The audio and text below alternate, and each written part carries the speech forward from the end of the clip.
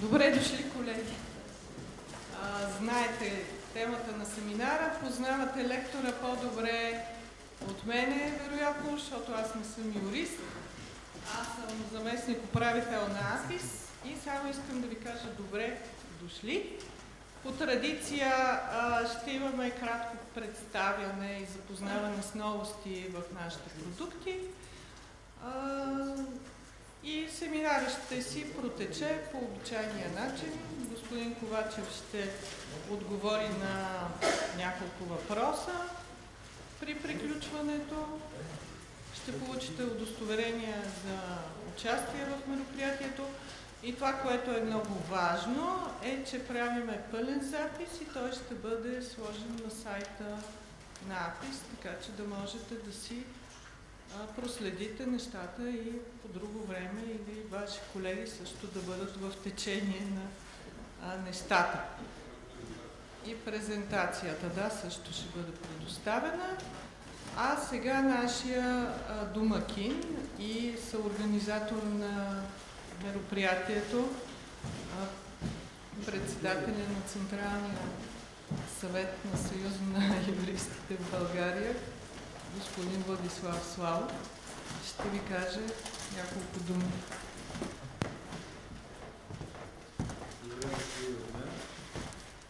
Благодаря ви за проявения интерес. Очевидно, че с АПИС България, когато решим да правим нещо съвместно, намираме актуални теми, защото интересът показва, че не сме сбъркали с темата, която днес е проблем на семинара. ЗУД винаги е бил много привлекателен и интереса към проблемите, които поставя, са били също много актуални. Надявам се, че това, което ще чуете днес, ще ви бъде от полза в ежедневната работа. Сигурен съм, че по-добър лектор по тази тема от колегата Савин Ковачев едва ли бихме могли да намерим. И тук сега в началото, размените с него няколко думи, си спомням в уния години, когато възстановихме Върховния административен съд. Аз тогава като ръководител, за да избегнем а, така едно недобро законодателство, меко казано, в, особено в сферата на устройство на територията, неофициално, сега мога да си позволя да го кажа, защото са минали вече много години, извършвахме една форма на консултативна дейност по отношение на законопроекти, които изготвяше Министерство на регионалното развитие тогава. И имаше един екип с тогава заместник министър беше Милчев, след това и колегата Ковачев е участвал в подобни схеми. Когато готовия законопроект се обсъжда с действащи магистрати от Върховния административен съд, нещо, което е много полезно, поне аз така го разбирам. В залата сигурно има инженери, архитекти и други специалности извън сферата на правото, но нека да не се обижда, че когато един закон се прави без участие или активно участие на юристи, редко резултатите са добри. Още повече, че напоследък още повече, че в последните години виждате така често се сменяме парламента, но присъствието на юристи там е прекалено бледо. Аз не знам, тия юристи, които са в момента в парламента, мисля, че са 19 на брой, колко души се сещате като имена, кои са. Защото водещите носители там са едни имена, които аз не бях сигурен, че имат юридическо образование, те го получили като второ висше образование. Та темите по принцип са много. Очевидно, че проблеми, които ви вълнуват, може да поставите. Колегата Ковачев, както ви казах, за мен е един от най-добрите специалисти в тази сфера и ще получите много компетентни отговори. Искам още две неща да ви кажа, използвайки все пак условно така нареченото домакинство, защото сте в сградата на Съюза на юристите. ние поддържаме едно много добро списание Общество и право. Предполагам, че повечето от вас го четат. Това е единственото списание за практикуващи юристи. На страниците на списанието много често са проблеми, които са свързани с прилагането на ЗУТ или евентуално предстоящи промени и така нататък. Т.е. винаги проблеми, които ви вълнуват, може да намерите на страниците. Ние сме а, перманентно в кампания за абонамент, така че ако искате, винаги може да се абонирате за списанието, независимо по кое време. Абонамента не е голям, 44 лева за 10 броя, но бъдете сигурни, че получавате едно списание, от което ще научите много интересни неща. На електронен носител не го излъчваме, така че единственият вариант и възможност да го четете на хартиен носител. Няма никакъв проблем по всяко време, ако желаете, включително и тук на место може да направите това, да се абонирате за списанието. И другото, което искам да ви кажа, е, че трябва да отида в Министерство на правосъдието, че там в момента има едно заседание свързано с изпълнение на актуализираната стратегия на съдебната реформа. Няма да мога да участвам до края в вашето заседание, но проблеми, които ви вълнуват, свързани с този, а и други закони, винаги може да поставяте както желаете и в устен и в писмен вид пред Съюза на юристите в България. Ние имаме специално създадена комисия, която обсъжда такива предложения и тогава, когато преценим, че са съществени, важни и от значение за подобряване на законодателството или евентуално за уреждане материя, която не е уредена, използваме възможностите, които ни дава закона, да потърсим пътя до органите, които имат законодателна инициатива и да направим съответните промени на законите, за които евентуално сме решили, че имат нужда от такава промяна. Тоест тази възможност винаги може да я ползвате, възползвайте се, ползвайте услугите на Съюза в това отношение, винаги можем да ви бъдем полезни. Имаме една прекрасна библиотека в сградата на Съюза. Когато не можете някъде да намерите нещо, потърсете нашата библиотека, можете да я ползвате, няма да, да имате проблеми в това отношение. Благодаря ви за вниманието, което проявихте към моето встъпително слово. Желая успех на днешния семинар. Дадем думата на Да не се бавим повече. Колегата Василев ще представи някои новости в АПИС, които ще ви бъдат полезни, а и най-приятното нещо е, че има и безплатна част.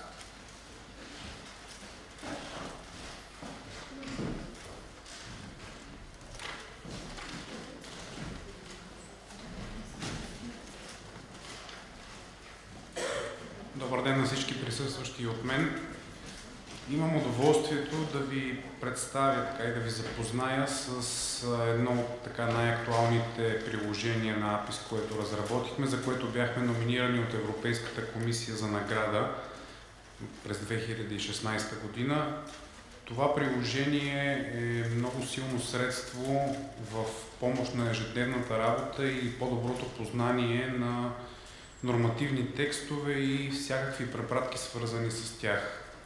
Това приложение се казва Link Detector, което има за цел да може да прави връзки с текстове, които имат цитирана правна информация в тях и да може да ви дава конкретни линкове, които сочат към по-подробна информация за тях. Това приложение работи за няколко браузъра. То е всъщност приложение, което се инсталира към интернет браузъра Работиме с Google, Mozilla, Internet Explorer, т.е. най-популярните. И това приложение може както на сайта на APIS, който тук виждате да намерите информация, как да го инсталирате, така може от съответните магазини на тези интернет браузъри да си го намерите, като просто напишете Link Това приложение, вероятно някои от вас вече са запознати или чували с него, други вероятно работите, но за всички, които сте, просто ще ви направя една демонстрация, за да придобиете представа как работи и по какъв начин може това нещо да ви отполза в ежедневието и не само по някои изключения и как може да ви донесе някаква допълнителна стойност.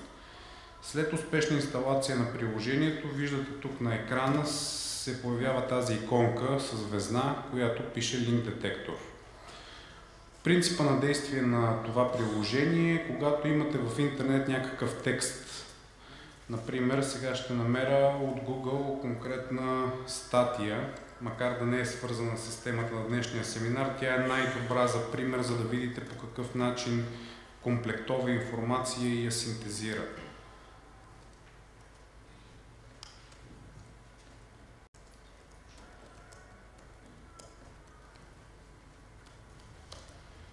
Сега, това е а, статия от Вестник Капитал през миналата година, която касае промените в Закона за данък добавена стойност. И виждате в самия текст има най-различни цитати, които няма връзка, т.е. не може да видите, например, какво точно се а, пише в член 176 от Закона за ДДС. Както по-надолу виждате, че има различни други а, закони и съответно термини, понятия и съдебни решения. Виждате тук, например, е посочена ДДС директивата от 2006 година, включително актуално спрямо новостите на АПИС като проекти и изобщо промените в правото като сфера е имплементирането на така наречените ЕКЛИ идентификатори за съдебните решения. Виждате в тази статия, например, е посочен ЕКЛИ номер, който вие разбира се може да го копирате, да отваряте на ново място, да търсите конкретното решение или термин, но чрез линк детектора този текст, който виждате пред вас и по никакъв начин не е свързан, а той има доста, можете, отваряйки това приложение с ляв бутон, да натиснете горното. Той има опция смяна на език в случая на английски, може да бъде на български, check for links или проверяване за връзка. След натискането на това нещо, приложението ви пита дали сте съгласни да направи връзка с нашата база данни, за да може да свърже разпознатите линкове. В зависимост от големината на текста, трябва да изчакаме определено време. Ето тук, например, казва, че в момента проверява. По принцип, това нещо отнема не повече от може би от няколко секунди до няколко минути, пак казвам, зависи от големината на текстовете, но това не е свързано по някакъв начин с а, а, различни вътре препратки, както виждате, реклами на текста и така нататък. Ето сега, например, казва, че вече е направена връзката и сега виждате в самия текст как в различни цветове са отцветени именно тези а, части, които може да ги разгледаме по-подробно. Например, закон за ДДС, виждате, прави връзка към продуктите на АПИС право и може тук да разгледате самия закон, който е с включените всички негови актуални изменения. По Важното е, че прави връзка и с конкретни части от закона. Например, въпросният член 176, конкретни точки, конкретни алинеи, всичко това нещо прави директна връзка. Виждате, така че навсякъде, където може, се прави тази връзка. В зелен цвят е посочен вече препратки, които касаят чуждестранна нормативна уредба, в случая европейската. Тази директива на, за ДДС отново ние имаме като версия, която вече прави препратка към европейския продукт, който разработихме, Eurocases. Към него могат да се направят препратки и прави връзка и с съдебни решения на Европейския съюз. Защото, както повечето от вас знаете, това е особено актуална и важна тема връзката между националната практика и европейската и по какъв начин те взаимодействат и всякакви следващи промени от практическа гледна точка следват този а, казус. Ето тук, например, както ви споменах за конкретния екли номер, който е, конкретно ви показва кое е това решение, само като доближите мишката. Виждате кое е решението, може да се запознаете за какво става въпрос, може дори да го отворите, например, като изберете самия линк, ще ви препрати към продукта, който е EuroCases и може да видите и резюмирана негова версия, както и а, поместени всякакви други връзки, които иначе в самия оригинален вид на решението няма да ги имат. С други думи, това приложение ви дава една така, способност вие да може да разгледате в детайли някаква правна материя, било то като статия, било то като дори съдебно решение, например. Ако видите, на което не са поставени връзки, вие може да разгледате всяка една, всеки един цитат. Другото нещо важно за това приложение е, че то както търси за връзки към нормативна уредба и съдебни решения, може да търси и по терминологичен речник. С други думи, например, тук се говори за данъчен неутралитет, което на всички нас ни дава някаква а, представа за какво става дума, но ако искаме да разгледаме конкретното понятие, което е дефинирано, можем чрез следващия бутон Check for Eurovoc Terms или проверка за термини по Eurovoc речник, може отново да поискаме да направи препратка и за всякакви термини, които са дефинирани на базата на този речник, вие може да видите тяхната дефиниция. На базата на тази дефиниция и на базата на всички връзки, които са с нормативните актове, вие може да разгледате и свързана съдебна практика по тези а, връзки. Например, а, сега ще ви покажа от нормативната база. С десен бутон върху съответния член може да разгледаме към българско законодателство, българска съдебна практика. Нали, защото става тук въпрос за а, българска нормативна уредба. Но също така, ако се касае за европейска директива, нормативен акт, най-общо казано, вие може да разгледате практика на съдилищата по тази директива, която отново прави връзка към а, нашата база данни с продукта Eurocase. За него има безплатна демо версия, която вие може отново да си инсталирате и да разгледате за какво става въпрос. Виждате, в друг цвят са отсветени именно тези термини, които се разпознават. Тези термини може да ги разгледате, виждате отново за всички документи, за европейско законодателство, българско, практика съдебна, съответно българска и европейска. И другото нещо много важно, което позволява това приложение е да прави а, връзка с данни на лица и фирми.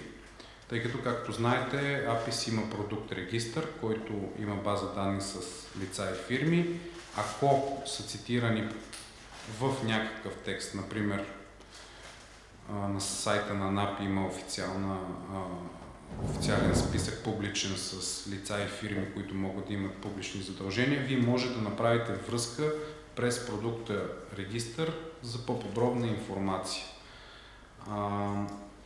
Всичките тези връзки, които се поставят, не ви променят по някакъв начин състоянието на прозореца, нито променят съдържанието му.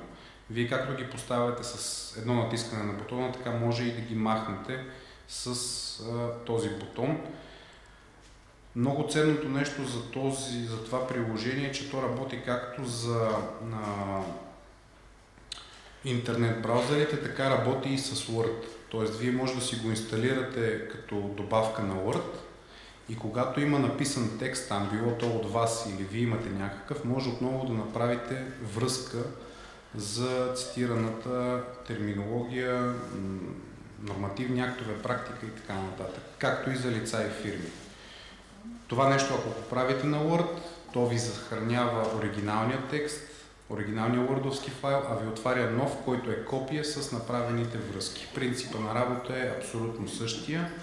По-подробна информация за това как може да си го инсталирате, може да го получите както от брошурите, които са ви раздадени, така и от сайта на APIS.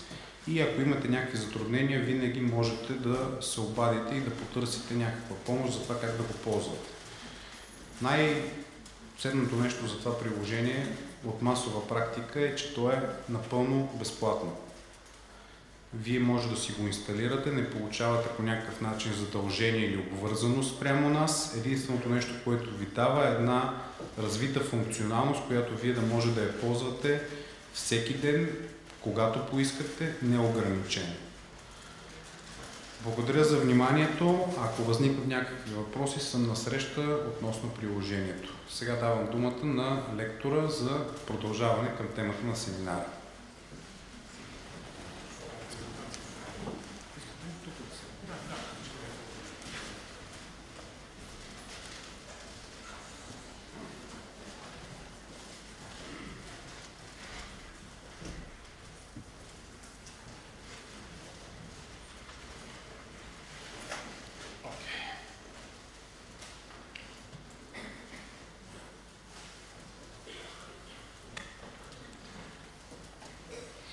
Добър ден на всички.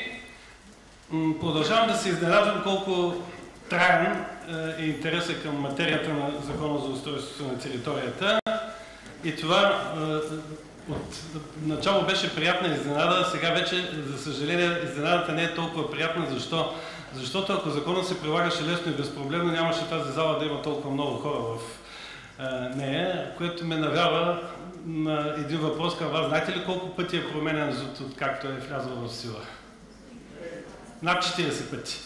До година ще направим 17-та годишнина от промяната, от, не промяната, от излизането на закона. То между другото доста закони в нашия правен мир не са доживявали до 17 години, но е, историята вече, законодателната история на този нормативен акт ме кара да си мисля, че е дошло време за нов закон, честно казано. Това не е лесно да го изрече един от е, участниците в работната група, който е писал е, закона, но действително съвсем често мога да споделя, че може така, нали, тези, които прилагат закона и до някъде са свикнали с него да ни харесва тази мисъл, но според мен е крайно време до една-две години да се появи нов нормативен акт, който да регулира нещата по по-модерен начин.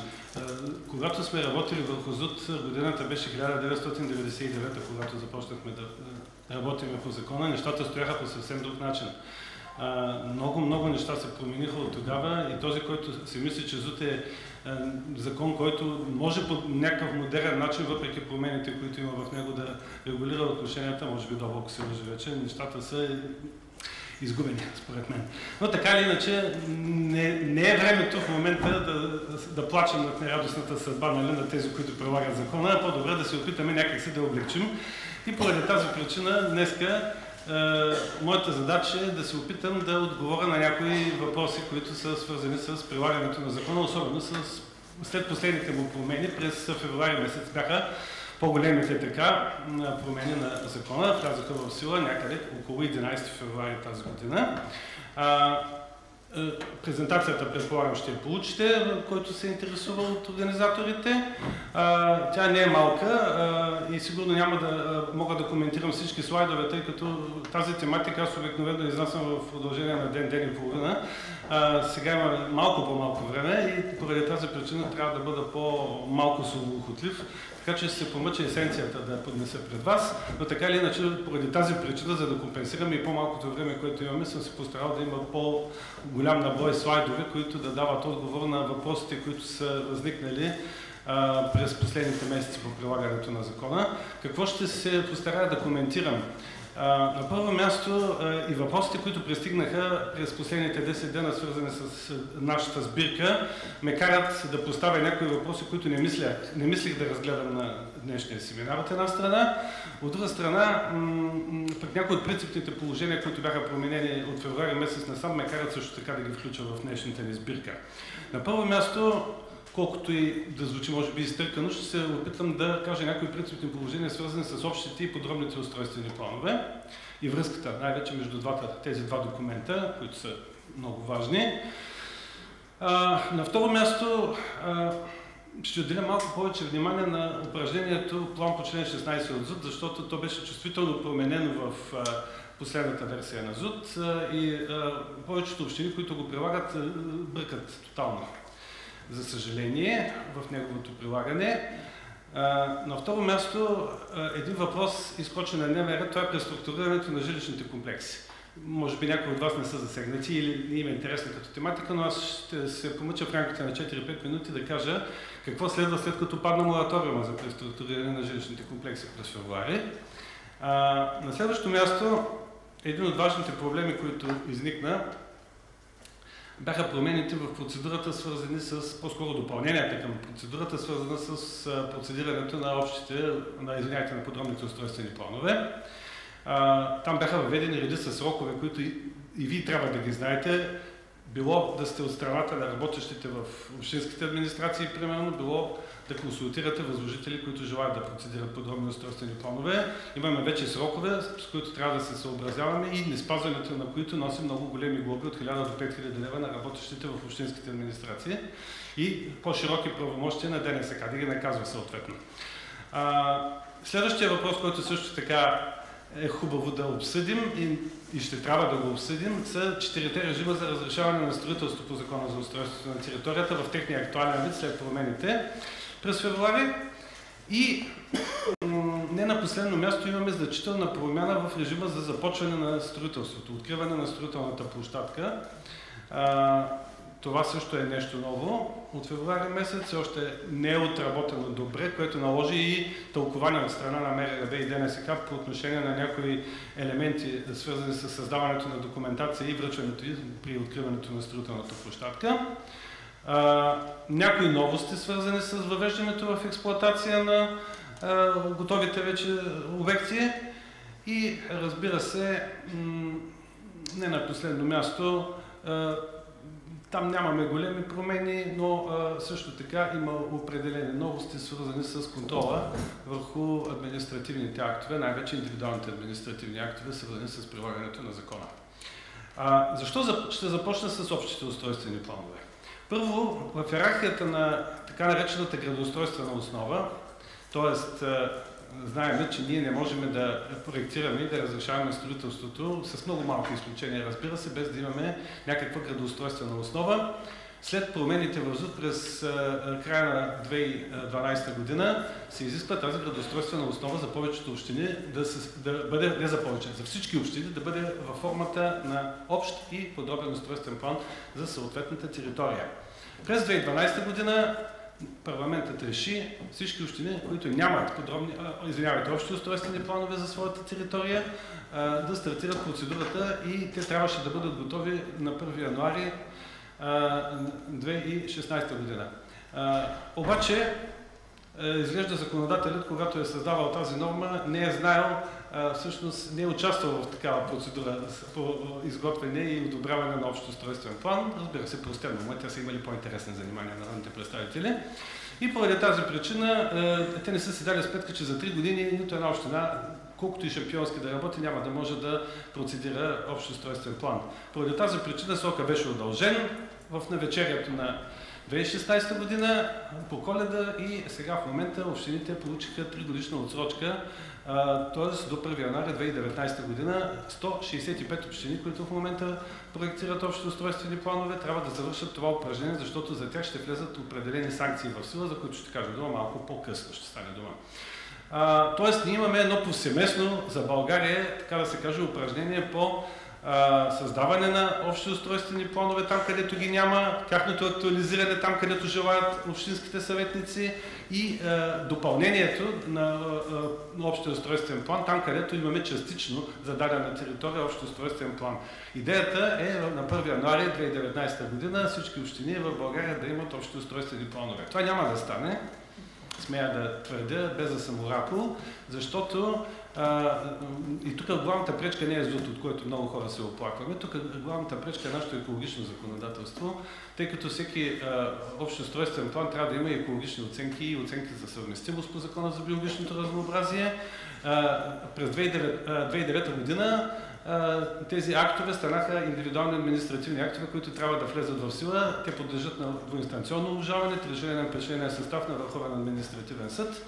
А, а, общо взето на втората година екологичната оценка на един такъв план е готова и е внесена в Министерството. То се бави порядъчно много, Министерството на околната среда и водите. Още няколко месеца до година този акт излиза от Министерството. Значи на третата година някъде, ако имаме връзка в Министерството на околната среда и водите, ще получим екологична оценка. Заповед на министра. Оттам нататък новосъздадените организации на екологичните фундаменталисти, както аз ги наричаме, тези организации, които искат да изличат дивиденти от обжалването на екологичните оценки, започват да ги жалят, позовавайки се и на Охуската конвенция и във Върховния административен съд се очаква лавина от дела да постъпят, които на две инстанции не вярвам да приключат за една година. Тоест, не по-малко от 4-5 години ние ще имаме, докато влезе в сила екологичната оценка на плана, след това имаме също така време, през което трябва да извършим още съгласователни процедури и одобряването на самия общо устройствен план. Значи виждаме, че тази, това упражнение трудно ще завърши за 6-7 години.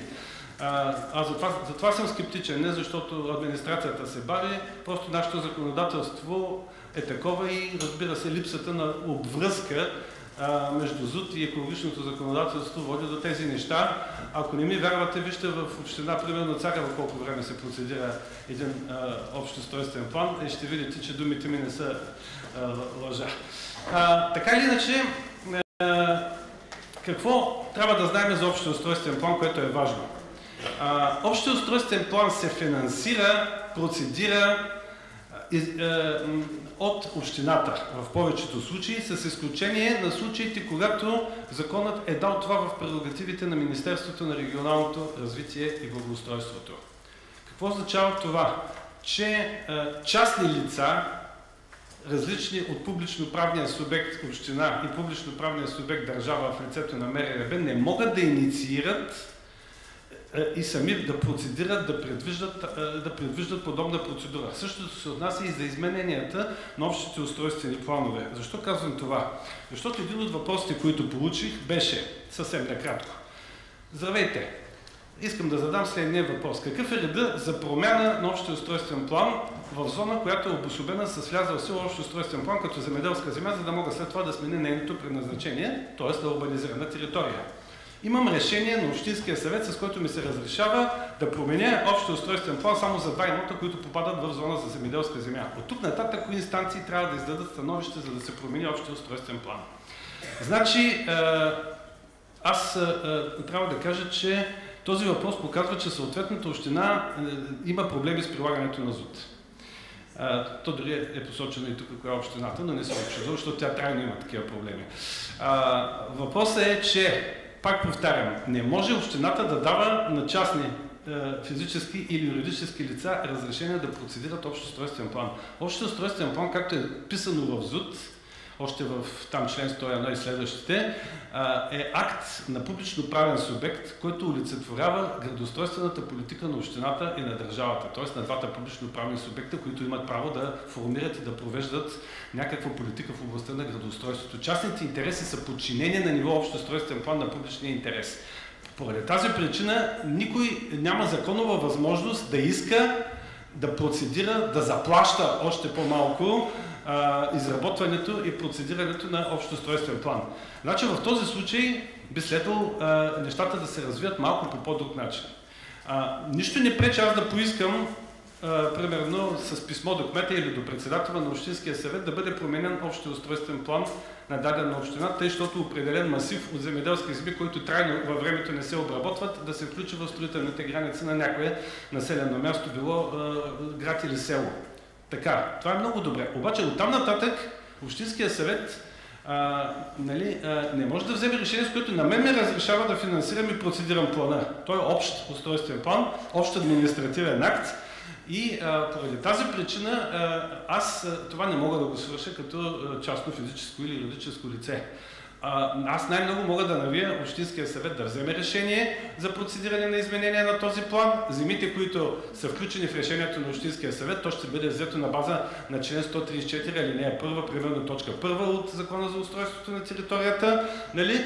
А, след това, с това решение се допуска изработването на общо устройствен план, трябва да бъде одобрено и задание. Това задание аз не мога като физическо лице да го внеса в Общинския съвет и да го съгласувам. Заданието се прави а, от Общинската администрация и се предоставя на Общинския съвет. Тук не, въобще не е станало дума и за задание, значи големи пороци има в това, което ми е зададено като въпрос, като процедура.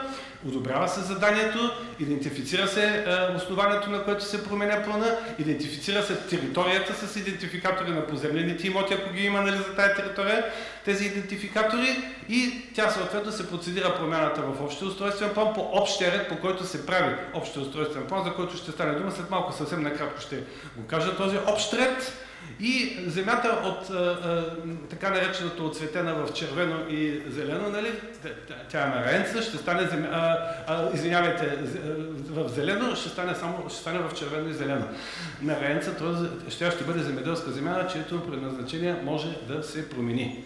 А, това упражнение, за което е написано в въпроса, е възможно, но при наличие на общ устройствен план вече, който е процедиран от общината, одобрен от Общинския съвет, влязъл е в сила, и а, тогава вече в това землище, ако по общия устройствен план тези земеделски земи са отцветени по този начин, както казахме зелено и червено, нали, тогава вече аз мога да искам изработването на подробен устройствен план за моите земи, нали, ако имам качеството на лице, което може да иска, 124 4а алинея 5 е това от Закона за устройство на територията, но само при наличието на подробен устройство, на общ устройствен план, преди това влязъл в сила, аз мога да искам това упражнение. Значи ние не трябва да тръгваме по пътя да искаме от общината ние да правим а, общ устройствен план, просто ЗУТ не го допуска. Нали? Не нали, общината няма да го допусне, както виждате има добри хора в лицето на Общинския съвет, допуснали са го това нещо.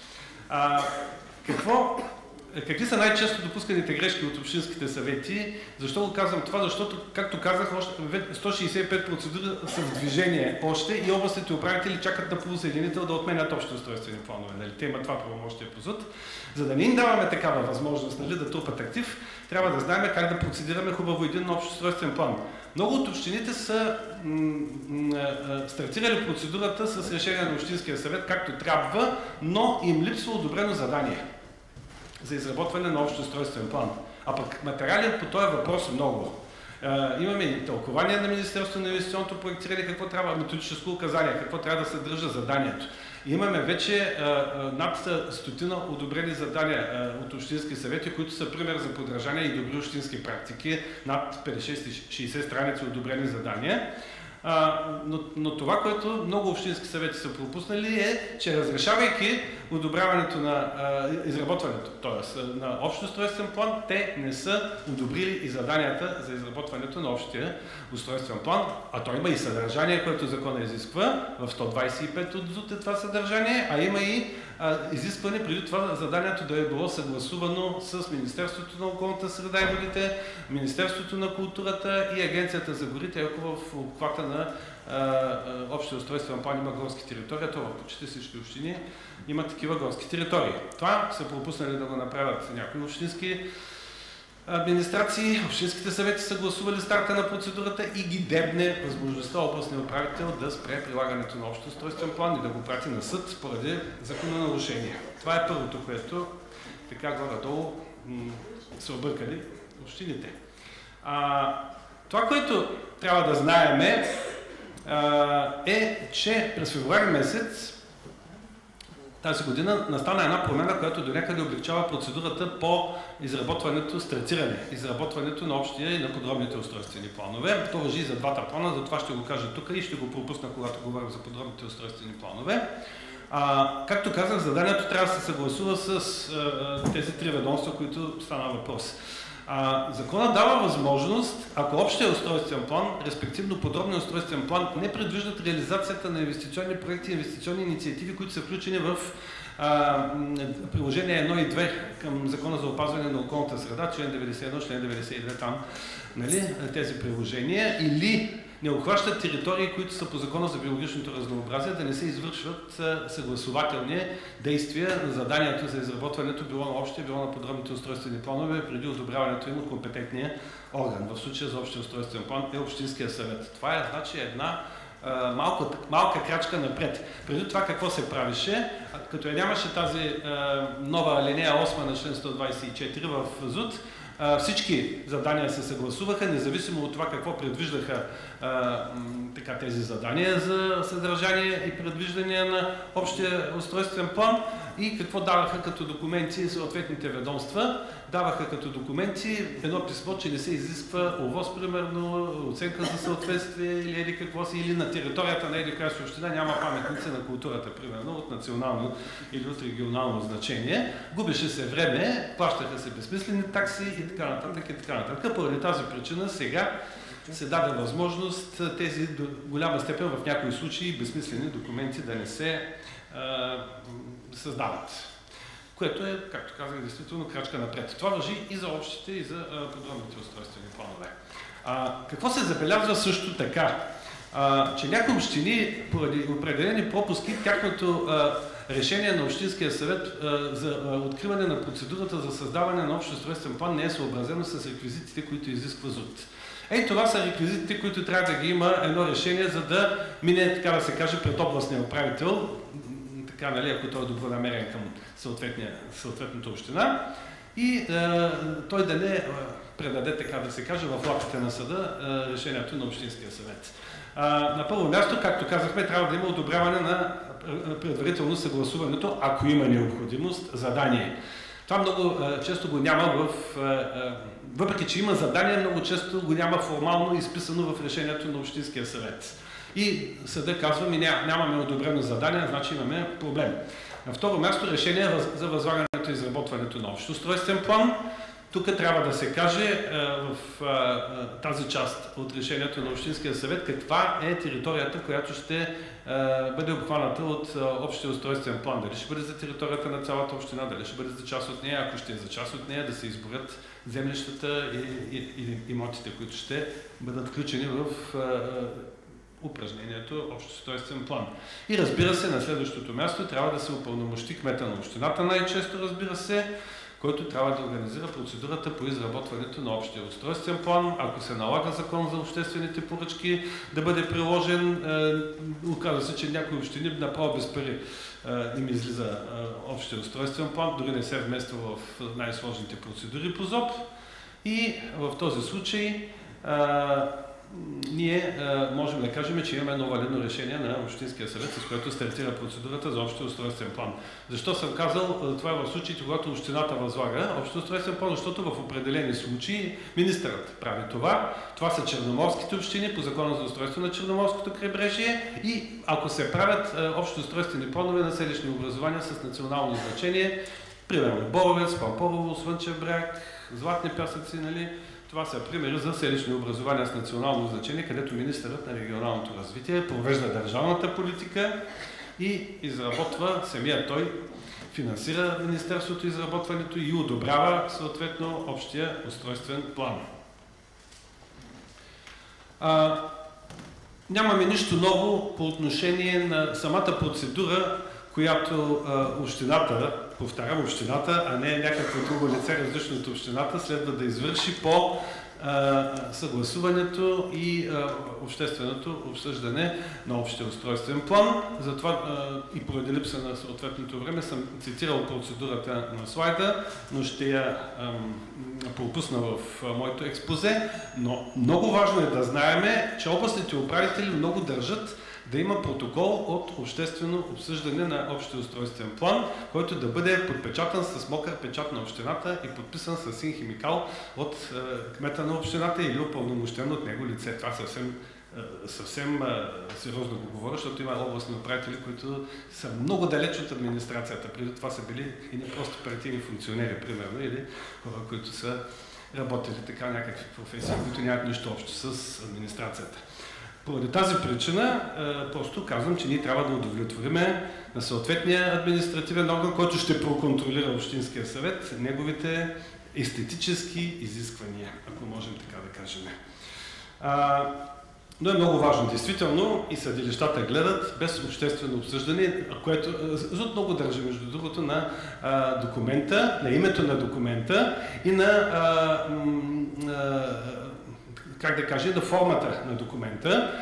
Е, разбира се, това е обяснимо в някои случаи. Защо казвам това? Е, защото е, всеки областен управител и всеки съдия ще погледне, ако е обжалван ОУП нали, от областния управител, ако е отнесен пред съда, дали имаме подписан и подпечатан протокол.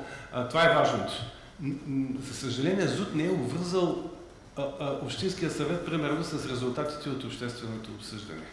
Значи хората в общината могат да са записали в протокола нали, по техен натиск, че плана е ужасен, че плана не отговаря на интересите на общината, че общината ще бъде замърсена. Имаше такива случаи с едни златни находища в Южна България нали, хората едва ли не стигнаха до бунтове, имаше протокол от обществено обсъждане, нали, имаше протести пред общината, общинските съветници си приеха точно обратното на резултатите от общественото обсъждане, че после и полицията ходи да плаши хората, които организираха бунтовете, но това са други въпроси. А, така или иначе, много държиме, нека да има протокол с подпис и печат. А пък Общинския съвет, че си приема какво се знае, това е съвсем друго, разбира се. Ние сме юристи трябва да спазваме формата и буквата на закона духа. Отлетяло давно от бутилката, за съжаление. Отиваме по-нататък.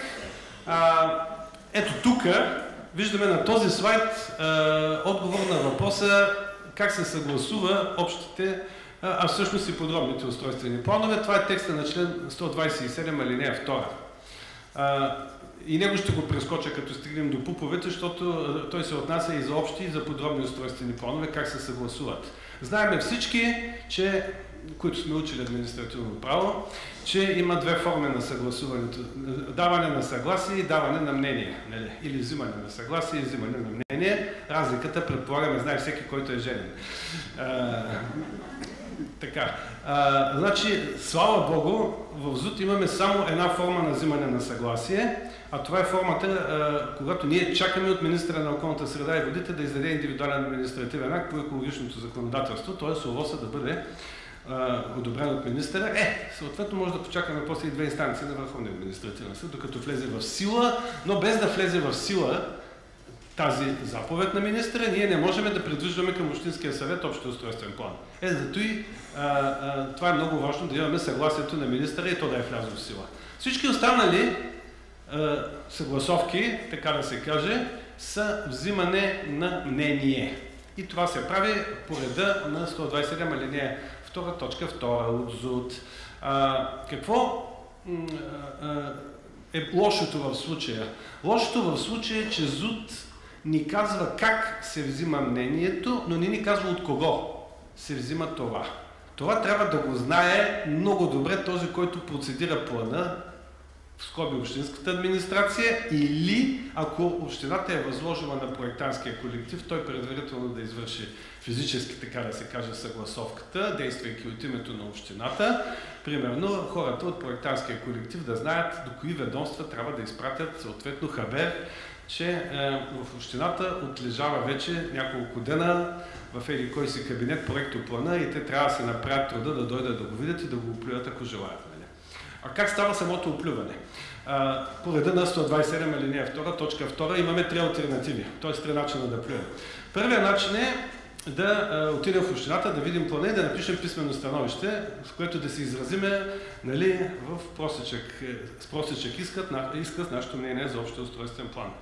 А, втория начин е, ако не сме направили това по една или друга причина, ние трябва да бъдем поканени на заседанието на Общинския експертен съвет, на който се гледа проекто плана.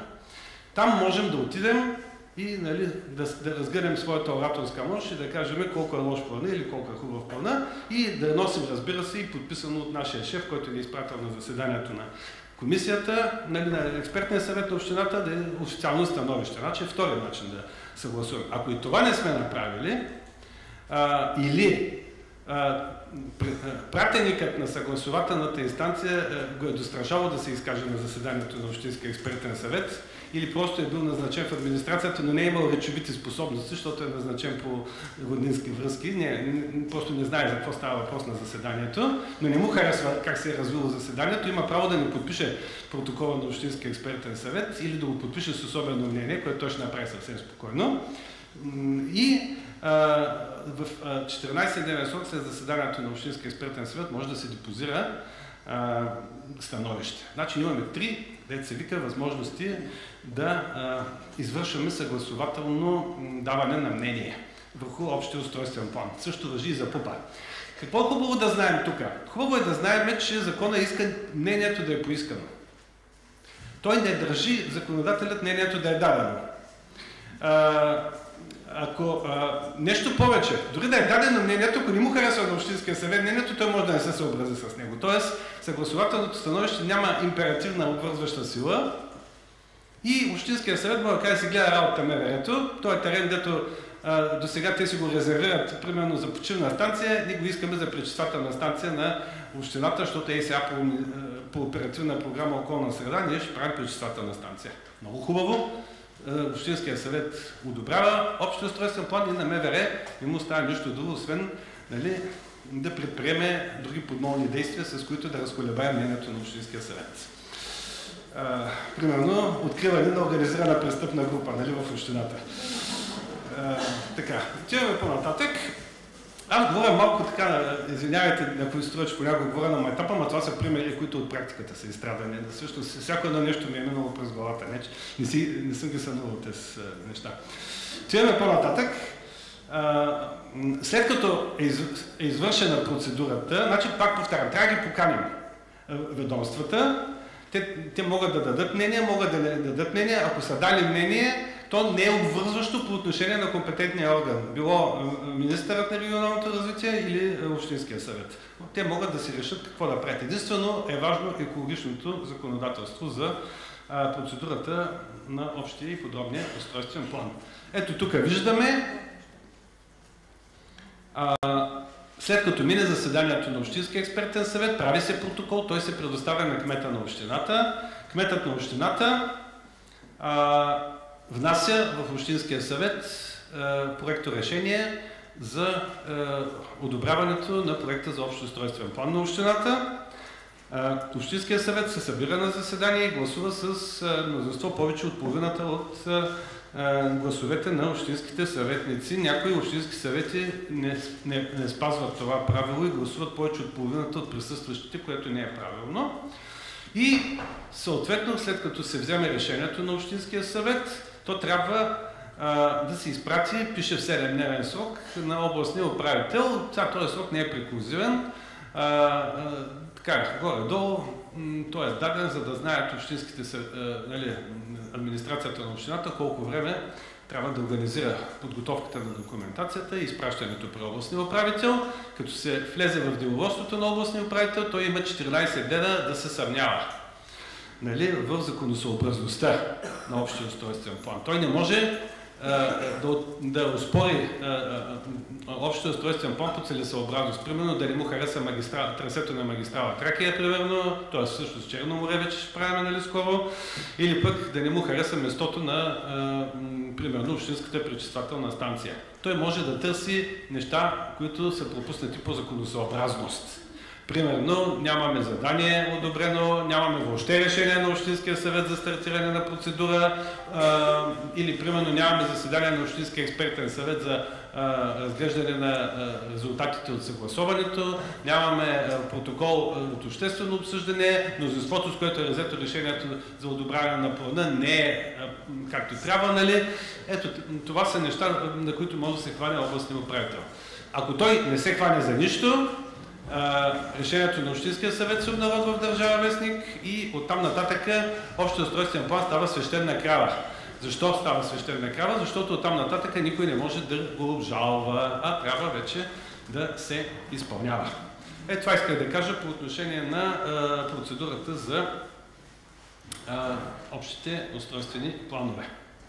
Отиваме по-нататък. Ако има, разбира се, въпроси, ще оставя достатъчно време да а, обсъдиме нали, нещо свързано с общия устройствен план. Също така.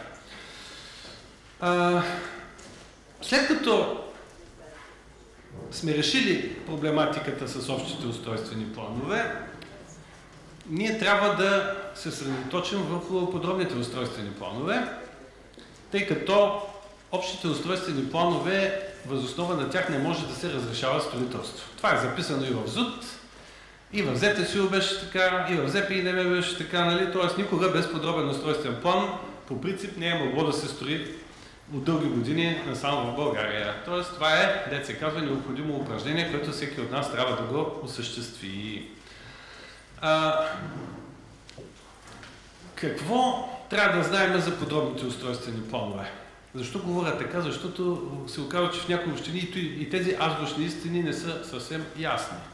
А, трябва да знаем, че а, по принцип а, подробните устройствени планове а, ние можем да ги разделяме по много критерии, но най-важните критерии а, са а, два. Първият критерий е начина по който един подробен устройствен план урегулира съответната територия.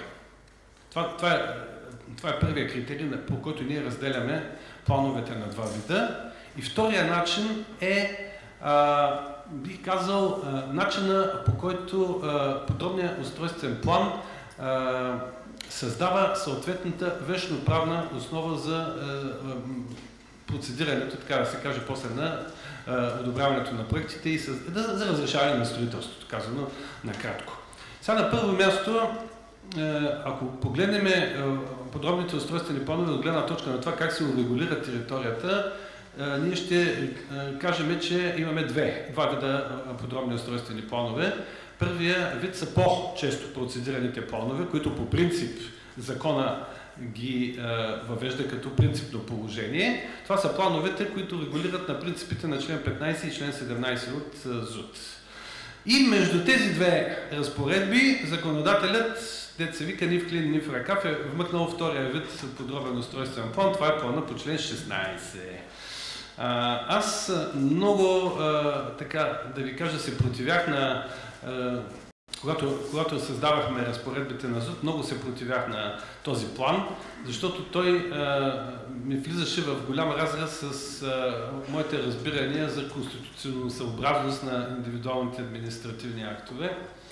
А, но така или иначе мнозинството от работната група реши да запази този акт, позовавайки се и на още разпоредби от законите в Царство България, третиращи градоустройството. Ама в Царство България собствеността върху земята беше друга.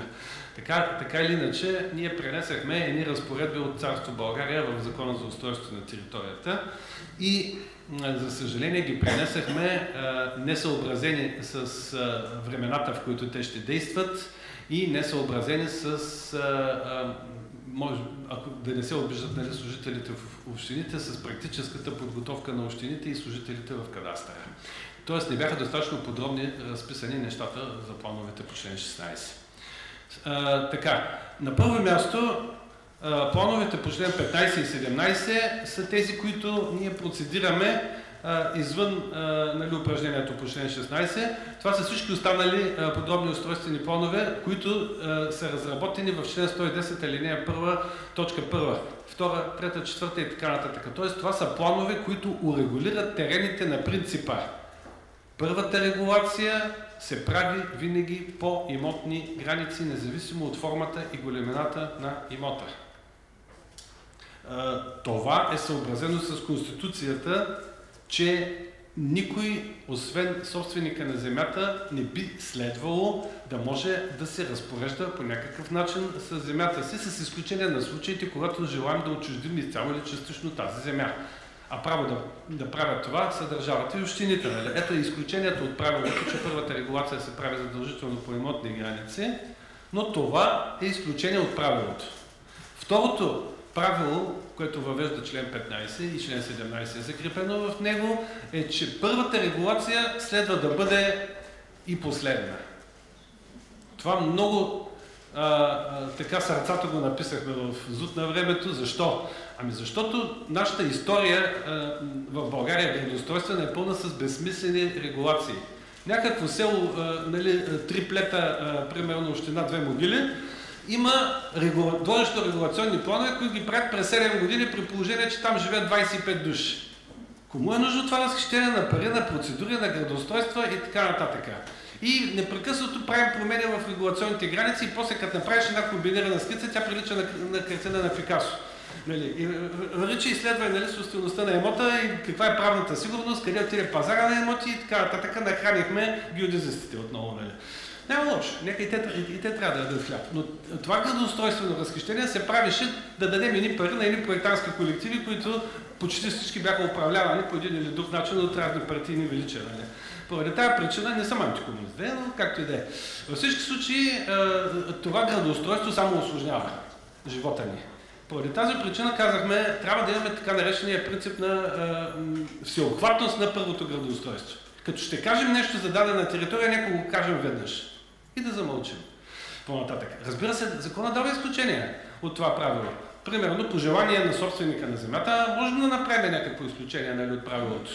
Ако пожелаем да отчуждим имота с последваща регулация, го предвиждаме за нещо друго. Нали? Ето имаме възможности да не спираме живота, но това не го правиме, защото на общината е стимнало да даде пари за една обществена поръчка, нали? без да има никакъв смисъл от това.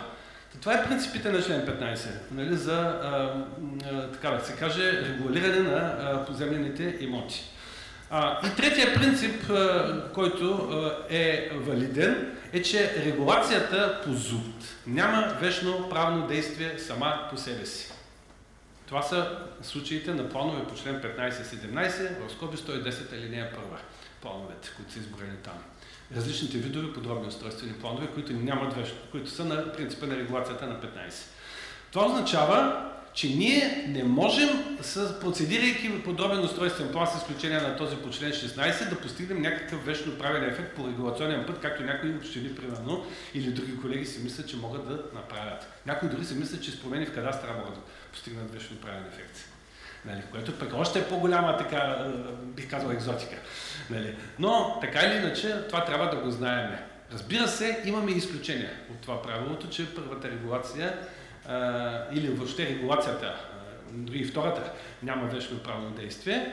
А, само, че а, имаме а, индиректно вечно правно действие на регулацията, когато тя служи като стартов изстрел за процедурата по глава 3 от Закона за общинската собственост или глава 3 от Закона за държавната собственост. Знаете, че без влязъл сила ПУП, който да дава предназначение на един имот за публични мероприятия, за което може да се проведе отчуждително производство, ние не можем да стартираме отчуждителното производство. Е, това е индиректното действие на регулацията, но директно действие регулацията има и то бих казал, квази директно действие има в един случай, по-скоро. Той пак е индирект, не е съвсем директно, но може ли да ми кажете кога? Има някакво вечно правно действие. В случая, когато примерно един парцеларен план влиза в сила и а, поражда така наречените сервитутни права за линейни обекти. Тогава, разбира се, трябва да се изплатяват, да се изплащат еднократно обещетение, но а, в случая регулацията е така елемент от един фактически състав, който съчетан с превеждането на еднократното обещетение поражда вечното право, независимо от волята на собствениците на търпящите имоти в обхвата на парцеларния план. Това го казвам, защото тук имаше един въпрос, свързан с парцеларните планове, на който ще, за който ще отговоря в края на моето експозе. Но да се върнем значи, на а, а, случаите на подробните устройствени планове, когато планът е по член 15, по принцип, ако не желаем да отчуждаваме имота, ние го, общината или проектанта, нали, който прави плана, трябва да знае, че не трябва да си прави каквото си иска с размерите и с формата на имота. Той гледа кадастралната основа, спазва границите на имотите и нещо важно също така, гледа до всеки имот да има достъп. Е, един неурегулиран имот може да няма достъп до него, но до всеки урегулиран поземлен имот трябва да има достъп. Път, улица, алея. Това, нали, позут го има в дефиницията за урегулиран поземлен имот. Защо го казвам това? Защото съвсем скоро в една немалка община българска се оказа, че имаме одобрен пункт, в който няма достъп до имота, който е образуван. Ей на, ей тъй на. Що така се е получило? А, не знам. Нали, как тъй, кмет е одобрил а, този план, на мен все още не ми е известно.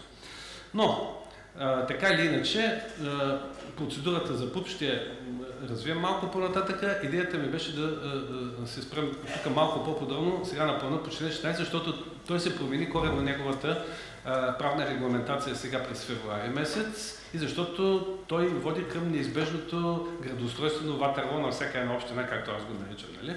В смисъл, всяка община затъва в кълта на Ватерло и излиза много трудно от нея, без да плати солидни, така, да се каже, съдебни разноски. А, проблема на плана по член 16, аз го наричам, че компромис на ръба на Конституцията. Защото, както казваме, това е план, който вече има директен вечно правен ефект и който а, общината го процедира, като тя има право безвъзместно да вземе до 25% от а, всички имоти, които са в обхвата на плана, да стане собственик на тези имоти, а, като а, гражданите, които не са обжалвали актовете, които се приемат в хода на процедурата за план по член 16, се счита, че са се съгласили, както казах, с този компромис. Мълчейки си, те са одобрили действията на Общинския съвет и на Общинската администрация и са съгласили да дадат еди каква си част от имотите си, до 25% от тяхната площ, защото те ще получат вместо картофената нива един урегулиран поземлен имот, който ще има доста по-висока пазарна цена и ще може да бъде, така да се каже, вече застроен. Общината, т.е. движи една процедура, тя придобива 25%, до 25% от територията, за да може да изгради улици, площади, ако трябва обекти на публичната собственост, паркинги, детски площадки и други обекти. Нали? Те са описани какви са обектите в член 16 алинея 1. Срещу това нали, гражданите дават на общината имотите, чакат общината да направи инфраструктурата и започват строителство или продажба на вече поскъпналите картофени ниви. Бивши картофени ниви. А, е, това е компромиса, който е... Явно общината а, не действа съвсем така съобразено с Конституцията. Нямаме никакво парично обещетение спрямо тези, от които сме взели, нали? но и тези, които, от които сме взели е, до 25% от имотите си, това обещетение не го търсят и не се противопоставят на този, така да се каже, неписан договор с общината, която процедира плана по член 16. Това е един голям моков за общините, когато стартира процедурата по ЗУД през 2001 година. Проблемите обаче се оказаха много. На първо място никой не можа да обясни, когато питаха хората, примерно агенцията по кадастър, как става на практика графиш, графичното отразяване на новообразуваните имоти, на как, каква е кадастралната основа на плана по член 16, а, тогава още нямаше и понятието идентификатор, нали, а, с сегашната му нали, правна регламентация, ама как ги нали, идентифицираме тези имоти. А, и това беше най-малкият проблем, защото на всичко в движение му се намираше а, решение. Проблема беше а, начина по който общините прилагаха а, плана. При старата версия на член 16 ти можеше да имаш примерно три имота в обхвата на територията. А, общината, без да те пита, ти ги обединяваше и ти ги даваше на съвсем дълго място, където, те реши, където тя си реши. Ако си близък до сърцето, примерно на кмета, ги получаваш на хубаво място. Ако не си близък, отиваш на, а, на лош терен, на лош терен, да кажем. Нали? А, това а, доведе до голямо недоволство, между другото, много жалби и в някои общини по 5-6 години не влизаха в сила плановете, защото хората се чувстваха така незвергнати. Нали? А, на следващото място. Тоест, а, обвиняваха общините в безпринципност при прилагането на член 16.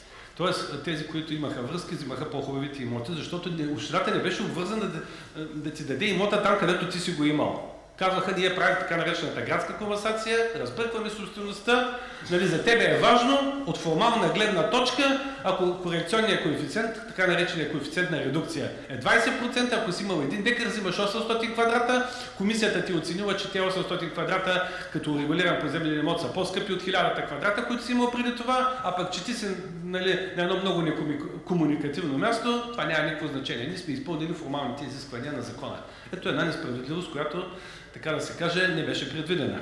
На второ място, а, нещо, което също така се сблъскаха а, общините и, дори София също така, която обикновено решава всички, всичките си проблеми, тя е вече и тя без проблеми. Нали? А, когато започнаха, а, така да се каже, изработването на плановете по член 16, поземлените комисии не им пукаше от това, че за дадена територия се работи план по член 16 и връщаха, продължаха да връщат имоти нали, земеделски земи. И се оказа, защото това са земи с неорегулирани територии, нали, член 16 се прилага в неорегулирани територии само или в територии с неприложена първа регулация и поземната комисия връща. Това променяше изцяло правилата на играта, защото се променят брой на имоти, размери на имоти, собствен, собственици на имоти. А, нали, проектанта не го знае това, защото поземната комисия не винаги уведомява общината, пък и да уведоми общината, общината не се сеща да уведоми проектантския колектив, който изработваше плана. И става така накрая, че проектоплана съвсем не отговаряше на действителността, която се получаваше в а, случая. А, смисъл, в един момент не достигаше земята която трябваше да бъде предоставена на собствениците на имоти в обхвата на територията по член 16, защото междувременно се бяха появили още 10 човека, на които бяха върнати земеделските земи. А, на, тях, на местото, където те си бяха получили земята, а, примерно а, плана, който беше влязъл в сила, казваше, че това или е общинска собственост, или беше собственост на някой съвсем друг човек, който пък беше пратен на това място, защото имал земя на 2 км от там. Нали? Е, сами разбирате, че е, при тогава действащата нормативна уредба по член 16 много трудно беше да влезе в сила един такъв план по член 16. И последното, което, ма никак така никак не подпомагаше прилагането на плана, беше възприятата съдебна практика, нека ме извинят е, административните съдии, но те изглежда не схванаха спецификата на плана, че всички имоти новообразувани са скачени съдове. И ти не можеш да считаш, че един план по член 16 може да влезе частично в сила. Защото ако ти е, мислиш това, че е възможно, ако примерно от 100 имота ти по отношение на 3 имота постановиш, че плана не е влязъл в сила и отмениш предвижданията на плана по отношение на 3 имота, може да се окаже, че тези 3 имота засягат още 13. Защото ти трябва да върнеш Примерно, един човек, ако му отмениш а, плана там а, и, и кажеш, той трябваше да бъде там, обаче поради какви си причини, той не трябва да бъде там и трябва да се върне на старото място, където има, ти там си настанил някой друг вече и няма как да приложиш дори съдебното, да изпълниш дори съдебното решение. Това е защото Върховният съд мислеше, че може да влезе частично в сила един план. Ама това не е плана по 218 ОЗУД, където може да кажеш, там, там регулацията е по имотни граници. Тук регулацията не е по имотни граници. И поради тази причина се получи една голяма каша, разбира се, сътворена и от общините, и от а, съдиите. С най-добрите ми чувства, разбира се, към тях. А, поради тази причина ще видите, че законодателя направи чувствителна крачка напред при а, прилагането на член 16 и вече ние имаме една, бих казал, доста радикално променена уредба, която би могла да доведе до успешен край едно упражнение, свързано с а, а, така, процедирането на плана по член 16. Малко е късно, за съжаление, защото член 16 действа от 16 години. И а, изглежда законодателят му трябваха 16 години, за да прозе горчивата истина, нали? колко трудно може да се прилага. Той е текст от една страна, от друга страна учените започнаха вече се отказват да го прилагат поради лошите спомени, които имат. Столичната община измисли нещо много по-добро, примерно, за себе си. За себе си. А, това, какво е по-доброто? Ами вместо да се прави план по 16, т.е. общината да придобива безвъзмезно собствеността, в която ще направи улицата. Тя кара тези хора, които желаят да строят дадена област, да подарят на общината е, терена за улица. При това те трябва да дадат на общината, за да, им, за да им приеме тя дарението 14 документа. За да се мине на общински съвет и общината да приеме дарението. След като общината приеме дарението, тя вече е спокойна, прави се регулационен план, нали? Одобрява се регулационния план, взима тя частта от имота, който е за улица и ти казва след две години, когато ти поискаш разрешение за строеж. Ема ние в нашата инвестиционна програма нямаме пари за тази улица още. Що не вземеш да се я построиш, защото без да я построиш няма да ти издадем разрешение за строеж. Ти построяваш улицата, финансираш я и взимаш разрешение за строеж и си щастлив, изградил блока, въведен в експлуатация след две, два месеца мина общината и прави зелена зона на мястото на а, улицата, нали, а, която ти си подарил на общината. И в този момент излиза така, че ти си дал на общината улицата, направил си я ти и тя прави зелена зона и почва да събира парички от хората, които паркират в тази зелена зона. И това е съвсем истински случай. Нали? Така че, а, а, виждате докъде, докъде доведе дискредитацията. По-рано поне по-рано поне общината знаеш, че си дал 25% и чакаш общината да я направи. Между другото, това, че си ги дал тези 25%, това също е едно от лошите нали, неща. Не, а, няма текст в а, закона, който да задължи общината, след като по член 16 ти е взела безвъзмезно до 25% от имота, да, да направи в един си срок улицата, примерно. И за какво говориме?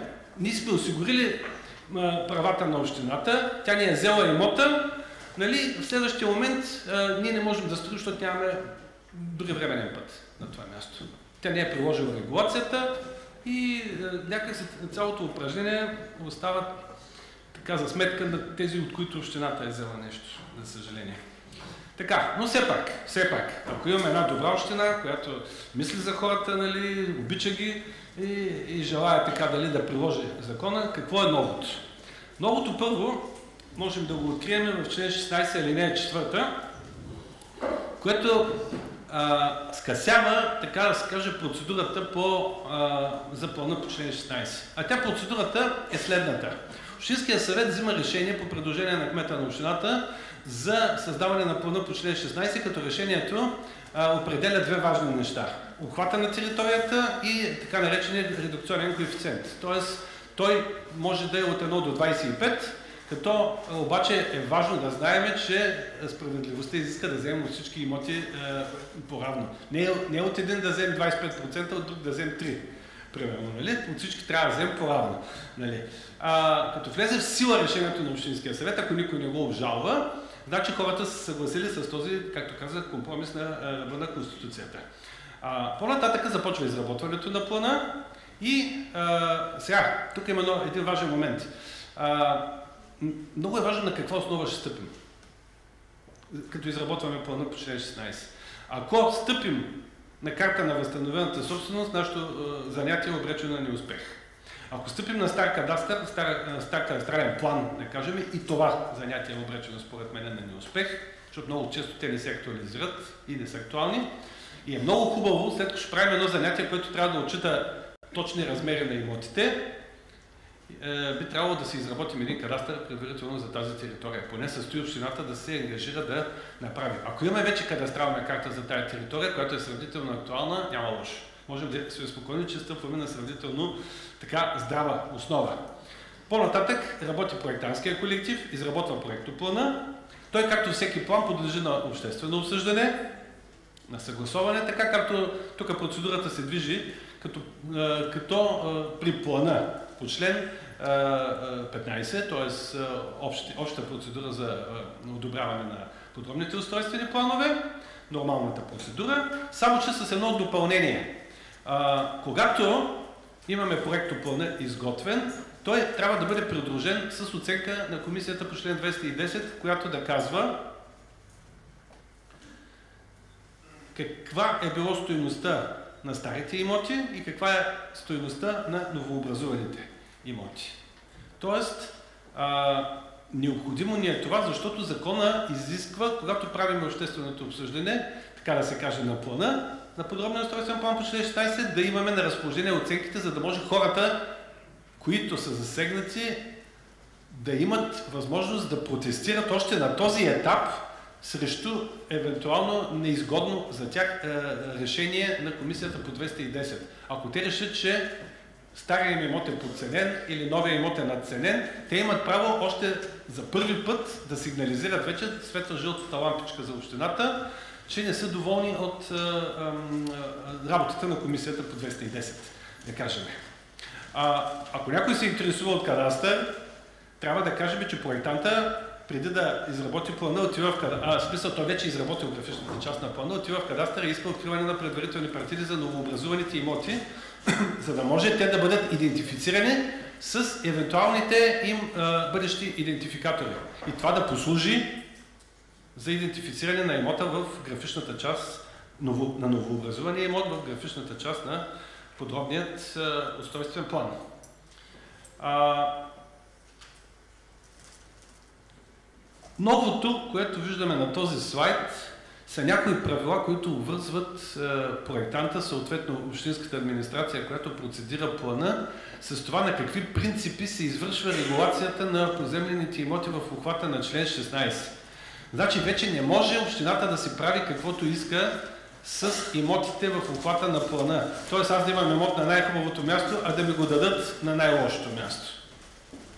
А, казва се, че Единственото нещо, което общината може да направи без мое съгласие е, ако аз имам примерно два имота в охвата на плана, които след а, прилагането на корекционния коефициент останат маломерни, тъй като те трябва да бъдат оставени без режим на застрояване, защото не отговарят примерно на изискванията за лице и площна зона за ниско застрояване по член 19 алинея 1 до 10 метра, ако такава зоната ще бъде за ниско застрояване. Общината без да ме пита, може двата ми имота да го обедини в един, той ще бъде пълномерен имот и върху него ще може да бъде установен режим на застрояване. Това е действително в мой интерес, защото ако общината не направи това, то аз после трябва да го правя сам.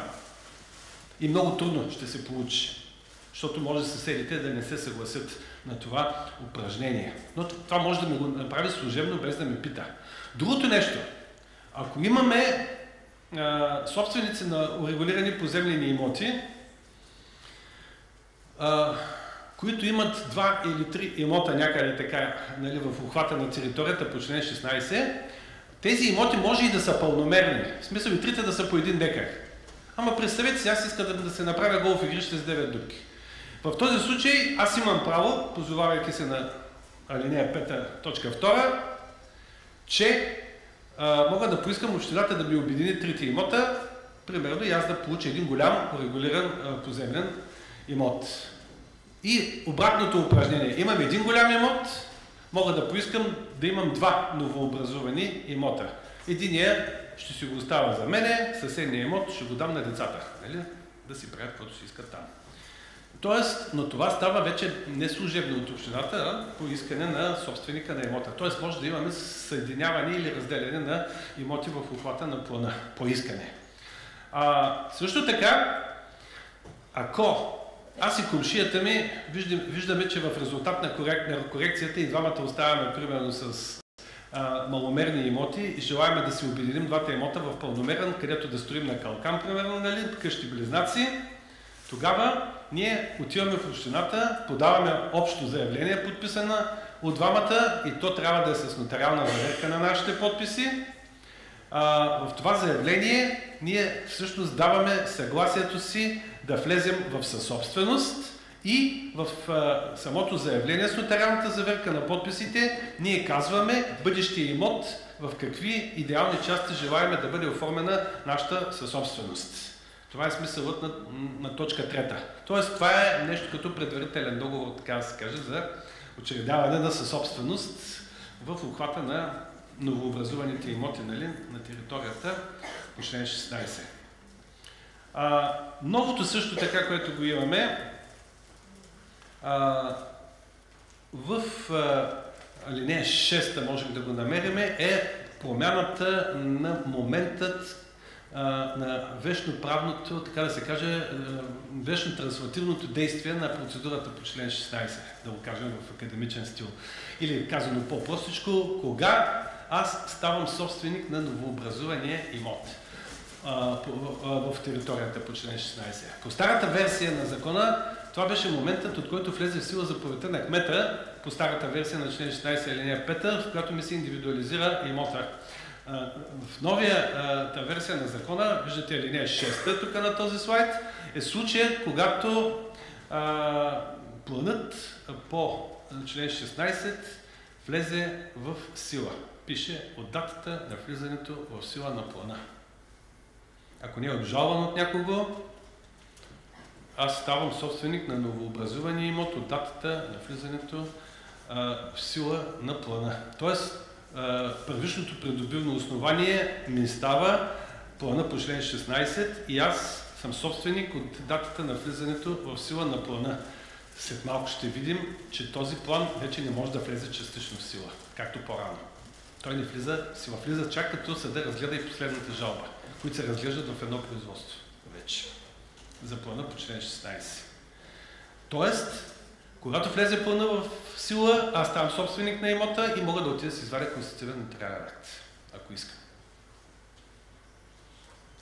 Разбира се, преди това, кметът на общината, преди да си изваря конституционен нотариален акт или някой лице, което той е упълномощил, издава заповед, но тази заповед има, така да се каже, констативен ефект. Тя, тя ме легитимира също така като собственик, на имота. С нея общината ми индивидуализира имота, удостоверява, че пълна е влязла в сила и аз също мога да я размахвам като нали, документ за собственост. Разбира се, ако желая да отида при нотариус, ще си отида и ще си оправя а, нали, собствеността с нотариален акт, но тази заповед е акта, който се изпраща първоначално в агенцията по вписванията за вписване нали, в имотния регистр, също така за нанасене в кадастъра вече на факта, че е влязъл в сила подробния устройствен план по член 16. А, за да се избягнат а, а, нали, някакви стари съдебни практики, а, които вече не искам да цитирам, защото това е минало законодателно, законодателят а, е създал този член 16А през февруари, в който казва, че за такива територии, които е възможно да направим планове по член 16, ние можем да направим по решение на Общинския съвет не плана по член 16, а можем да правиме план за улична регулация и обекти на публичната собственост. Това е плана по член 110, алинея 1, точка 2. Тоест тази алинея безспорно казва, че това са два равностойни плана. Но те се правят по различна процедура и имат различен ефект. Ефекта на плана по член 16 е, както видяхме, че общината придобива безвъзмезно. Този план за улична регулация не води до този ефект, а общината и дава право този план да отчужди терените в обхвата на уличната регулация, но също задължението за обещетяване. Съответно дава право на лицата в обхвата на този план по 110 линия 1 точка 2 да, да подарят на общината терените, които са предназначени за улица. В този момент почват изведнъж лицата да изпитват силни дарствени намерения към съответната община. Отиваме по-нататък. Тук имаме един много, много сложен член. Това е 134А.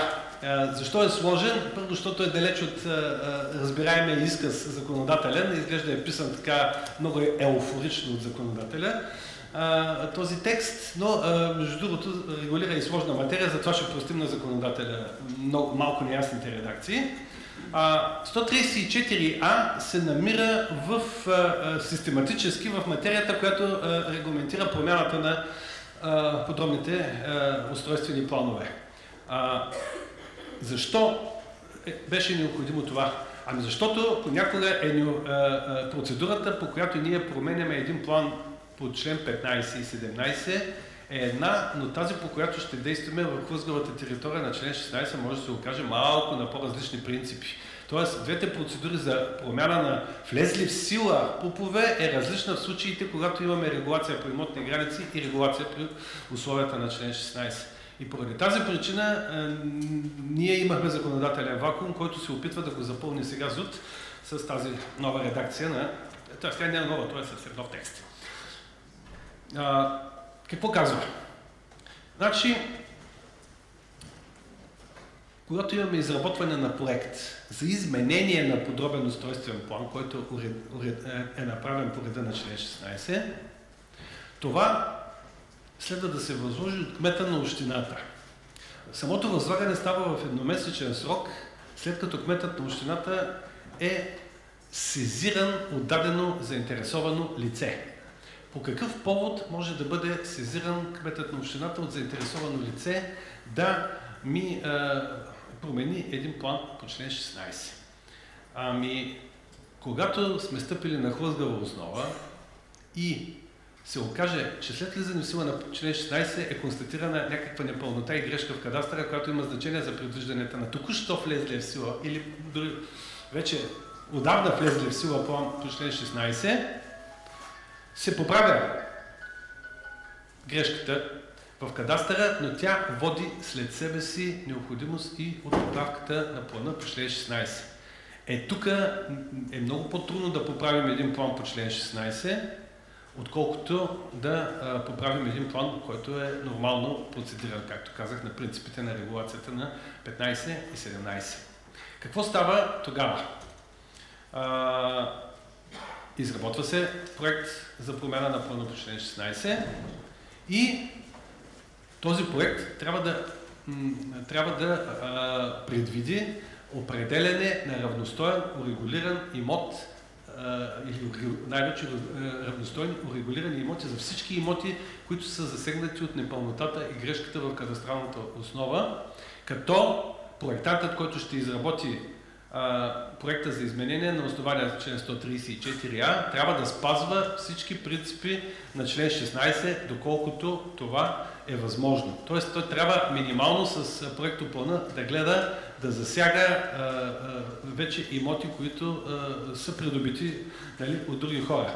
Ако непълнотата и грешката в кадастъра до такава степен засяга примерно собственост на съседен имот или на някакъв друг новообразуван имот, тогава с проекта за изменението на плана по член 16 ще ми се определи на някакво съвсем друго място урегулиран поземлен имот. Това трябва да стане за сметка на общински имоти, защото общината е била длъжна да изработи плана на здрава и безспорна кадастрална основа. Тя не е направена това, констатирана е грешка в кадастъра, значи общината трябва да понесе тежестта на а, процедурата по 134А. И какво казва законодателя? Пращат ме а, на общинско място а, в обхвата на плана и забележете и или извън него. Което означава, че може да имаме територия по член 16, примерно в Малинова долина, но аз да отида в Гърдова глава, примерно. Нали? Ако нямаме свободни общински имоти в съответната местност, така да се каже. Има общината една голяма оперативна самостоятелност да ми изпрати на Мачо Пикчу. Така. А, разбира се, ако грешката в кадастъра а, не води непременно до, а, м, така, до това упражнение, аз да отида на Мачо Пикчу, нали?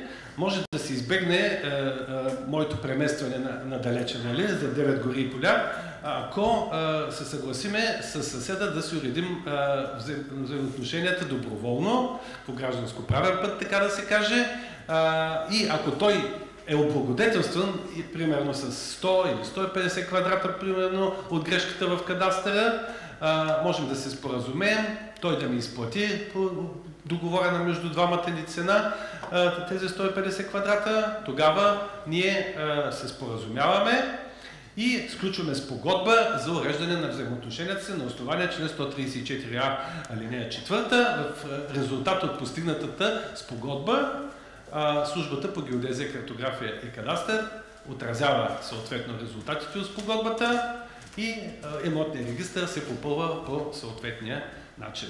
На, нещата си идват на старото място, т.е. грешката е вярна, така да се каже. Тоест, тази алинея казва грешката е вярна, след като се споразумеят за това засегнатите лица.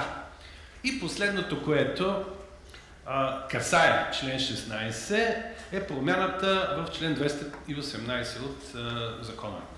А, той дава реда за обжалване на а, подробни устройствени планове, в които са включени много имоти. Много, много, колко много ще кажете вие? Ми тези, които се обнародват в Държавен вестник. Тоест решението на компетентния орган се обнародва в Държавен вестник. Това са действително много имоти. А, знаете, че много добре се разви процедурата а, по промяната на член 218 от 2010 година насам. Знаете, преди това а, тези имоти, като се обжалваха, ходихме да вземем бележка от съда, че няма жалба по отношение на нашия имот, че той не е засегнат от жалби и плана влиза частично сила. Аз го доказвах това пред общината с бележката от съда. Това се махна, знаете, сега нещата стават а, а, по съвсем друг начин, като се съберат жалбите в едномесечния срок, примерно, съда гледа колко са жалбите, гледа кои имоти директно са засегнати от производството и излиза с определение, което казва, че а, жалбите засягат еди кои си имоти от плана. А, това определение подлежи на обжалване, ако то влезе в сила, а, се обнародва в а, Държавен вестник и ние след факта на обнародването в Държавен вестник на определението на съда знаем, че по отношение на имотите, които не се съдържат в определението, плана е влязъл в сила и можем там да проектираме и да се разрешава строителството. Ето тук изключението, извинявам се, без да искам натиснах, изключението е, че когато административният акт, с който е одобрен план по член 16, предмет на делото е целият подробен устройствен план, като всички жалби се разглеждат в едно съдебно производство, определението подлежи на обжалване по реда на глава 13 от АПК. Тоест, можем да имаме 100 имота и, е, и една жалба да има по отношение на един от имотите, плана не влиза в сила, съда разглежда тази жалба, произнася се, решението му влиза в сила, тогава чак настъпва вечно трансформативния ефект, за който говорихме.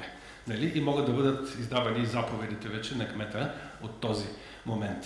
Това е пак защото казахме, че не се знае дори на ефекта, по ефекта на пеперудата, нали, на доменото, не знаеме а, по какъв начин съдебното решение се отрази на колко и на кои имоти в обхвата на плана по член 16. Важното е да се знае, че три жалби да има, те се разглеждат в едно производство и съда като се произнесе, чак тогава вече влиза в сила плана по член 16. Така, а, имаме Следващия а, проблем, който трябва да разгледаме съвсем накратко, това е проблема за преструктурирането на жилищните комплекси.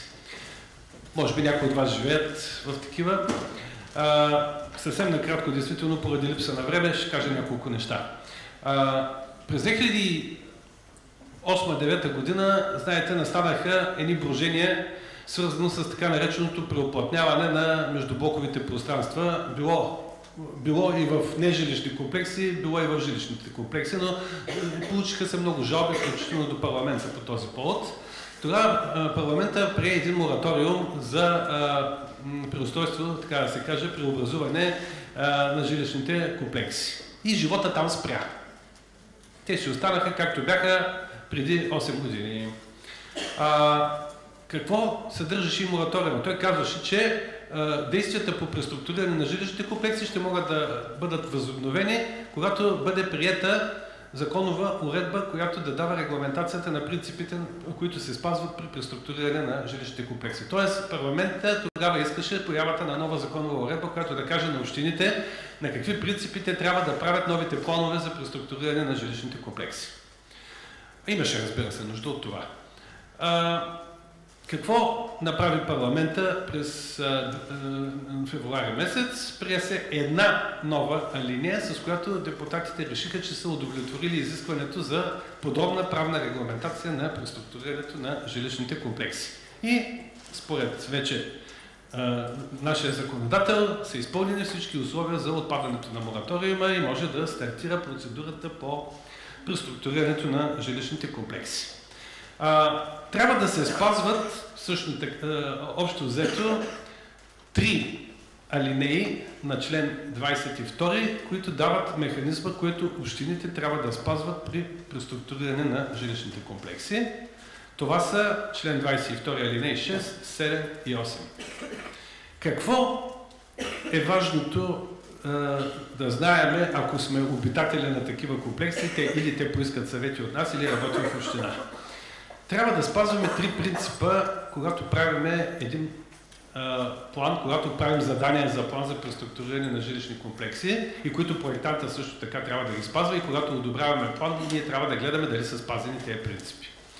Първият принцип е, че на първо място с три приоритета, дори можем да ги кажем. Първият приоритет е да направиме прилежащи терени на съществуващите сгради в жилищния комплекс. Това са най-вече жилищни сгради. Е, тук там има и по някои заведения, да речем, нали? или, или територии за КО, комплексно обществено обслужване сгради, нали?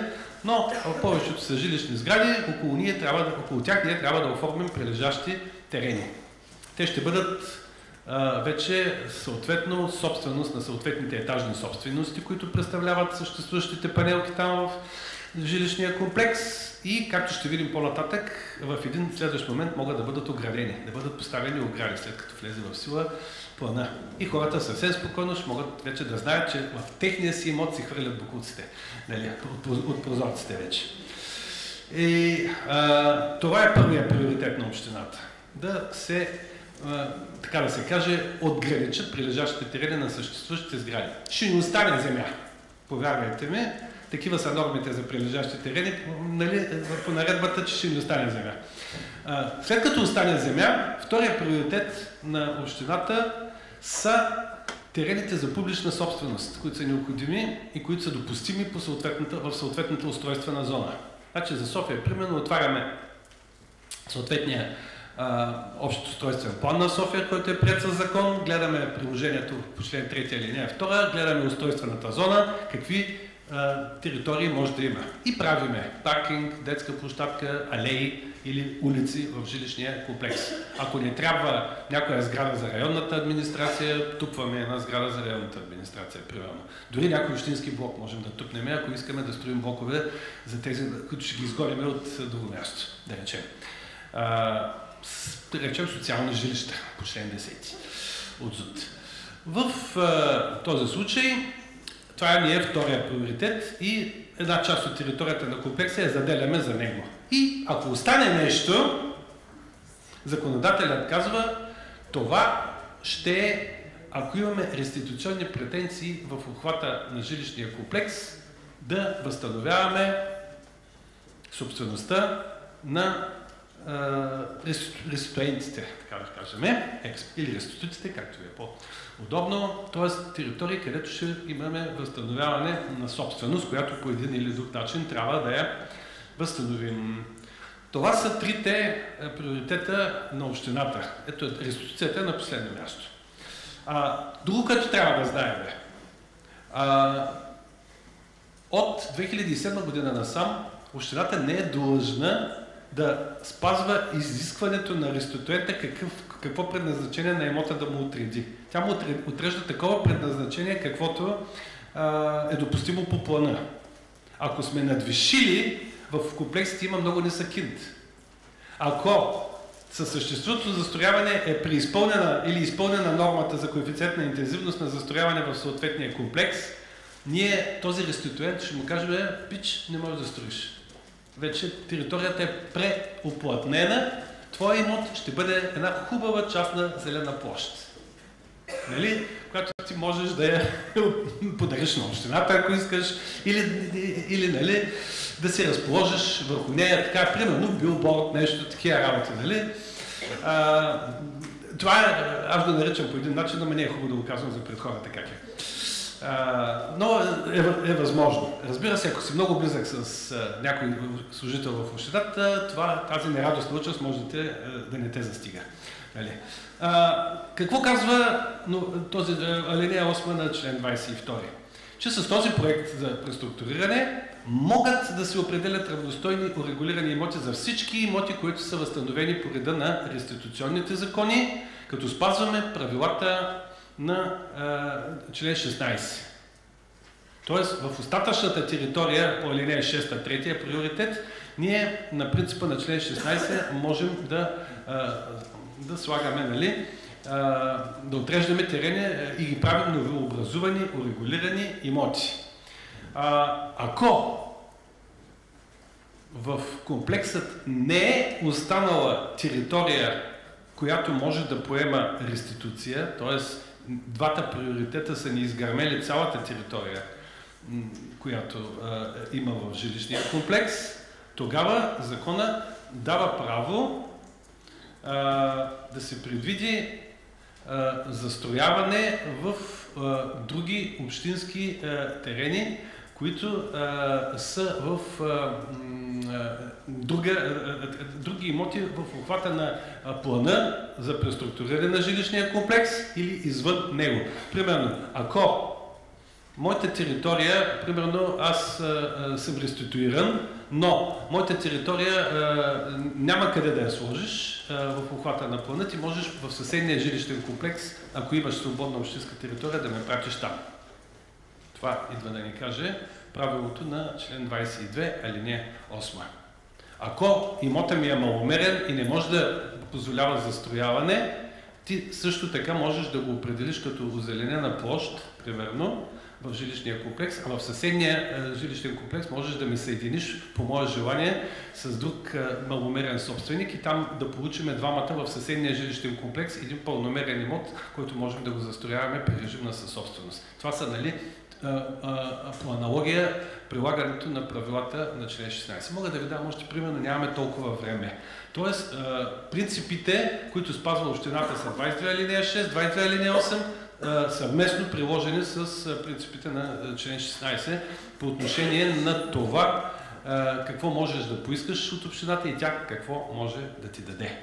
Това е за преструктурирането на жилищните комплекси. Още малко а, преди кафе паузата ще ви задържа вниманието. А, да кажем няколко думи за... Така, аз ЗУ знам, че има една класическа триада, която най-много вълнува хората, нали? А, това са остъкляването на балконите, външните, външните туалетни и оградите, нали? Това са най-важните обекти, които са, генерират най-голям брой, така да се каже, дела. В случая с оградите трябва да кажем, че имаме три вида огради. Общите принципи за оградите е, че оградата трябва да е до 60 см плътна и до 2,20 висока. Ако аз съм доволен от това положение и съседа ми също е доволен от него, оградата се разполага по-равно между двата имота, в смисъл на границата на двата имота, примерно ако е дебела 20 см, 10 в моя, 10 в неговия и режимът за строителството на такава ограда е облегчен. Това е втория режим за разрешаване на строителството, за който ще говорим след почивката, режима по член 147. Т.е. оградата се прави с разрешение на строеж без одобряване на проект. Втория вид ограда е оградата по член 151. А, между другото, е възможно със съгласието на съседа аз да направя и плътна ограда до 2,20, но това е само със съгласието на съседа и тогава пак сме по 147. Нали? Тогава, когато със съседа много не се обичаме нали, и не желаем да се гледаме, можем така двамата да се съгласим оградата ни да е плътна. А, когато аз обаче не желая да съм зависим от съседа, и също така не желая да съм зависим от общината. Примерно кмета няма добро око към мене, главният архитект нали, също така не ме обича много. Аз мога да направя ограда без да ги питам. Това е оградата по 151. По член 151, това е третия режим за разрешаване на строителство. Това е ограда, която е правена на свободен режим, без да се прилага някакви разрешения или уведомления или съгласувания Оградата по 151 обаче трябва да не навлиза в имота на съседа. Тя се прави само по моята регулационна граница, без да навлизам в имота на съседа и може да бъде до 60 см плътна част, от там до 2,20 тази ограда е, ще трябва да е ажурна. Прозирна, както казват нали, някои. А, там не питам никой. Няма разрешение за строеж, няма проекти, няма такса на общината за издаване на разрешение за строеж на линия метър. Да видите в Бабско колко, как се прави ограда, нали, какви са таксите на линия метър за разрешаване на ограда. И в а, случай, че аз желая да, да прикрия от злите очи на журналистите своя палат, който току-що съм го построил, нали, мраморен палат, аз мога да направя една хубава, висока, монументална ограда, която е така наречената ограда по член 48 алинея 9. Това е оградата извън всички норми, аз се наричам.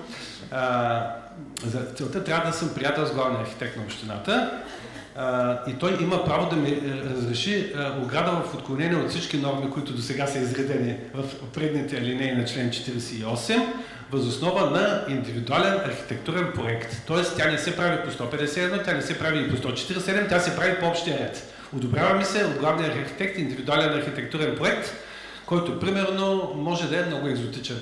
Нали? А, и разбира се, главният архитект мотивира своето а, разрешаване на тази ограда с оглед осигуряване на архитектурно единство, както пише в този член. Както, иска, както искате го разберете, архитектурното единство.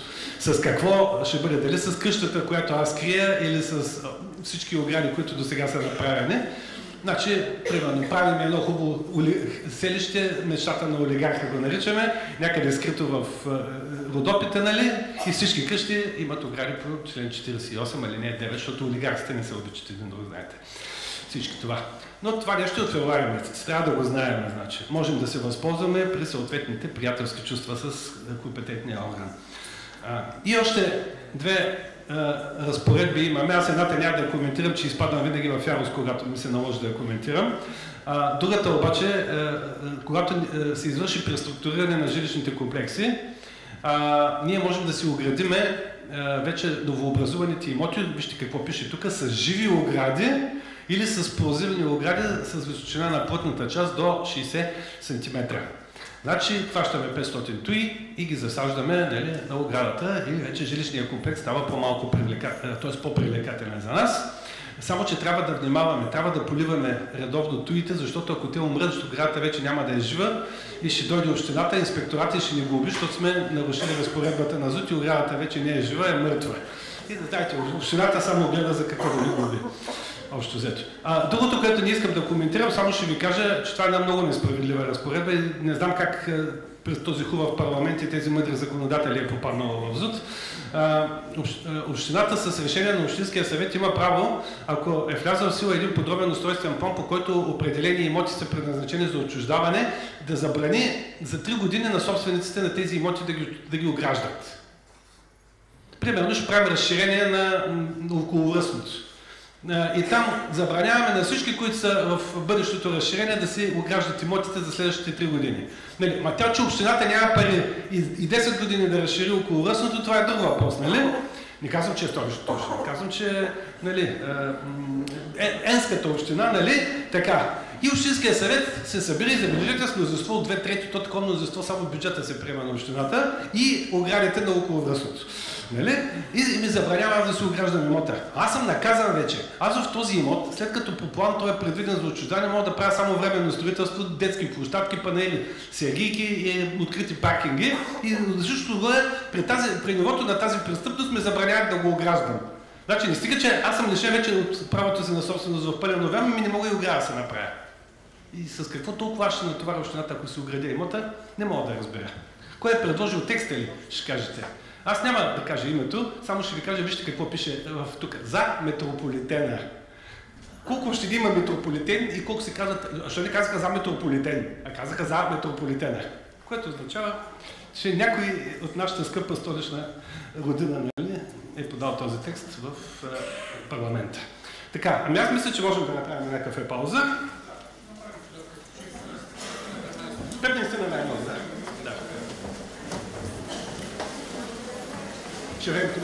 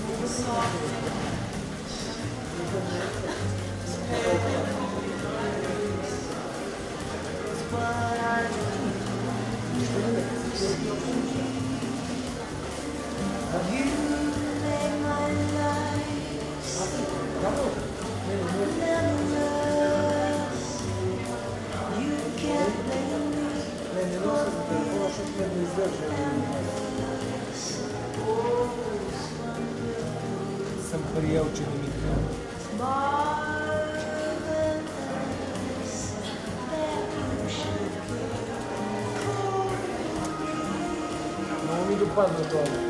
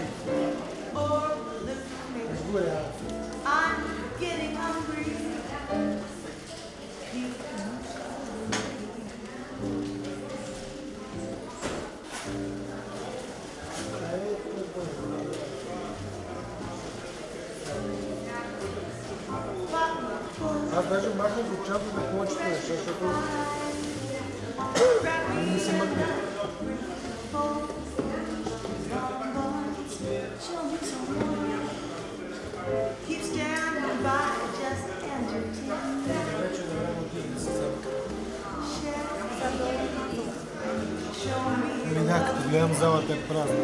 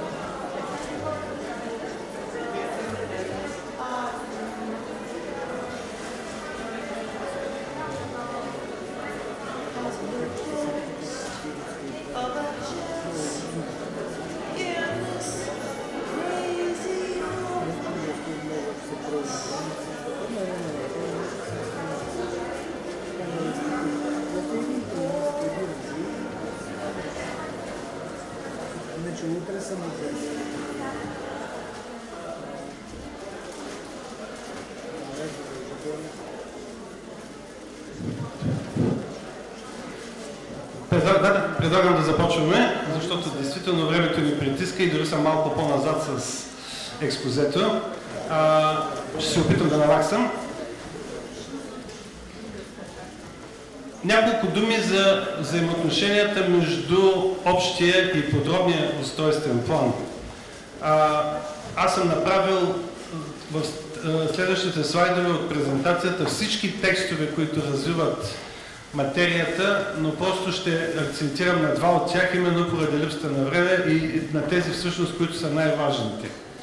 Първото нещо, което трябва да знаем, че от февруари месец а, нямаме някаква а, голяма промяна в а, материята, но а, от, в края на 2015 година всъщност действа един текст, който е важен за всички, които желаят да проектират в, а, и да процедират и одобряват подробни устройствени планове в общините, които към даден момент са в процедура по изработване и одобряване на общ устройствен план.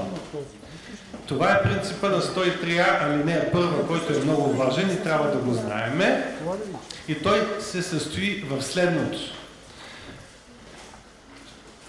Подробният устройствен план, който е влязал в сила до датата, на която Общинският съвет е взел решение за изработване на нов общ устройствен план или на изменение на общия устройствен план, се зачита като предвиждания, независимо от това какво ново има в общия устройствен план. Тоест, ако на 1 септември 2016 година имам влязъл сила един подробен устройствен план, който казва, че върху имота ми аз ще имам хотел с казино и спа център, да речем.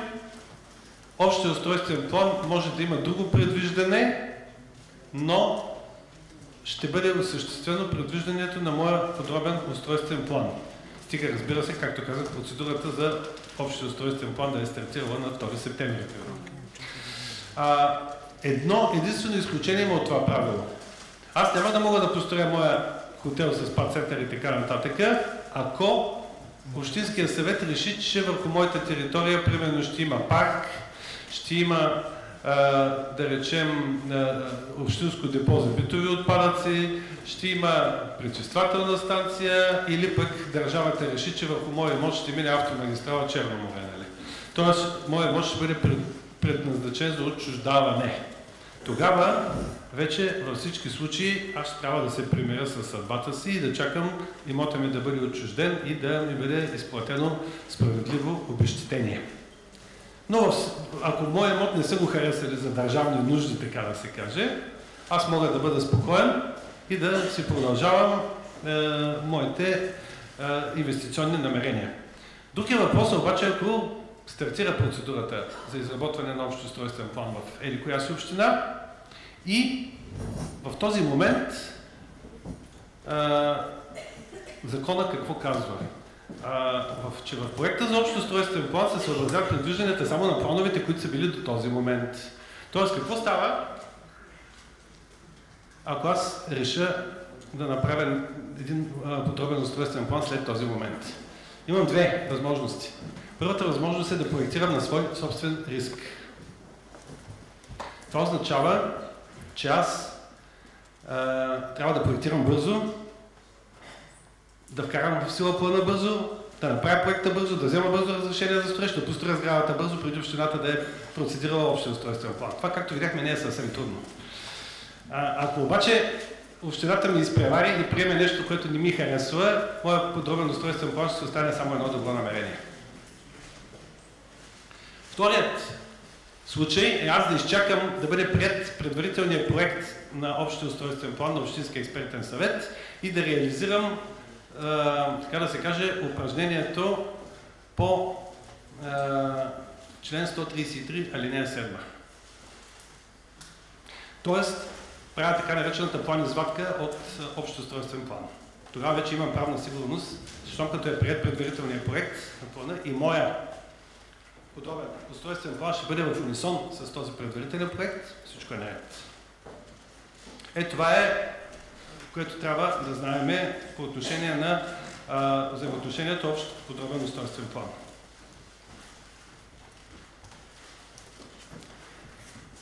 А, другото, което трябва да знаем е, тук слайда е малко древен, но може би ще го видите на презентацията, че в общините, в които няма влязъл в сила общ устройствен план на 1 януари 2019 година, в извънселищните територии няма да могат да се строят всички видови обекти, а само тези, които виждате на този слайд. Тоест, наказани са инвеститорите, които не попадат в категорията обекти а, по член 109, алинея, алинея, алинея 3. 109 алинея 3 ще влезе в сила нейната редакция на 1 януари 2019 година. Това е редакцията, която ще бъде на 1 януари 2019 година. И ако аз искам да построя Чичтомовата колива, примерно, в а, а, землището на Еди коя община, няма да мога да го направя. Ще трябва да, там ще може да се строи а, национален обект, обект от национално значение, общински обект от първостепенно значение, но, а, примерно, ако аз желая да съм катарски инвеститор и желая да построя завод за, за агнета, примерно, нали, ферма за агнета и да ги изнасям в Катар, това няма да може да се случи, освен ако аз не стана добър приятел с членовете на съвета за регионално развитие по ЗРР, Закона за регионалното развитие, и не ги убедя да ми обявят обекта за обект от регионално значение, което не е там, няма да е толкова трудно. Нали, с блага дума и 50 хиляди долара всичко се постига. Нали. Така, отиваме нататък. Говорим за обект от регионално значение, за национален обект, предполагам, че е по-високо Така, отиваме по-нататък. Всичко казвам на майтап, моля да се корупция няма вече. В а, случая, когато процедираме подробен устройствен план, трябва да имаме предвид, че закона разделя инициативата за процедиране на подробен устройствен план на две. А, общината може и държавата могат, така да се каже, сами да си инициират а, процедурата, но ако аз не съм нито общината, нито държавата, тогава аз трябва да се надявам да имам качеството на лице по 124А, алинея 5. Тоест да бъда лице, което има право да поиска от общината или от областния управител или от държавата, министъра на регионалното развитие, да речем, да ми се разреши процедирането на един подобен устройствен план. Какво трябва да направя аз, ако желая това да се случи? аз внасям в общината няколко документа. Първият документ, това е искане за допускане и изработване на подробен устройствен план. Повечето общини имат образци вече. Вторият документ, ако нямат, нека да видят книгата, на която аз съм съавтор. Примерни процедури по ЗУД, как да се направи рекламата, шегувам се, разбира се. В втория документ е така да се каже, задание за изработване на подробен устройствен план. Това задание, както видяхме, трябва да бъде предварително одобрено или при условията на 125 алинея 8, ако не предвижда там инициативи, които изискват ОВОС или оценка за там, по закона за биологичното разнообразие, нали, а, а, не трябва да се съгласува. Това го казахме вече. Внасям това, е, документ, с който доказвам, че имам качеството на лице по 124А алинея 5, нали, документ за собственост, учредено право на строеж, или че имам качеството на лице, което има право да строи по силата на закон. И последният документ кой е? Който трябва да представя на общината. Това е документ, с който доказвам, че е платена общинската такса за съответната услуга. Е най-важният документ, разбира се. Съответно, Какво прави, а, какво прави общината? Само една секунда. Общината има два органа, които а, са компетентни да ви допуснат изработването на подробен устройствен план. Ако компетентният орган е Общинския съвет, а, областният управител или министърът срока е едномесечен, в който те трябва да се произнесат. Ако компетентният орган е кметът на общината, срока е двуседмичен. 14 дневен, казваме по-точно. Този срок, 14-дневни, е нов и е въведен през февруари месец. Държа да обърна внимание. Неспазването на този срок води до глоба, потенциална глоба за кмета от 1000 до 5000 лева, която трябва да наложи ДНСК по силата на новите административно-наказателни разпоредби от февруари месец. Когато внеса документите и чакам да се произнесе общината, аз трябва много добре да знам, че закона ми дава правото, такава е практиката на съда, да обжалвам мълчаливия отказ на общината, ако тя не направи нищо в 14-дневния, съответно в едномесечния срок. А, и практиката на съда е, както всички знаем, че като изтикат още 14 дена, след това съда вече няма да ми уважи искането за обжалване на мълчалив отказ, поради което аз ще трябва да чакам общината на добра воля да се произнесе, ако благоволи някога. Тоест, е, ако ако някой ви убеждава с благи думи, че абе и сега сме много затрупани с работа, имаме много отпускари и така нататък, абе ние вярвайте във всички случаи, защото много често той е, е срок става 4-5 месечен.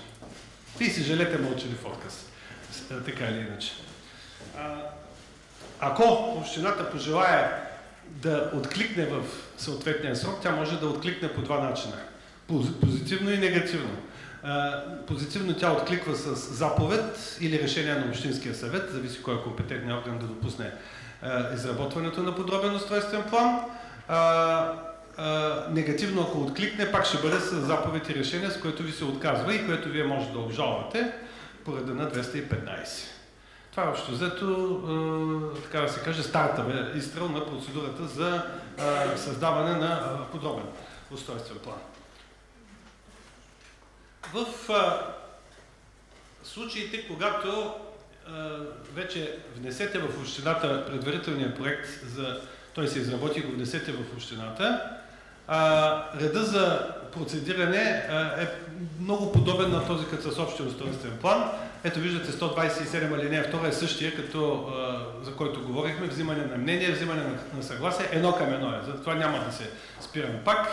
А, новото, което е, е, е в е, текстовете на 218, които визират процедурата по така нареченото обществено обсъждане на проектоплана, проекта за подробен устройствен план.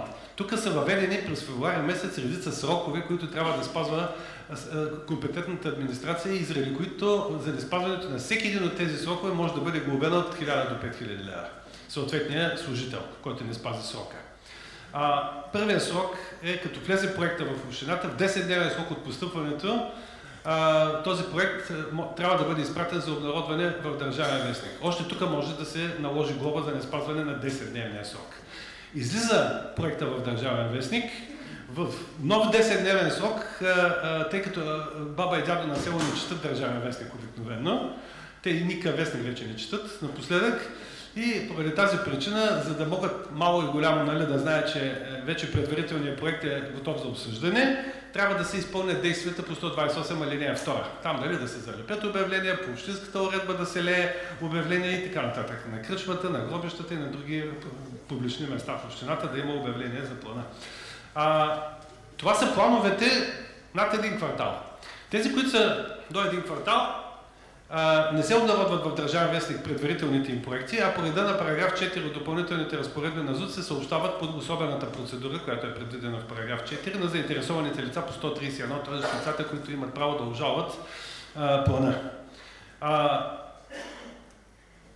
там това действие трябва да бъде извършено в едномесечен срок от постъпването на този по-малък по обем план в общинската администрация. И този срок, ако не се спази, и той води до глоби. А, после какво става вече, като са уведомени всички лица надлежно за проекто плана, че е изработен и вече може да бъде прегледан в общината. Тече срока за общественото обсъждане, който за пла- плановете от Държавен вестник е едномесечен, а за по-малките планове е двуседмичен. Това е важното, което трябва да знаеме за а, така нареченото обществено обсъждане. Сега, тук има една алинея, на която също искам да спра вниманието, главно на тези, които не са юристи, бих казал, но и на тези, които са юристи, разбира се. А, това е така нареченото предварително разглеждане на проекто плана. А, в новата версия на 128 алинея 8 от закона. Едно нещо, което аз дълбоко препоръчвам, да ви кажа честно. И между другото, систематичното място на този текст не го виждайте тук, в 128 алинея 8, неговото систематично място е в 128 алинея 2. Ама в суматохата не знам, що се е озовал тук. А, какво е, е това нещо? Това е възможност по преценка на главния архитект, още преди да съм пуснал плана на обществено обсъждане или на, на обнародване в Държавен вестник, аз да свиквам едно заседание на а, Общински експертен съвет, защото имам основателни съмнения, че има проблем с плана. Ако не направят това, аз пускам плана за обществено обсъждане, за съгласуване, оценки, глупости, плана отива на експертен съвет, вече на втория експертен съвет, който се гледа след общественото обсъждане. И ако там тези косури излязат наяве, ние отказваме, е, е, всъщност експертен съвет дава становище на компетентния орган да ни одобри плана поради съществените проблеми, които се изразяват в тъй, тъй, тъй, тъй, тъй, тъй, тъй, тъй, тъй, 38 проблема, нали? И плана го, е, компетентния орган го връща на, на възложителя, на вносителя, така да се каже, и той отива на зелена ливада. Отново трябва да направи всички действия по 128 и 127 от начало. А, затова аз не препоръчвам на нито един общински главен архитект и въобще служител в общината е, да а, допуска на експертен съвет план, който а, знае, че ще бъде върнат. Освен ако не мрази много инвеститора. Нали? Защото това е, е голямо фиаско за всяка една инвестиционна инициатива. Нали? Ти няколко месеца се надява, че този план ще мине и изведнъж те, те, те връщат първи клас. Нали, аз, честно да ви кажа, съм работил нали, методически под мой контрол, е бил Националния експертен съвет 6-7 години нали, за, на, на, в МРРБ. Не съм пускал на експертен съвет план, за който имаме най-малкото съмнение, че има, има проблеми и че трябва да се преработва. Нали, представете си, пък, на ниво национален експертен съвет, нали, гледаш летище София, Дунав, мост, ЖП линията, Плоди, Свиленград, искаш да освояваш европари и в един момент а, а, проекта проекта на Зелена Левада и отново да се съгласува и нова екологична оценка, защото плана се е преработил. Екологична оценка трябва да се направи за преработената част от плана или за целия план отново. Виждате какво чудо ще се получи. Заради това винаги съветвам а, хората, които движат а, дейностите, да се възползват от а, това, което им дава 28, 128 алинея 8. Това означава, че в срок най-много до един месец от момента, от който се внесъл плана, главният архитект е длъжен да свика експертния съвет на това предварително, факултативно да го наречем от юридическа гледна точка заседание. Второто вече заседание, императивното, което трябва винаги да се състои, е след провеждането на процедурите по 127 и 128. Там се гледат абсолютно всички бележки, възражения, предложения, нали, съгласователни документи и така нататък. И цялата материя се обобщава и се предоставя на компетентния орган с заключението на експертния съвет. Дали да одобрим плана или да не го одобрим. Нали? Това е накратко казано самата процедура. Какво е новото по отношение на разпределението на компетенциите в общината най-вече за одобряване на подробни устройствени планове? Една малка част от прерогативите на Общинския съвет беше иззета от него и дадена на кмета на общината през февруари месец тази година. И какво се получава на практика? На първо място, в урбанизираните територии Общинския съвет с изключение на София, Варна и Плодив, одобрява всички пупове с обхват над един квартал. В София, Варна, столична община, казано по-точно, и градовете Варна и Плодив, този обхват е три квартала. Как, как стои въпроса с извънселищните територии? Ако имаме един пуп за площен обект, примерно този фермата за агната, нали, в насред полето, така да се каже, е компетентен кметът на общината. Ако имаме парцеларен план за линейен обект, примерно а, някакъв общински път, нали, а, в този случай а, ние ще имаме решение на Общинския съвет. С едно малко изключение, което беше направено сега през февруари месец. Оказва се, че е много тъпо а, ти да имаш площен обект, който го одобря кмета на общината, но до, но до тази ферма за агнета трябва да има път, трябва да има вода, трябва да има канал, трябва да има ток, трябва да има интернет. Е, ето ви ги пет парцеларни плана. Тези по старата версия на ЗУД, тези пет парцеларни плана ги одобряваше Общинския съвет. Значи, това не е много приятно за всеки един инвеститор. Нали? Искаме да привличаме инвеститори, а ти за, само за да обясниш на инвеститора положението с съгласуването и одобряването на неговите пупове, трябва да си доктор по право вече, да имаш един малък докторат, нали? Как се прави пуп в горска територия, да речем. Особено след влизането сила на този на закон за горите, нали? това нещо стана действително предмет на докторат. Та, сега в този момент вече кметът на общината ще бъде този, който ще одобрява и площния план, нали, а, така да се каже плана за регулация и застрояване и парцеларните планове, но тези, които ще обслужват само този имот. Да не се иска кмета да направи един път, нали, който да обслужва и фермата за агната и изгушената в някой, край някоя езерце, негова виличка, нали, така да се каже. Там, ако пътя ще води и до, друг, до друго място, вече ще бъде компетентен на Общинския съвет. Само това, което обслужва този обект. Това е промяната 129 алинея 2. Така че, е, нали, това е новото. Разбира се, всички останали мъки остават. А, едни мъченици истински на реализацията на инвестиционни инициативи са тези, които правят парцеларни планове в момента, които а, а, а, засягат такива обекти, защото представете си какво става, ако този парцеларен план минава през земеделска земя частна собственост, земеделска земя публична собственост, горска територия, която е частна и горска територия, която е публична собственост, общинска и държавна, там и реда е различен. Значи имаме около 5 режима, само за да промениш предназначението на земеделската земя, на гората, после да се учредят съответните сервитутни права, да се одобрят парцеларните планове и така нататък. И за земеделска земя и за горска територия са различни тези процедури, с различни срокове, при различни органи, с различни документи и различни такси. Нищо, че двете ведомства са в Министерството на земеделие и двете. Всяко претендира, че неговия закон е по-хубав, излиза, че са еднакво тежки, за съжаление. Така че, действително, това е много трудно упражнение. Така, а, какво става по-нататъка? По-нататъка отиваме а, към измененията на подробните устройствени планове. Това е второто упражнение, което най-често се прави в общините. А, разликата от тази процедура, за която така бързо, бързо, бързо я преминахме, е само в стартовия изстрел, нали?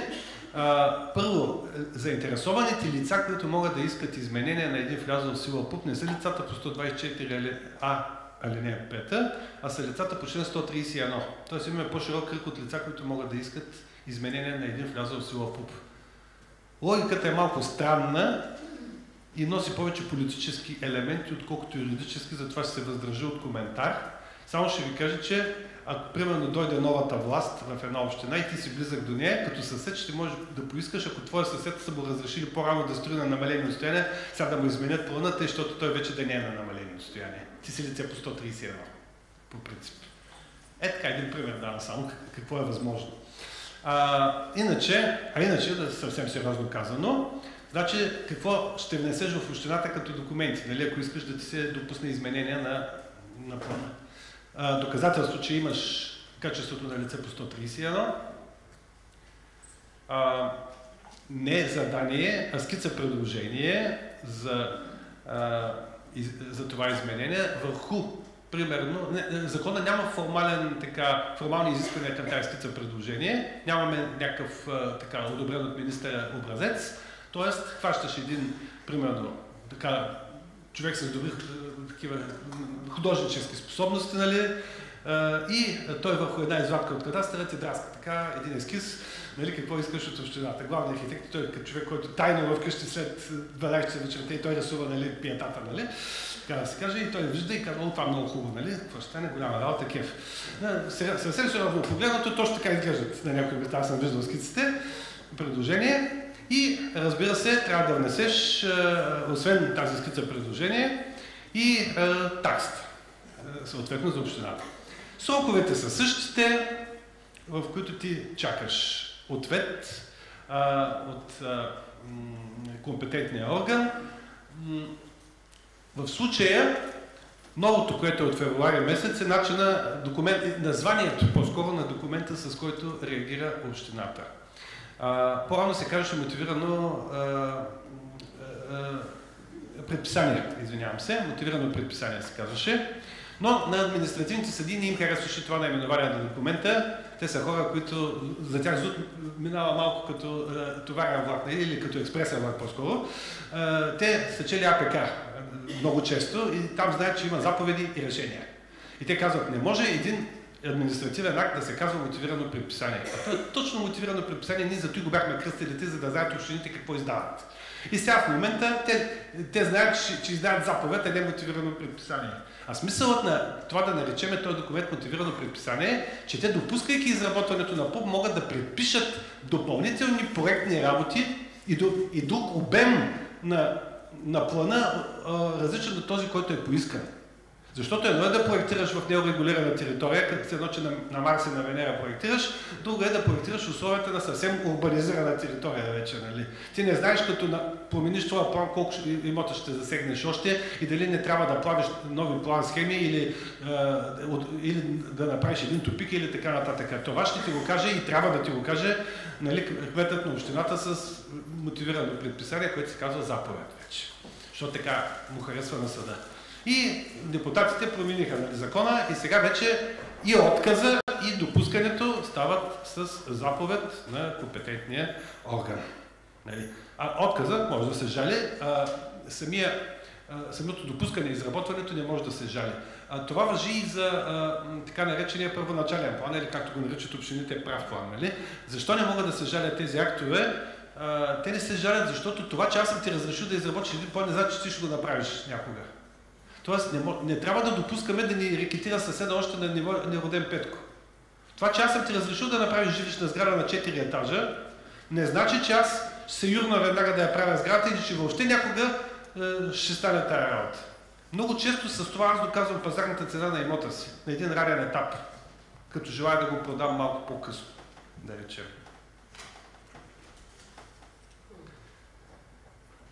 Отиваме за разрешаване на строителството. А,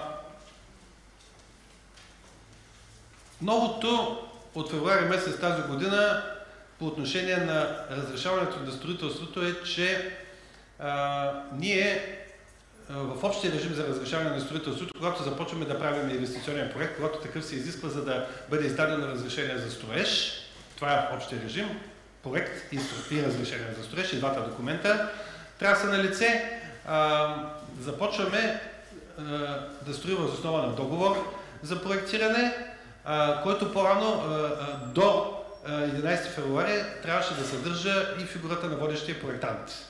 Същите хора, които поискаха водещия проектант да се появи в ЗУД през декември месец, се появи 2015, поискаха да отпадне водещия проектант след 6 месеца. Министър е добър, човек носи добра душа, съгласи се и водещия проектант просъществува много малко време. Сега изписаха се много неща, защо трябва да отпадне водещия проектант. Аз само ще кажа нещо, което не бе казано съвсем така открито, глобата за несправяне с задълженията на водещия проектант стига до 3, стигаше до 30 000 лева. Никой не му се носи такава глоба. Всеки предпочита да се скрие в групата на проектанта юридическо лице, на топличко и отговорността да я носи юридическото лице, ако може, нали, за някакъв калпав проект. Много по-добре е така. Да не се обиждат колегите проектанти, които са тук предполагам, че и те биха споделили подобно че водещия проектант беше доста проветрива фигура. Освен това не беше и добре разписана материята. Така че всички проекти, които се внасят за одобряване в общинската администрация след 12, 11 януари тази година трябва да са без водещ проектант. Това хвърли много хора в проблеми, защото ти си започнал проектирането, когато а, е имало водещ проектант и е трябвало да има, натепвал се на всички проектни там книжа, печати, нали, съгласувал си ги тези проекти, знаете колко документа са необходими за одобряването на един проект и колко съгласовки, и колко печати, и колко чудеса. Изведнъж, че сега водещия проектант изчезва, а е, не пак преработва и всичко, нали? и така нататък, и така нататък. Това е проблем според мен на липсата на една адекватна преходна разпоредба в ЗУД, който трябваше да каже, че ако че тези проекти, нали, които са започнали преди 12 февруари, трябваше да бъдат одобрени по стария ред. Ама не, ама не. Законодателят реши, че трябва да преработваме книжата. Така или иначе. Но това е важното. Всичко в общините след 11 февруари без водещ проектант. Това е важното, което трябва да се каже. Нищо ново няма по отношение на фазите на проектирането, идея, технически, работен проект, трите фази. Това, което е важното е, че а, а, кои фази ще бъдат изработени, решава възложителят. Разбира се, той него го съветва негови инвестиционен консултант, да кажем, ако той е решил, че има необходимост от такъв. А, по принцип, трябва да знаем, че идеен проект прави този, който няма пари. Тоест, бедните хора правят идейни проекти. По-богатите си правят всичките, всичките проекти, тези, които имат пари да строят, защото те не кандидатстват за финансиране. А, обикновено с идеен проект се подхожда, когато искаме да вземаме европейско финансиране или е, е, финансиране от е, някаква банка. На времето, когато договаряхме условията за финансиране от Европейския съюз, Европейския съюз каза, ние ще приемаме апликационни форми за инвестиционни е, намерения, нали, е, които да бъдат финансирани с европейски пари, само които са доказани с одобрен идеен проект. Защо? Казаха така нашите партньори. Защото идейният проект е официален документ, издаден от административен орган, който показва, че този обект може да бъде построен законосъобразно, съобразно изискванията на българското законодателство, съобразно действащия подобен устройствен план. Към него, както знаете, по наредба 4, а, има и а, част задължителна, която се нарича количествена стоеностна сметка, която европейските ни партньори приемат, че това е размера на финансирането, което ние искаме от тях. Е, зато и идейният проект беше одобрен от двете страни. Нали, стиснахме ръцете и е, казаха европейските партньори, идейният проект е доказателство нали, за тези и тези неща. Зато и като нямаме пари, искаме с идеен проект от Европа. Ако имаме пари, от бюджет, от банка, от всичко, нали, ако имаме пари или собствени, нали, ние си правиме не само идеен проект, правиме технически и работен проект. Това, което трябва да знаем също, че няма нищо ново, въпреки някои редакционни промени в закона, няма нищо ново по отношение на процедурата за одобряване на проектите. Аз правя процедура за одобряване на проекта. Само една секунда. А,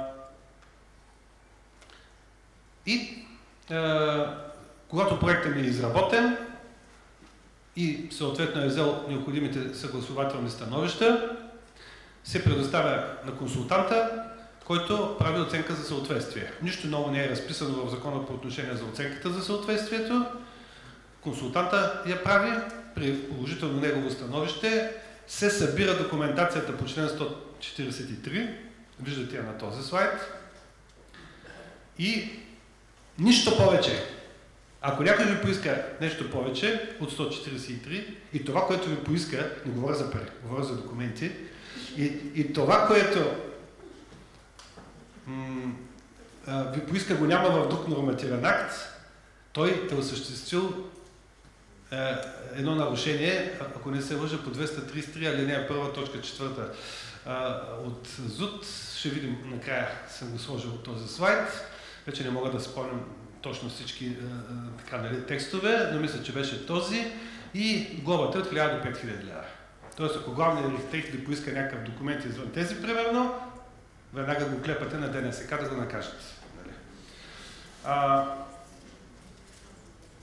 кога, а, какви са сроковете за одобряване на проектите, първо да кажем? Нищо ново по отношение на сроковете. А, когато аз съм внесъл инвестиционен проект за одобряване в а, компетентния орган а, с придружена оценка, положителна оценка за съответствието от надзора в проектирането, срока е двуседмичен. Ако нямам такава оценка, срока е едномесечен.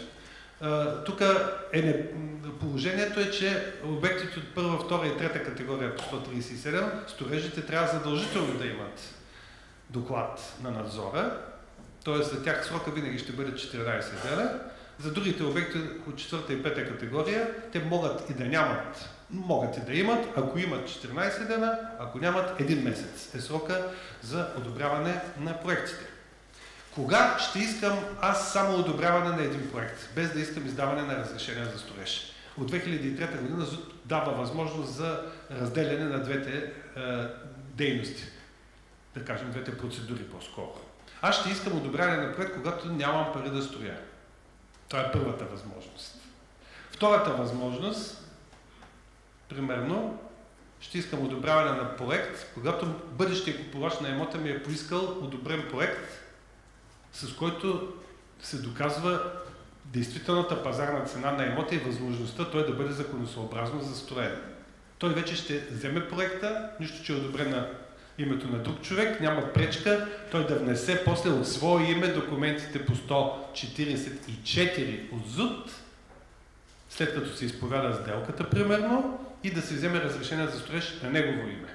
Много често се правят вече подобни застраховки от страна на купувачите на един имот. Те купуват чак на одобрен проект. В много случаи. Някои купуват и на разрешение за строеж, да ви, да ви кажа, но тогава трябва да се иска заповед на главния архитект, с която се променя титулярът на разрешението за строеж, която се вписва в разрешението за строеж. А, ето ги документите по 144, които са необходими за издаването на разрешението за строеж. Ако искаме заедно да ни бъде извършена тази услуга от общината, одобряване на проекти, издаване на разрешение за строеж, внасяме и тези по 143, и тези по 144, пращаме се таксите и чакаме срока е, е, двуседмичен или едномесечен. Ако обаче вече имам одобрен проект, внасям само тези по 144, като срока е едноседмичен в който трябва да бъде издадено разрешението за строеж и неспазването на който срок води до глоба от 1000 до 5000 лева също така. А имам чувство, че някои главни архитекти, ако им се прилага закона МОТА-МО, трябва по 100 000 лева да плащат на месец. Глоби, честно казвам. При кметове. А, новото, което е от февруари месец, касае най-вече проектантите а, по отношение на комплектовката на документите, които те трябва да внесат проектните книжа, които трябва да внесат при издаване на разрешение. За строеж тук е казано, че трябва да имаме вече копие не само на хартия, но и на цифров носител. А, като форматът на тези копия трябваше да бъде около 10 август уточнен от Министерството на регионалното развитие и благоустройство с една промяна в наредба 4, бе излиза, че самата наредба 4 ще се промени доста чувствително и май трябва още време за това. Е, аз гледах проекта, няма да се очудите, ако проектите бъдат в PDF формат.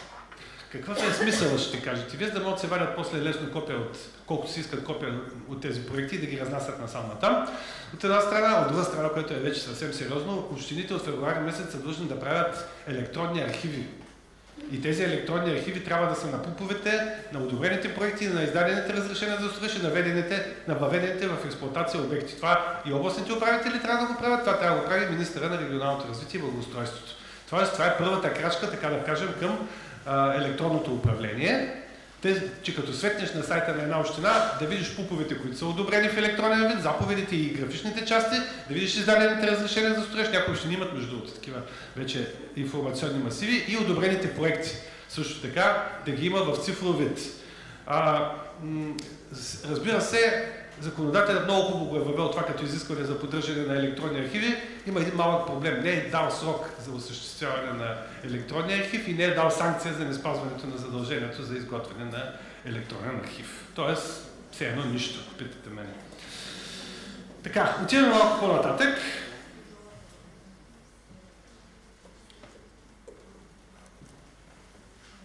Виждате версията на 145.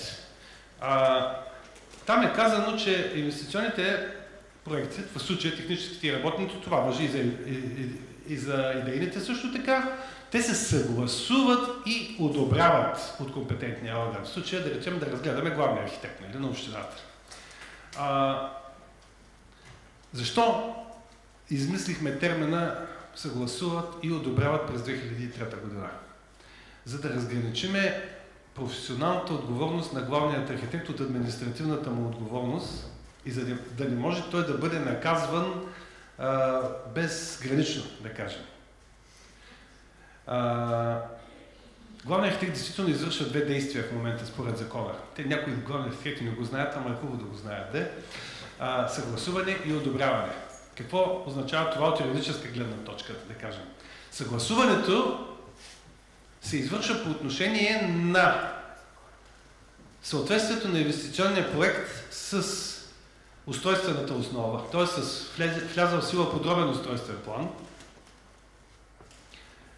и разбира се с параметрите за съответната устройствена зона, коефициентите на плътност и интенсивност и не на последно място изискуемите се по закона отстояние от, съседни, от регулационни линии и съседни сгради. Това са важните неща, които главният архитект трябва собственоръчно така да се каже, собственоочно да се убеди, че са наред с проекта. Защото ако той допусне одобряване на такъв проект с, с проблеми, които са в тази насока, която аз казах, той ще носи отговорност, ще бъде главен. А, в случая той съгласува тези части на инвестиционния проект, които, а, които всъщност се отнасят към градоустройството и а, градоустройствените показатели и отстоянията. Той, той съгласува. А, цялата проектна документация, включително и тези части, които той преди това е съгласувал, той ги одобрява, като те се подпечатват и със съответния печат. Одобряването има друг ефект. Значи със съгласуването главният архитект е направил своя професионален, експертен анализ на проекта, на тези части на проекта, които закона изисква и е казал, че няма проблеми по отношение на тях. Другите той не ги гледа. Тя ги е гледал проектанта, тя ги е гледал надзора в проектирането или, или, и, или общинска експертен съвет, да речем. Той не може и да разбира от всичко. Нали? Изчисления, там, натоварвания, конструкции, вертикални планировки, инсталации и така нататък. Нали? Затова той там само одобрява проекта. Защо?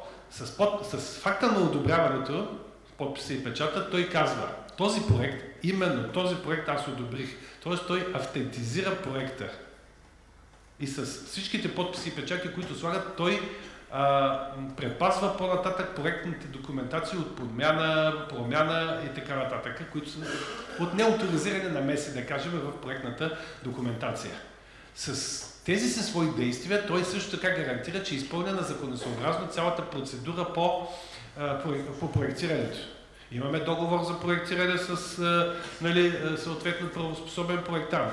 Имаме оценка за съответствието, когато тя се изисква или е извършена от експертния съвет.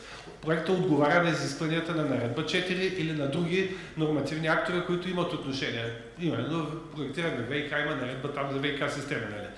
А, проектът е внесен с необходимите книжа за одобряване по 143. Така. Ето това гледа. изпълнение на изискванията на закона. И с подписа си той гарантира, че процедурата е проведена законосъобразно, а не предвижданията на проекта. Нали? На, да се произнася по всички нали, части на проекта. А, освен това, с подписа си главният архитект също така а, казва, той всъщност обективира, че това е нововъзникналия предмет на авторското право на проектанта, който по-нататък подлежи на определена защита. Но тъй като за авторското право може да говорим два часа, аз ще се въздържа, нали? Само ще ви кажа, че много трябва да внимавате, когато правите договора за проектиране. И, и, да, и когато определяте предмета на проектиране, защото ако не го направите хубаво, като почнете да строите, действията по 154 няма да са достъпни за вас. А, отиваме по-нататък. А, след като главният архитект съгласува, съгласува и одобри а, проектите, а, той а, ги, ги подпечатва и вече по-нататъка ние можем да а, си организираме действията по получаване на разрешение за строеж в един по-късен момент, ако желаем това.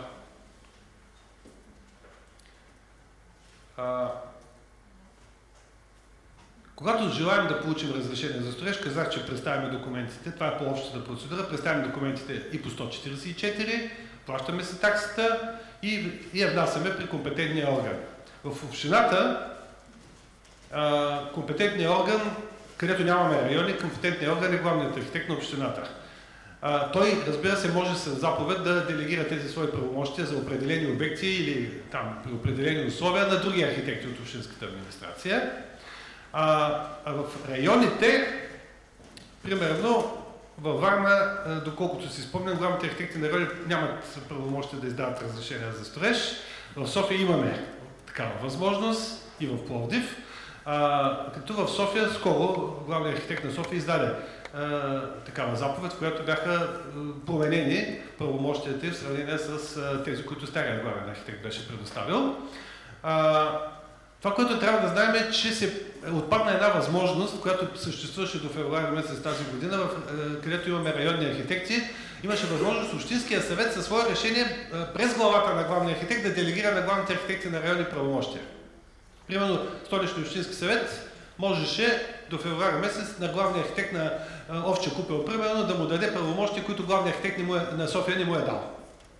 Не, че такова нещо съм чувал да е имало, но депутатите решиха, че това не е допустимо и според мен наистина не е допустимо, защото главният архитект е точно толкова административен орган по ЗУД, колкото е Общинския съвет. Те си имат различна компетентност, но, са еднакво административни органи, нали? така да се каже, и това беше недопустимо. Това отпадна като възможност, така че след февруари месец в София, примерно, главните архитекти на райони могат да издават само тези разрешения за строеж, които фигурират в заповедта на главния архитект, с която той ме е предоставил правомощия. Това трябва да го знаем. Това е новото, което е по отношение на компетентността на главния архитект на общината за разрешение за строеж. Другото, което трябва да знаем е, че м, МРРБ, а, внасяйки а, през февруари, а, преди февруари, разбира се, но внасяйки закон- законопроекта, един от мотивите беше да облегчи режима за издаване на разрешение за строеж. Най-лесно, според един чиновник, как може да бъде облегчен един режим, като бъдат намалени документите, които се изискват за издаването на разрешение за строеж. Хубаво е, като идея. Отпаднаха два документа, трябва да кажем, т.е. отчетено е облегчаване на режима за разрешаване на строителство. Това са план за безопасност и здраве и план за а, управление на отпадъците. План за управление на строителните отпадъци. Но не мислете, че те са отпаднали като съществувание, просто отпаднаха на етап издаване на разрешение за строеж, след малко ще видим къде отидоха.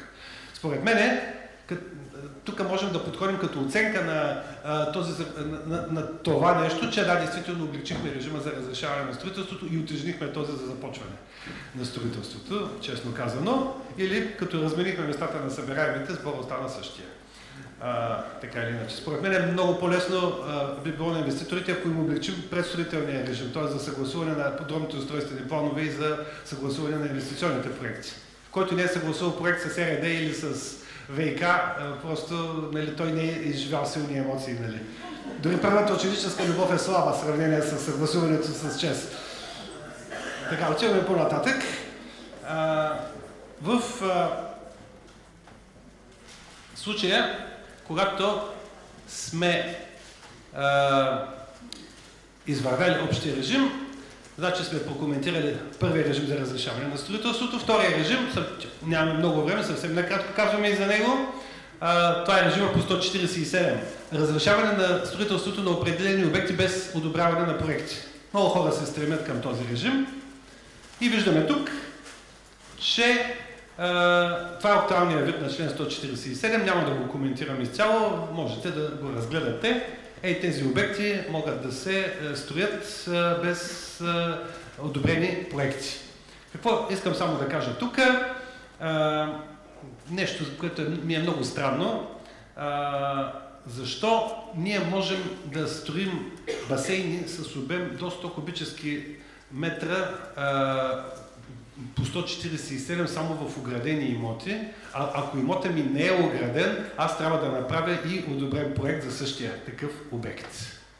Виждате какъв е текста, нали? Басейни с обем до 100 кубика в оградени имоти. Сигурно презумцията на законодателя е, че ако имота ми не е ограден, аз по-лесно мога да се отдавя в басейна.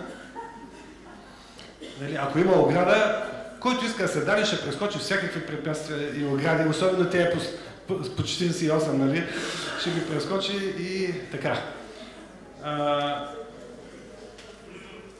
как на практика, какво прави главният архитект, когато ми издава разрешение за строеж по а, реда на 147? Много интересно този текст не е в 147, а се намира в 153 алинея първа. Как ще видим малко по-късно, всички останали алинеи на 153 са променени и се отнасят до загуба на правното действие на разрешението за строеж. Единствено, кой знае защо, 100, 153 алинея първа е посветена на 147. Та е хубаво законодателя да ги систематизира тези неща. А, тъй някои главни архитекти не го бяха чели. 100 153 алинея първа, той се е сгушила тази алинея, не, не където е мястото, нали? А, във всички случаи, а, не, защото ме попита на един семинар един главен архитект, добре, бе, аз като му разрешавам, примерно, барбекю, нали, второстепенна постройка или лятна кухня, откъде да знаем колко е, е висока, колко е голяма, къде да е турим в имота. Аз викам, ми чити 153 алинея първа, нали? Пише в разрешението за строеж, се вписват всички видови семерета, които ще бъдат изпълнени, за постройките, които са второстепенни, нали, към разрешението за строеж се прилага ситуационна скица с обозначени линии на застрояване, разстояние, височини. Е по-ясно от и как да го каже закона. Всъщност това е почти много прилича на една виза за проектиране. Така ли е? Много прилича на виза за проектиране. И като казах виза за проектиране, забравих, че съм един слайд в, в, в защото нали, аз скоро правих тази презентация да е прясна, съм изтървал. Това е слайда за визата за проектиране. Е, е, И, и тук ще кажа само две думи за визата за проектиране. Това е член 140. С него всъщност, с тази виза започва общия режим за разрешаване на строителството, а много малко хора знаят, че има три вида визи за проектиране. Нали? Единият вид виза за проектиране е този, който аз наричам факултативна виза за проектиране. Това е визата, която не е задължителна за да започне проектирането и която се издава само когато възложителят поиска това или упълномощено от него лице. Срока е 14-дневен и тя представлява копия извадка от ПУПа. Ако всички пупове бяха качени на сайтовете на, общините, нямаше да имат тази виза, ще, ще, щяхме да я махнем от. Но сега, тъй като нали, проектанта може би иска да стъпи на а, действащия подробен устройствен план, все пак за да почне да проектира, той взима виза за проектиране. Някои главни архитекти, включително и на Софийски райони, си мислят, че във визата за проектиране може да впишат нещо за, от, на тази виза за проектиране, може да впишат нещо задължително за проектанта. Няма такова нещо. Няма такова нещо. Визата е копия извадка от плана и главният архитект нищо не може и не трябва да пише там. Това е една административна услуга, която не съдържа характер на индивидуален административен акт и няма а, възможност по тази логика главният архитект да ни нарежда нещо да правим с нея. С тази, с тази виза. Втория вид виза за проектиране е тази, която е по 140 алинея 2 и се издава а, в случаите, когато след като е влязъл в сила един подробен устройствен план, е а, а, за, съответната територия е влязъл в сила нов кадастър или промяна на стария. Тогава визата ми се издава пак при поискване, разбира се, но във формата на комбинирана скица, не по закона за кадастъра, а комбинирана скица по 140 алинея 2 от ЗУТ. Тя няма, няма формални изисквания по отношение на визата, т.е. всяка община си я издава, отсветява както си иска, нали? А, така, може в лилово и зелено и така нататък, зависимост от половата ориентация на кмета на общината и главния архитект, нали? И а, в а, тази случай, в този случай, не, не, различни са визите наистина, а, но съвсем сериозно казано, а, от тази виза ние черпим много важна информация, която ще ни е много необходима. Ако а, тази виза показва дали границите ни по ПУП и границите ни по кадастъра съвпадат. Ако, ако имаме съвпадение, бинго, почваме да проектираме без проблеми. Ако нямаме съвпадение, имаме проблем. И по-добре да не почваме да проектираме, защото може да се окаже, че разминаването в границите, както говорихме през почивката с едни колеги, може да е примерно вследствие на частично приложена улична регулация и общината да ми е върнала в кавички, нали, 11 квадрата в моите лупи. И аз съм станал със собственик с общината без да знам. Нали. А пък аз как да знам, аз съм учител по пеене. Нали. Аз какво разбирам от регулационни планове. Нали. И поради тази причина, за да не ми а, се задълбочи проблема и на ниво разрешение за строеж да ми каже, чакай, ме ти си със собственик с общината, ти, ти нямаш съгласие. Нали, не ти е учредено право на строеж и така нататък. А, затова тази виза е хубаво да я имам и да а, спра малко да кажа, чакай, няма да проектирам още. Наемам си геодезист, нали, те трябва да ядат хляб и сирене хората. И казвам на геодезиста, получи откъде идва проблема. А проблема може да идва от две места. Лош стар кадастър, лош нов кадастър. Ако все лоши неща. Ако ми е лош новия кадастър, аз си казвам, а, че то само моя ли е лош. Нали? Не, разбира се, казвам, правя, правя процедурата по последната версия на Зекир, която е лесна, устраняване на непълноти и грешки в кадастрална, кадастралната карта. Хубава, лесна процедура, нали, така изстрадана през годините, защото по-рано беше много трудна. И поправям проблема и съм сигурен, че като съм поправил новия кадастър, вече границите ми съвпадат. Друго, другото е по-лошо, когато се установи, че проблема идва от стария кадастър, който е бил неточен и поради тази причина плана така не отразява съвсем добре нали, е, границите на моя имот. Тогава трябва да се върна малко назад, да направя процедурата по 134 алинея 2 точка 2, т.е. промяна на подробния устройствен план поради грешка в кадастъра, довела до разминаване на регулационни и кадастрални граници. Правя тази процедура по 134, оправям си плана и почвам проектирането. Е, това е моят съвет към нали, тези, които желаят да строят при сегашното състояние на нашия кадастър в България. И подробни устройствени планове да ни изпускаме. Последният режим, предпоследният, извинявайте, режим за разрешаване на строителството е по 151. Това е най-желаният от всички режим, който а, е така, аз наричам свободен режим, нали, пей сърце. Нямаме разрешение за строеж, нямаме а, одобряване на проекти. Строим на воля, така да се каже. А, като, тук трябва да направим два коментара, които трябва да имаме предвид, ако действително желаем да строим на воля. Измамно е щастието на някои, е, че могат да минат на 151. Защото законодателят, както либерално е разширил действието на текста през 2015 година, така е поставил капани. На първо място, текста за текущ ремонт на сгради, постройки, съоръжения и инсталации нали, е, е доста добър, но трябва да знаем, че това е само текущия ремонт. Всичко, що обхваща носещата конструкция на сградата, е вече предмет на общия режим за разрешаване на строителството. Тоест, много важно е да, да имаме добър проектант и добри връзки с контролните органи. Ще ви кажа, защото е много важно не понякога какво правиш, а как го наричаш. Смисъл, ако много мотивирано наречеш едно свое действие текущ ремонт и успееш да убедиш, примерно, главния архитект, че това е текущ ремонт, да речем, или ДНСК да убедиш, че е текущ ремонт, ти нямаш проблем. Нали? А, разбира се, това е малко на шега, но мисля, че тук ЗУД дава една добра, така горе-долу, отграничаване на действията по текущи по основен ремонт. А, друг е проблема. Проблема най-вече го изпитват тези, които са така наречените оператори на публични услуги или тези, които предоставят така наречените, които правят така наречените линейни обекти. Те бяха наказани. Защото а, до преди новата редакция на 151 всичките им видове ремонти и текущи и основни бяха по 147. Сега текущите им ремонти отидоха в 151 уж на по-лек режим, а основните ремонти отидоха на по-тежкия основен режим.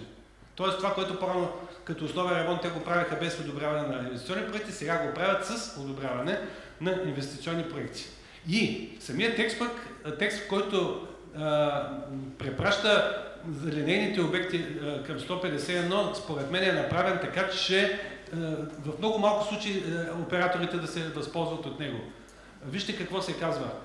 Текущ ремонт обаче при условие, че не се променят трасето, айде трасето е добре, и техническите характеристики. Понятието технически характеристики обезмисля в много случаи упражнението 151 за линейен обект, защото в повечето случаи а, а, но, а, ремонтите на линейни обекти променят техническите характеристики. Ще ви дам само един пример. Аз съм доставчик на интернет услуги, нали, заменям си менните жици за, за интернет от миналия век с нали, оптични кабели за широколентов интернет.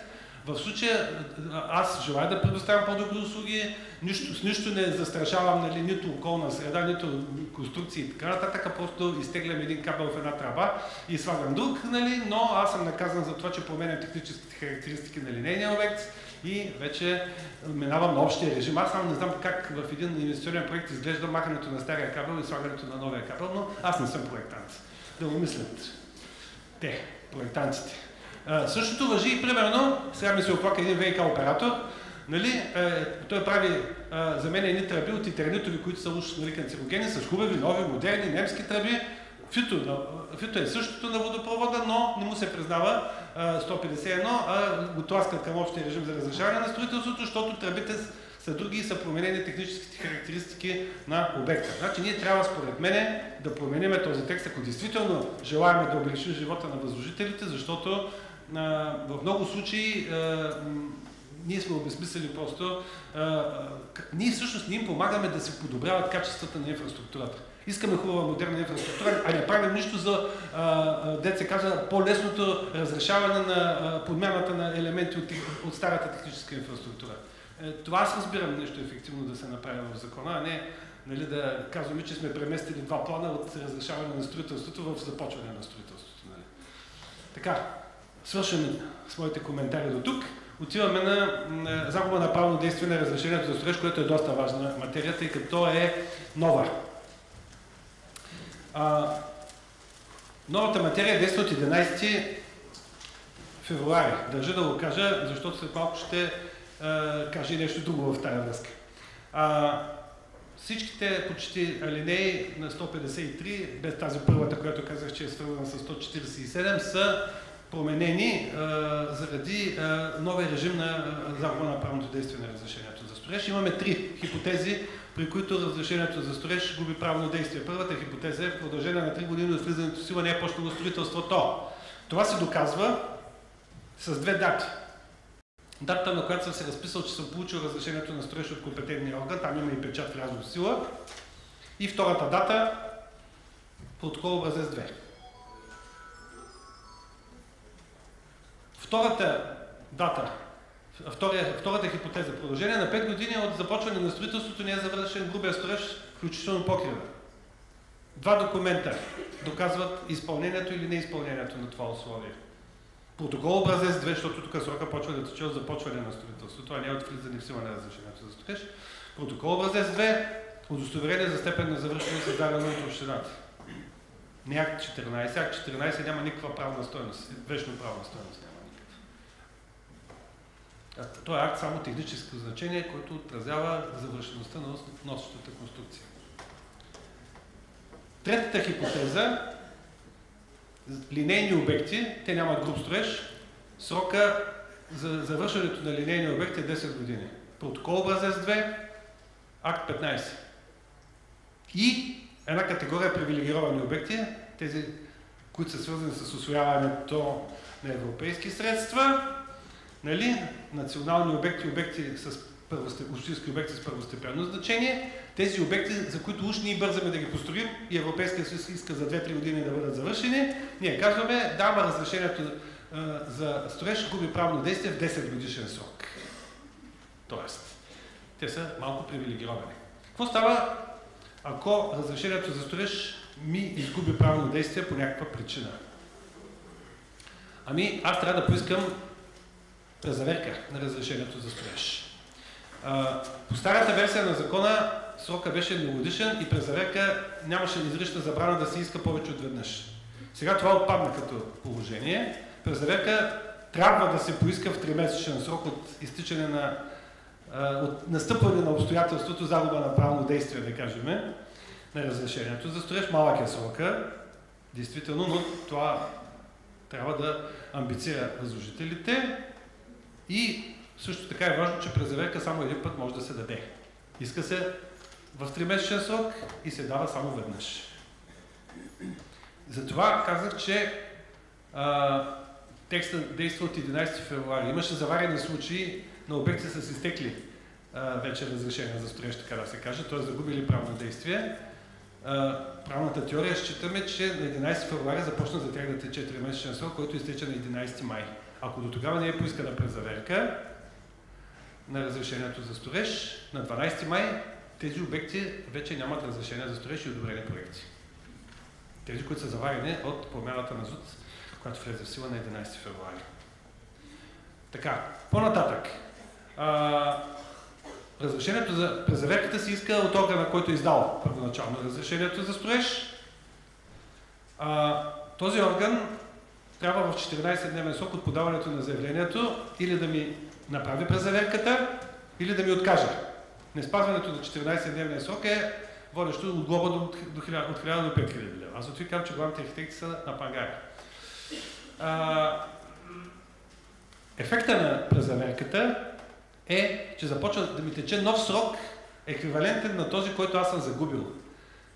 В смисъл, на, на този, за който, а, заради който ми е загубило правно действие разрешението за строеж. Ако 3 годишния срок а, нали, ми е изгубил разрешението за строеж, ми тече нов 3 годишен срок. Съответно, в 5 годишния срок ми тече нов 5 годишен срок, 10 години нов 10 годишен срок. Има обаче една уловка. Тук, в случая, че моето разрешение за строеж е било погасено, така да се каже, в 3 годишния срок, не е започнало строителството, главният архитект трябва служебно да провери, когато му бъде поискана презаверка, дали междувременно не е влязъл в сила нов ПУП, който, на, на който вече разрешението за строеж противоречи и дали моят инвестиционен проект отговаря на всички актуални строителни стандарти, нали, действащи и така нататък и така нататък. На действащото законодателство, да кажем. Ако той установи разминаване, било в плана, било в проекта, било в и двете, той ще, ще откаже през заверка.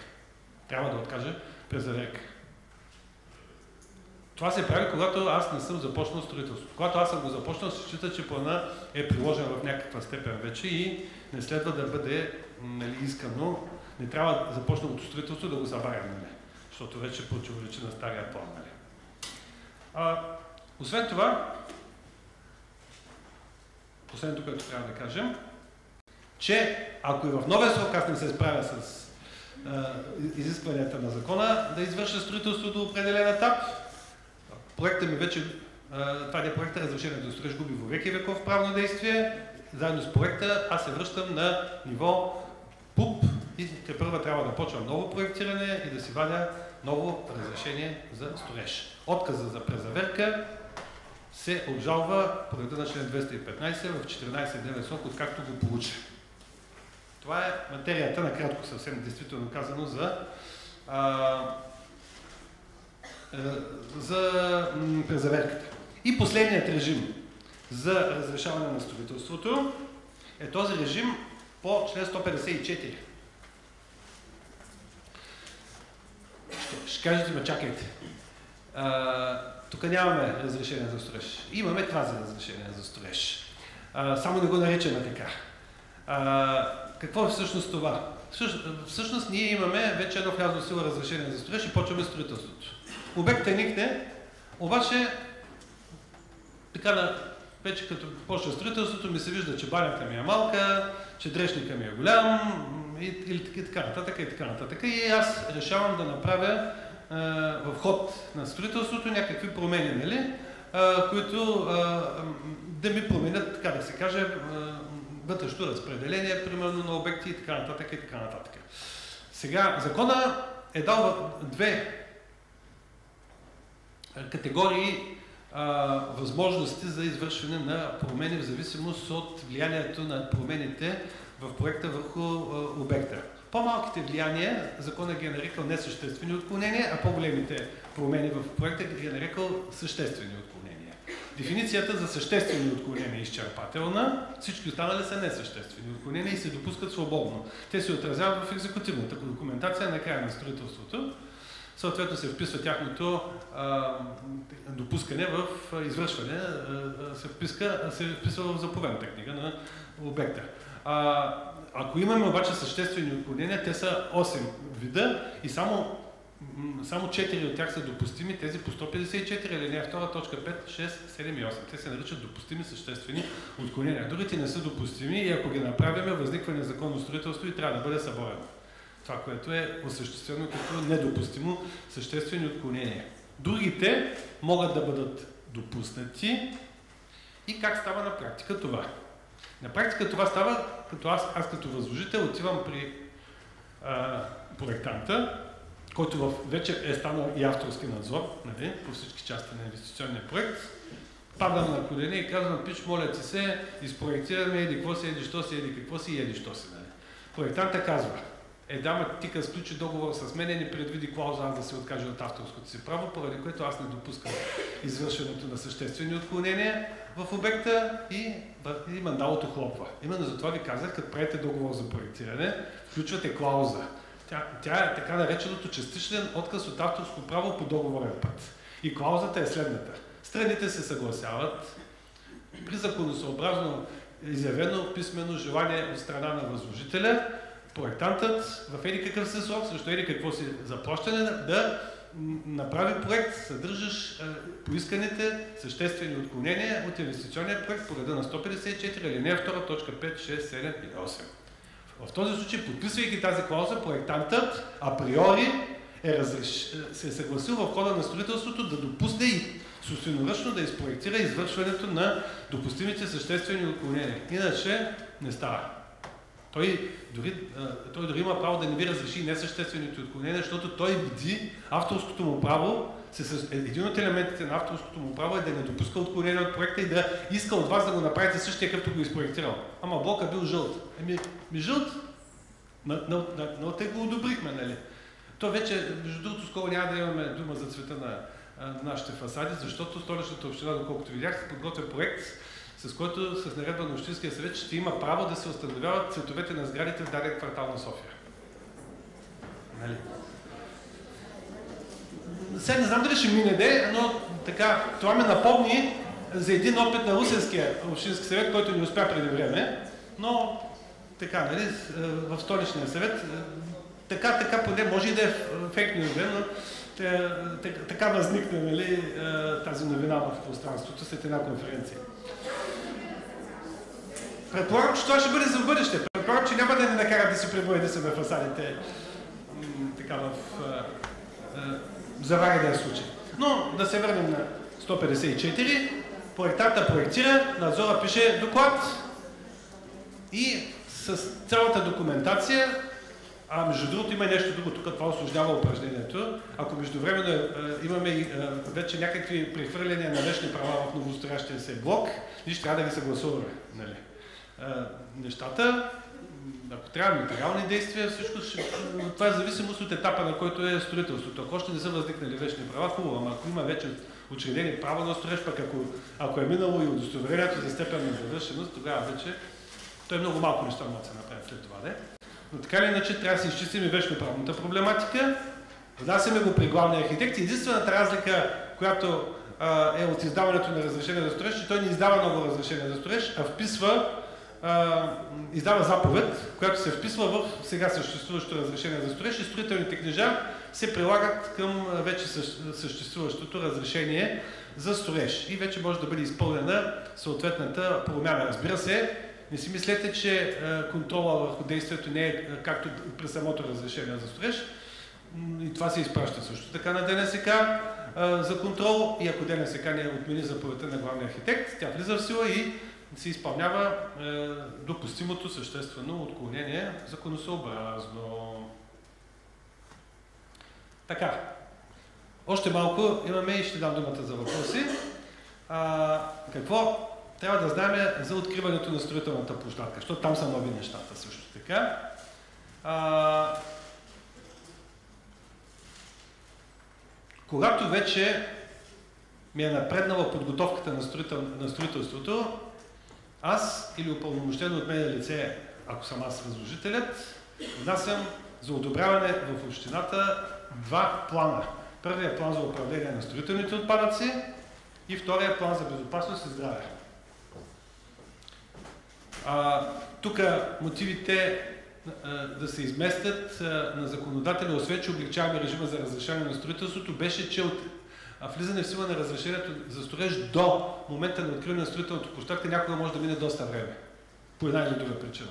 И поради тази причина се изисква максимално в последния момент, дет се вика преди откриване на строителната площадка, да одобря двата плана, за да бъдат те актуални. Защото някой път одобрява се един план за отпадъците, но междувременно оп, ново, ново регионално депо се открие. Или пък, а, примерно, а, организацията на движението се промени, тротуари, нещо, такива работи, нали ми стават неактуални а, нещата. Имате въпрос? Не, не, не. Плана за управление на строителните отпадъци е един доста сложен документ, който съдържанието му е- е дадено в Закона за управление на отпадъците и там подзаконовите актове и, и, и, въобще не не е това, което ми казахте. Може да сключите договор с фирмата, която ще ги извозва, да ви направи плана и да го внесе за одобряване, но той, той не, а, а, плана не е еквивалентен само с договор с фирма, който извозва отпадъците. Има, има, е, има и маршрути, депата и, и така нататък. И така, сложни, сложни неща са. Не може сам да си го направите, според мен.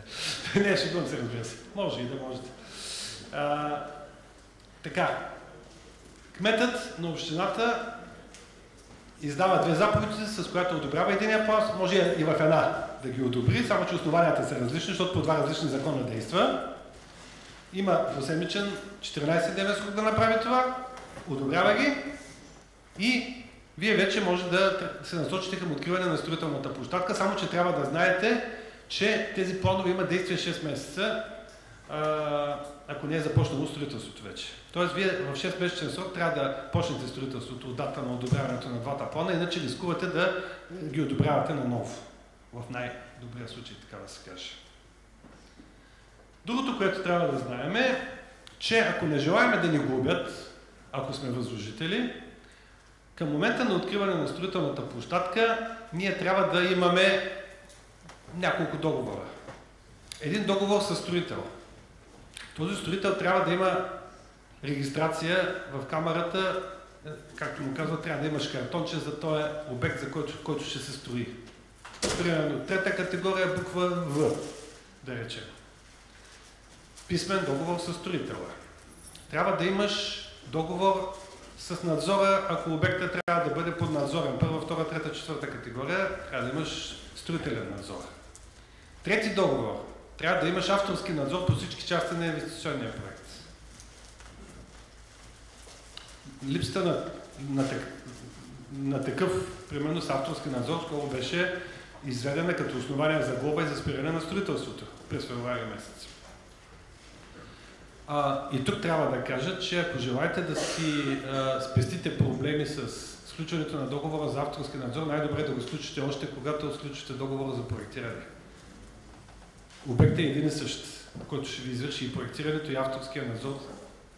И за това е хубаво, когато още сключите договор за проектирането, когато моркова е голям, нали, хонорара за проектирането е голям, да избегнете после случая, когато не сте сключили договор за авторски надзор, имате зор обаче от надзор, т.е. трябва бързичко да освоите едни пари, автора се крие и не иска да сключва договор, за да разберете колко е ценен и, и, и ви иска после 200 евро на час нали, за авторски надзор. Поради тази причина е хубаво да си вържете, така да се каже, гащите и още в самото начало на проектирането да сключите и договор за авторски надзор, който ще влезе в сила от дата на откриване на строителната площадка, т.е. протокол образец 2.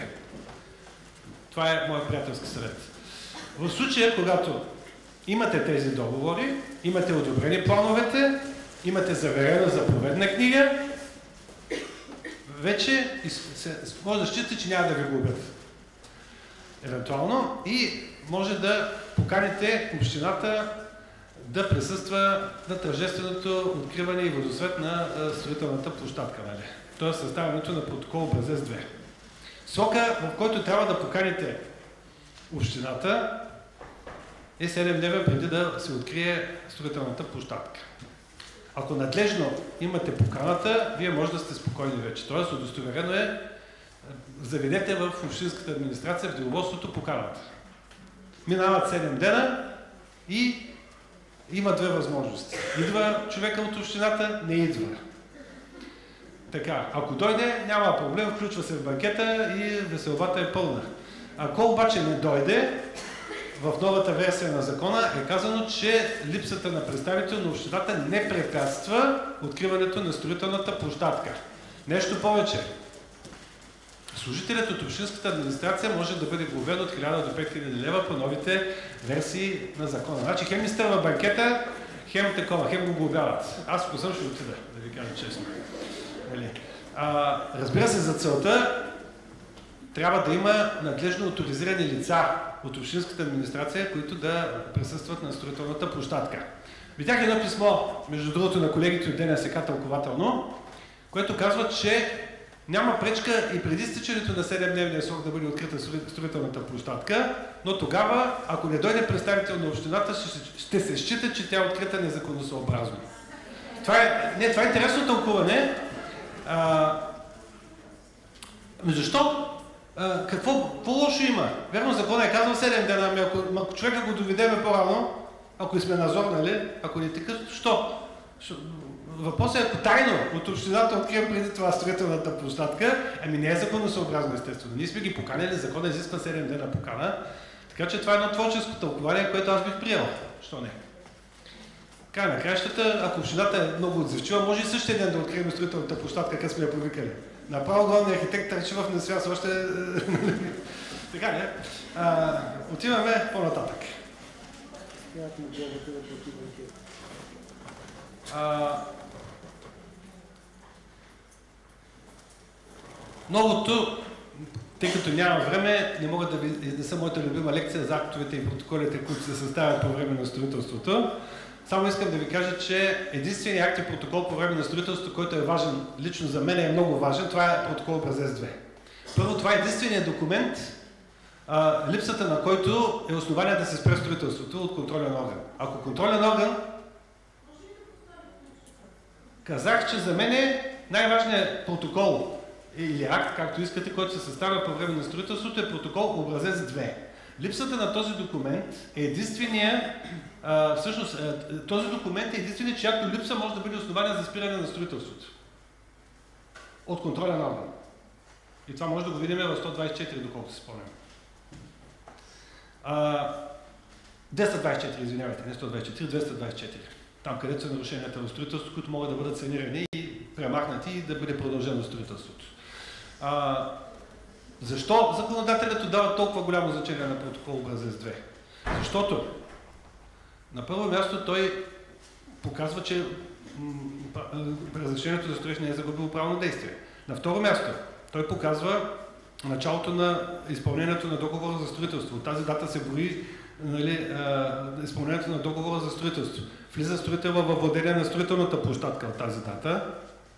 От тази дата се счита, че строителният риск е върху плещите на строителя и ако погине нещо на обекта или някой бъде увреден на трето лице, строителът ще бъде пряко отговорен. От тази дата също така, преминавайки владението, нали, в протокола се удостоверява как е преминало владението, т.е. в какво състояние е строителната площадка намерена. Дали има върху нея неразчистено строителство, което би трябвало да, да, го, да го няма, нали, и така нататък, и така нататък. Също е много важно, значи състоянието на строителната площадка. Освен това, най-важният момент в строителството при неговото започване е къде, ако не е линейно, то и линейен да е, ама ако е площен обект, е много важно къде ще го тупнем а, нали, обекта в, в имота. Тоест, строителната линия е много важна. Защо? Защото правилно дадената строителна линия гарантира, че обекта няма изведнъж да бъде а, оценен като намиращ се на намалени отстояния и трябва да бъде съборен. Тоест, това е голяма гаранция за законосъобразно започване на строителството. Ето виждате колко много така, дете се вика, многостранно е значението на протокола образец 2. Другите какво да кажем за тях?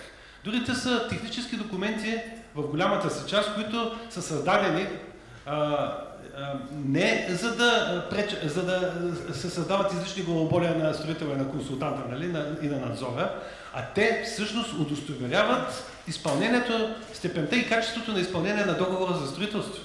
Те са доказателства. Договорът за строителство е много сложен и без липсата на актовете и протоколите много трудно може да се разреши един спор между възложителя и а, строителя. Като отидем в съда, съда ще ни поиска актове и протоколи, заповедни книги, разпореждания и така нататък. Няма да ми иска друго. За това сме ги измислили актовете и протоколите, не за да натоварваме с излишни писания а, нали, и а, страните. И затова казвам, че другите протоколи могат и постфактум да бъдат създадени, ако са, с, ако са съгласни страните. Два са важни за мен лично като юрист. 9, не, 9, а 10 и 11. 10 и 11, защото те доказват спиране на строителството и възобновяване на строителството. Те са важните, защото а, имат отношение по, а, по отношение на сроковете. Нали, спират да тикат срокове за изпълнение, ако а, нали, строителството е спряно а, поради причина, която може да минива вина на възложителя, форс-мажор и така нататък и така нататък. Нали. От юридическа гледна точка 10 и 11 са ни важни на нас, ако има някакви спорове по строителството. А и тези протоколи доказват примерно 10 е основание, защото в него се описва в какво състояние се изоставя обекта, така да се каже. Там се описват строителните работи, които са изпълнени до, до момента и то е, то е доказателство а, в ръцете на строителя да иска да поне частично плащане от възложителя, нали? ако, ако той е справил строителството по негова вина. Нали? Но, пак ви казах, много-много можем да говорим за актовете и протоколите. Както казахме 14, който беше много важен по едно време на нотариусите през 90-те години, той не е важен, той е технически документ, който удостоверява носещата конструкция, която е направена, но грубия строеж не е изпълнен. Обектите в една сграда, непременно, не са материализирани още с акт 14. След, след акт 14 се правят стени, прави се покрив и тогава, нарочно сме го записали на времето в ЗУД, нали, че правото на строеж се трансформира в право на собственост от момента на извършването на грубия строеж, което се е, удостоверява с удостоверението за степен на завършеност и от тогава нали, нотариусите могат да почнат да прехвърлят право на собственост на обекти в изграждащата се все още сграда. Нали. Това е смисълът. Значи тук, ак, пак казвам, ак 14 не ни грее нищо в случая. А, говорим от гледна точка на прехвърляне на вечни права. А, от гледна точка на разплащане на строителен договор, да. Акт 15 е важен много. Акт 15 защо е важен? Защото това е акта, който се съставя, когато строителят изпълни договорираните СМР-та. Това е крайният момент на строителството. Тоест, като вземем акт 2 и акт 15, виждаме колко време е трябвало строителството и дали то се включва в зададения от възложителя срок и подписания договор. Нали? Това е доказателство за изпълнение или неизпълнение на срока нали, за строителството. От акт 15 тикат, проистичат доста важни последици. Преминава владението отново на, на строителния обект и заедно с строителния риск. Възложителя влиза във владението. Е, може да се отложи малко владението, но то се записва в акта, когато с акта са констатирани някои недоделки, които трябва в 10-15 дневен срок да се оправят, нали? Но те могат да се оправят и когато, строител, когато възложителя е във владение, нали? Акт 15 също така има действие по отношение на гаранционните срокове за обектите от четвърта и пета категория. Тъй като обектите от четвърта, пета категория почват да се ползват веднага, разбира се, ползването трябва да бъде регистрирано в общината, нали, по реда, който казва закона, 177, а не 3, нали, а, но вече факта на ползването а, води до това, че гаранционните срокове текат от акт 15 за четвърта и пета категория. Първа, втора и трета категория, знаете, те се приемат с държавна приемателна комисия, Счита се, че обектът не може да се ползва до момента, от който вече началникът на ДНСК ми издаде удостоверението, заповед за въвеждането нали, в експлуатация. И аз от тогава, откакто ми се издаде, както някой казва, так 16, нали, откакто ми се е, разреши ползването на обекта, т.е. издава ми се разрешение за ползване, нали, на обект от първа, втора и трета категория, гаранционният срок тече не от акт 15 за първа, втора и трета категория, а започва да тече от датата, на която е влязла в сила заповедта на началника на ДНСК, с която ми се разрешава ползването на обект от първа, втора и трета категория. Новото, което трябва да чакат а, всички, които желаят да въведат в експлуатация обекти от четвърта и пета категория, че Министерството трябва да допълни наредбата, с която се дават реда условията за въвеждането в експлуатация на обектите и гаранционните срокове и да има нов раздел трети, в който да се дадат реда и условията за е, регистрация на обектите, за въвеждане в експлуатация на обектите от четвърта и пета категория, защото законодателя реши за всички общини да го правят по един и същ начин. Това трябваше да излезе до 10 август също така, но явно коледата е близо. И по коледа се случва чудеса, нали? Аз гледах проекта и меко казано останах шешередисан. Защо? Ами защото според проекта, за да се регистрирам при главния архитект, един обект от четвърта и пета категория, аз трябва да му представя 13, 13 документа. Включително половината от тях ги има в общината вече. Документ за собственост, разрешение за строеж, одобрение проект, ми те ги има в общината. Защо трябва да ги предоставям? Но надявам се, че и тук ще има някаква сериозна дискусия по реда условията за веждане в експлуатация и че ще се, ще се случи един разумен документ, който ще уеднакви така и ще въведе, ако можем да кажем, една прагматична процедура по въвеждане в, на строежите в експлуатация. Ами тъй като времето ни притиска, да ви кажа често и да има малко повече време за въпроси, аз само искам, е, е, ще, ще мина на, на последния слайд само, да ви покажа неприятното. А, неприятностите за общините, нали, които се изразяват в член 232 алинея 1. Виждате, наказва се с глоба от 1000 до 5000 лева, ако по друг закон не е предвидено по-тежко наказание, длъжностно лице, което изисква като условие за съгласуване и одобряване на инвестиционен проект или за разрешаване на строеж документи, които не се изискват с този закон или с друг нормативен акт. Говорихме за това, нали? Новото е в 5, и, в 5 9 и 10. Това са нови от февруари месец. Срок, длъжностно лице, което в срок е определен с нормативен акт, не се произнесе по искане за разрешаване, процедиране и одобряване на устройствени планове. Айде отиде кмета. нали, техни изменения за съгласуване и одобряване на инвестиционни проекти, издаване на разрешения за строеж, главният архитект.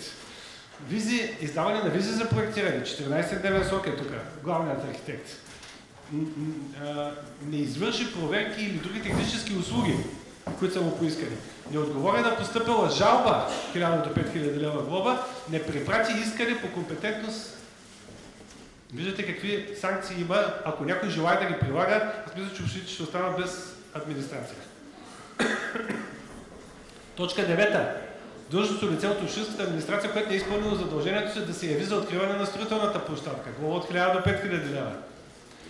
Главният архитект, ако не се произнесе в срок, по искане за въвеждане в експлуатация на обект от 4 и 5 категория. Срока е 7 дневен.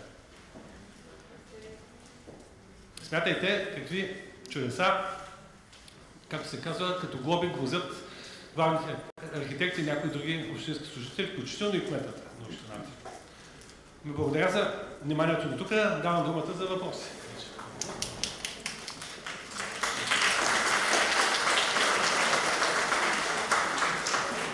Заповядайте. Аз имам един малко езуитски въпрос. Какъв? Езуитски. Езуитски.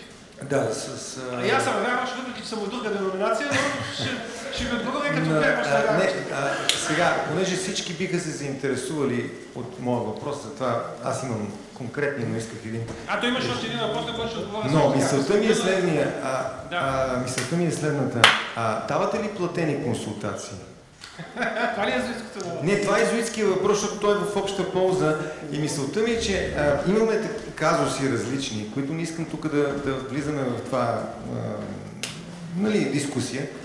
А, затова някакъв телефонен номер или нещо такова, защото, а, вижте, изникват постоянно в практиката неща. Разбираме. Не, Да. Нека да преминем към въпроси. Наистина даваме платени и безплатно най-вече Не, консултации. не, така че защото аз трябва да тръгвам и по това, поради тази причина ми трябва телефон, не друго. телефона не може да намерите съвсем спокойно в интернет го има.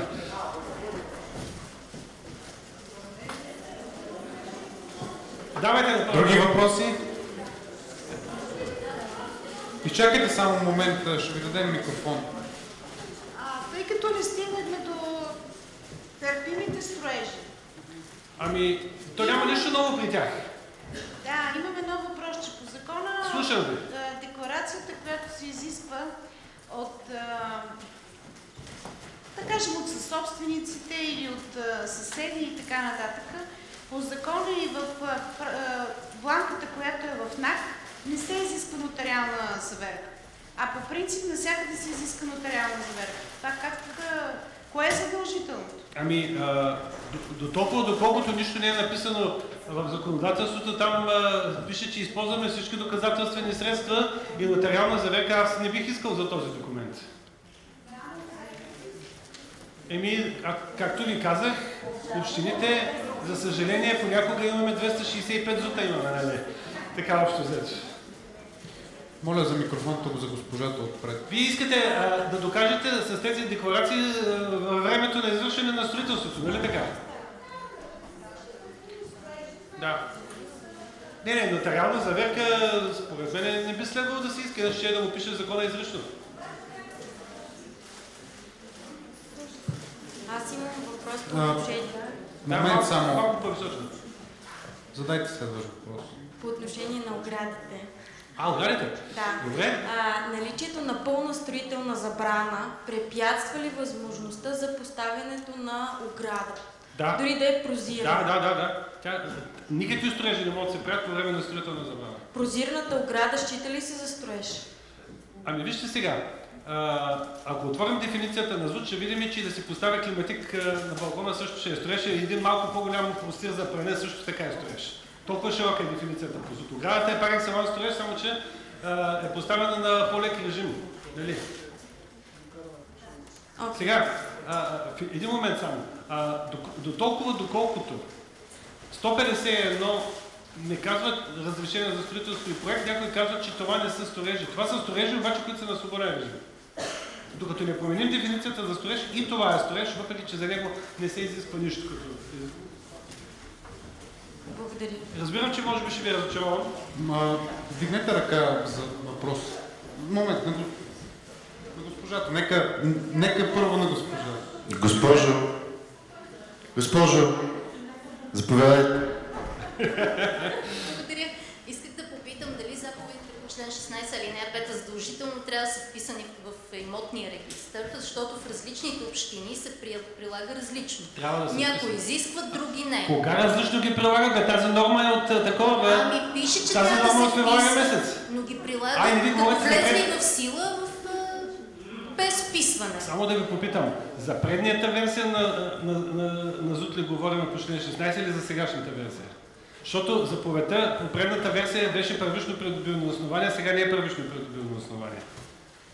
Добре, значи трябва да бъдат вписани задължително. Да но, независимо дали е по старата версия или по сегашната, за да са противопоставими на трети лица, трябва да се впишат.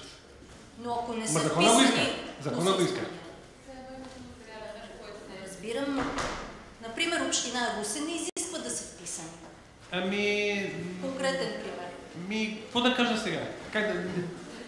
Според мен не са особено прави.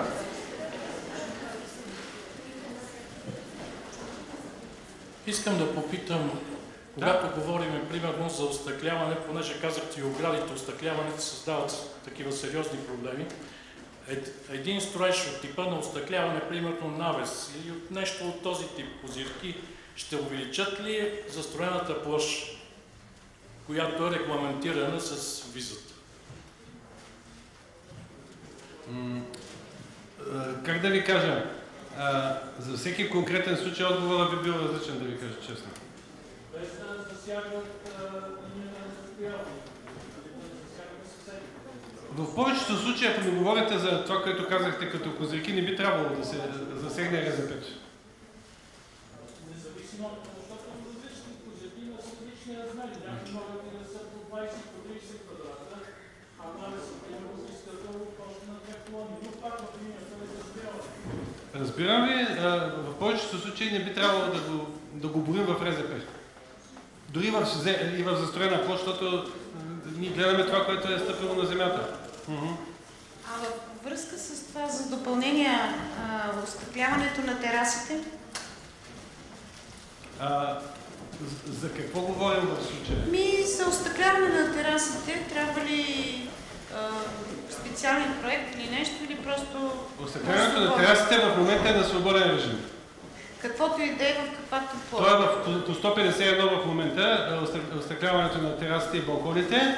А, един стар министр на регионалното развитие искаше да, а, а, искаше да го вкара в закона за управление на етажната собственост и да а, се разрешава остъкляването само за всички и с решение на общото събрание. Не знам дали това още е актуално при новия министр, но а, ако това се случи, единични остъклявания на балкона няма да могат да се получават или ще могат да се получават с разрешение обаче на общото събрание. В момента е на свободен режим, така че давай народе, докато не се променили ЗОЕС. Може ли да поставя Да. един въпрос?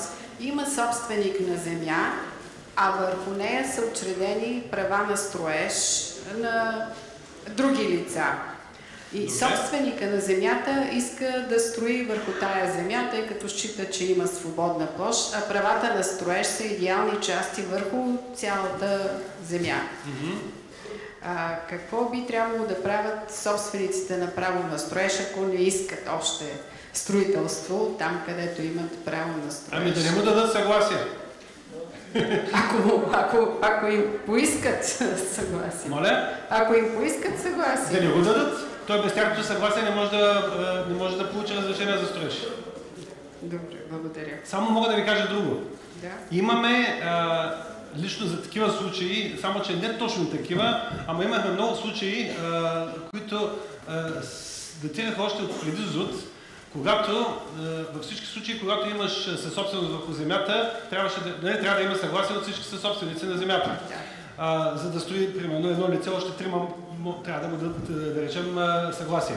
А, имаше случаи, когато, примерно, имаме една съсобственост 50 на 50 и един е дал съгласие на другия и после се дърпа. Нещо да му даде съгласие на а, своя съсед. И имахме непреодолими проблеми.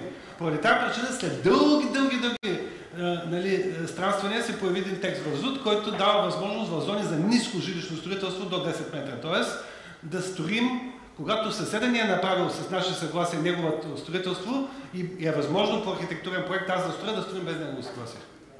До 10 метра сграда. В зони по член 19, алинея 1. Благодаря. Може Обаче да- в средно и високо не е възможно това упражнение. При монтаж на климатици на улицата такъв случай имаме на метър и половина височина и пречи на пешеходците. Благодаря.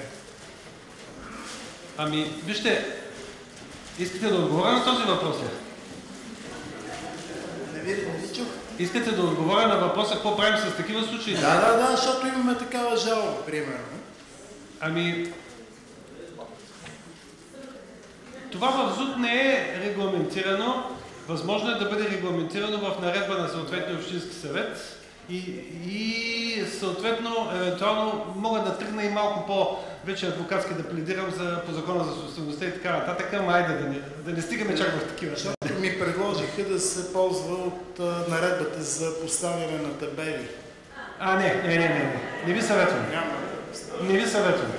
А може би трябва да се предвиди в проекта на сградите. Значи, а, наредбата за рекламно-информационните съоръжения не е относима към този случай. Добре, благодаря.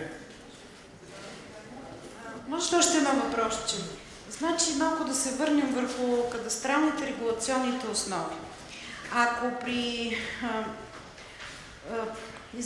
вписване на, по, с заповед на, на изпълнителния директор на Закона за кадастъра на, на, цяла, на цяла районна плана, този, който е изготвил плана, не се е съобразил с старите регулационни кадастрални планове, според вас това може да бъде неговата отговорност? Просто не е нанесъл нито а, старите регулационни собственици, нито кадастрални и след това се получават нови нанасяния. Разбирам това. Да. Ами, а, та отговорността е многопластова, но за съжаление в България най-често остава морална. Реална отговорност би имало, ако тръгнете да съдите, нали, примерно, държавата в лицето на този, който е одобрил кадастралната карта. Не, не, аз искам друго да кажа. Ролята на агенцията по геодезия, картография и кадастър е да проверява работата на геодезическите фирми, а, да, им, да, им, да им каже да се отстранят н- недостатъците в проекта за кадастралната карта и да одобрят такава кадастрална карта, каквато счита, че е точна. Ако не си изпълни тази роля този държавен орган, значи аз би следвало да, да го търся отговорен за щетите, които ще понеса евентуално в последствие. Тоест има и закон по това, нали? При липса на договор за проектиране, негативите само за възложителя ли са или за проектанта? Авторския надзор как се упражнява това? А, значи договор за проектиране задължително трябва да се включи в писмена форма. И, Но и, той да, и липсва. да го има, и да го има. И да го има. Без договор за проектиране, Лип, липсва строежа завършен груп строеж. Акт 14 е издаден. а добре, авторски надзор е такива работи? Подписал се е проектанта, но договор за авторски надзор също няма. Да, аз съм либерално мислещ човек, не мисля, че трябва да търсим косури, нали, които идват от липсата на писмен договор за проектиране, нали, въпреки че закона го изисква, между другото. Не, Те не по- се каля малко ще ви го уби. Проблема е, примерно, ако проектанта забравил да проектира комин. Не бе, то няма значение какво проектира, той и ограда да проектира. Е, да, да, ама те не е си свършил работата. Как, ще, как да Разбира този за мен не е пречка да се въведе в експлуатация обекта, още повече ако са създадени както трябва и подписани надлежно от всички участници в строителството. е, Тоест, актовете и проблемите са за възложител. Моля? Проблемите са за възложител. Тоест, Ми, да. той си е виновен, че няма договори. Ти като нямаш договор с едно лице, как ще го търсиш отговорен за щети, които си Без никаква от- отговорност от е, проектант, архитект, който е съгласувал. Ако Това искам да кажа, че това е несъвършенство. Не, то не е несъвършенство, то закона го изисква. Видите, че, на- че нарушавате закона... нищо не разбира, той не разбира.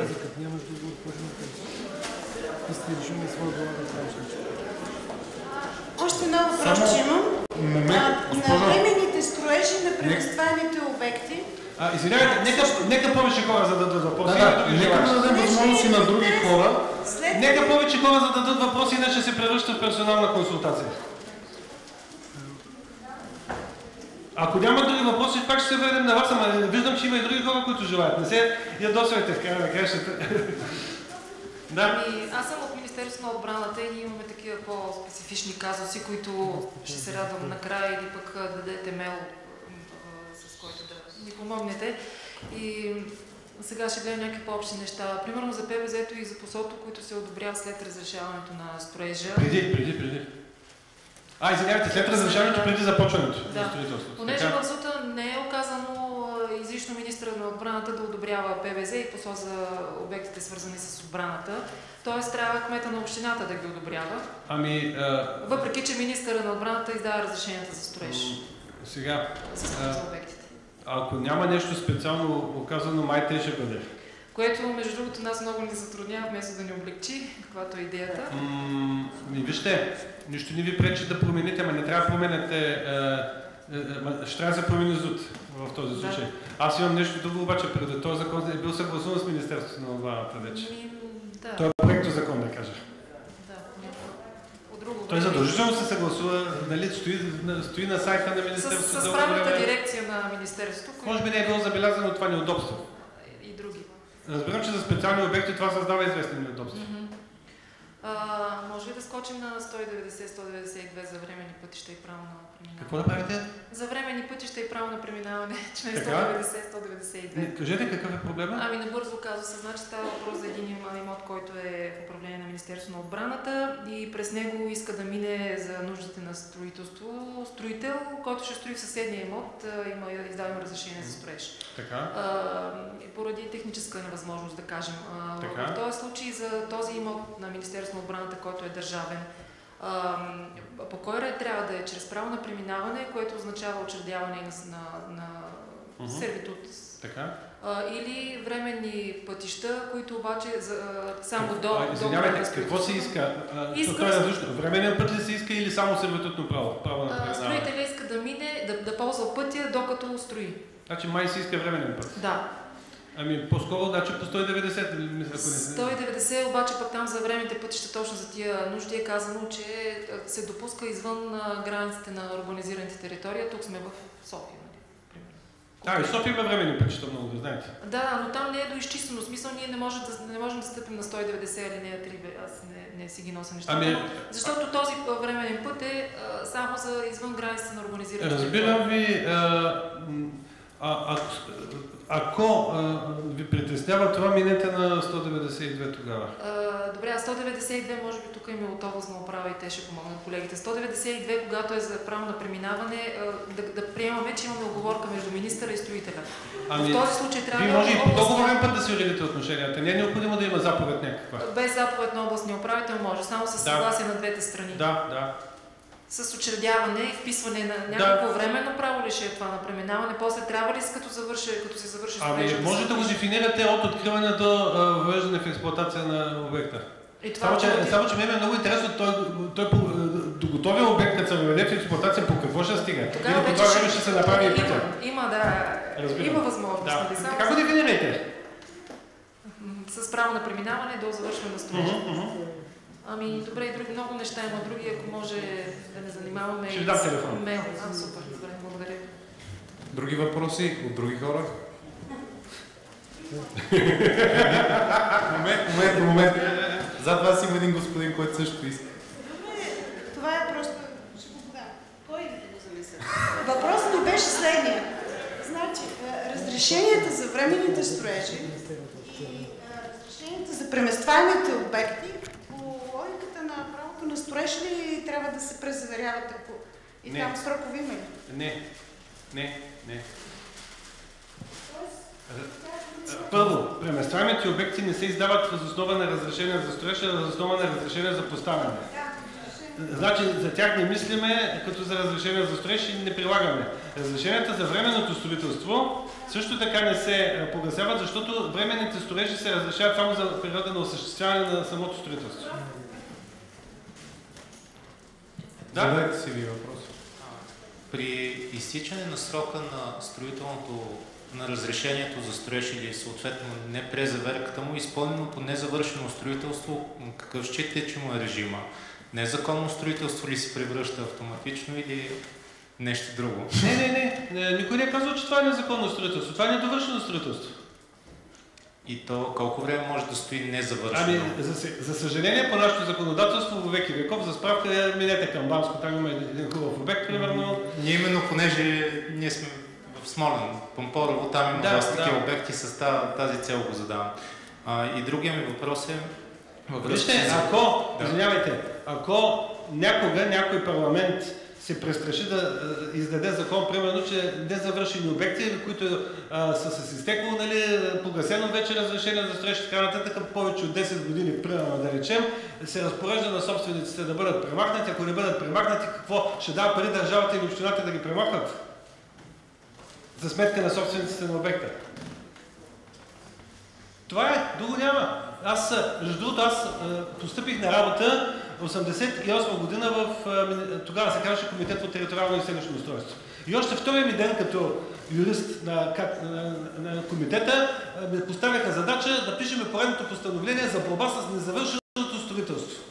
Значи ние се бориме перманентно с незавършеното. Второто постановление, дет написах, беше за узаконяване на незаконни обекти. Амнистия за незаконни обекти. Така че е, ние се бориме не вчера с тези неща и както виждате, май никой не се преборил и не е измислил панацея за тях.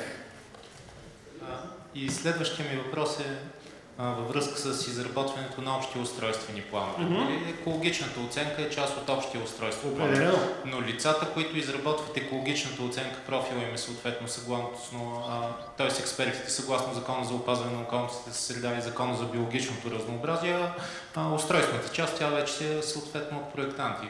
В тази връзка може ли две различни фирми, да кажем, лица, Може, да, може, може. да изработват общия устройствен план и екологичната оценка? Понеже се появиха тълкувания, че ако не е едно и също лице и то от Министерството, се считало, че е незаконно. Кой го дава това тълкуване? Министерството. Кое министерство? На регионалното развитие. Моето уважение, това е малко либерално. Е, не е либерално, по-скоро рестриктивно тълкуване. Може ли въпроси, така че си ги формулирате, тъй като времето напредва, да... Може ли, господин Ковачев? МОСВ, ОПОС.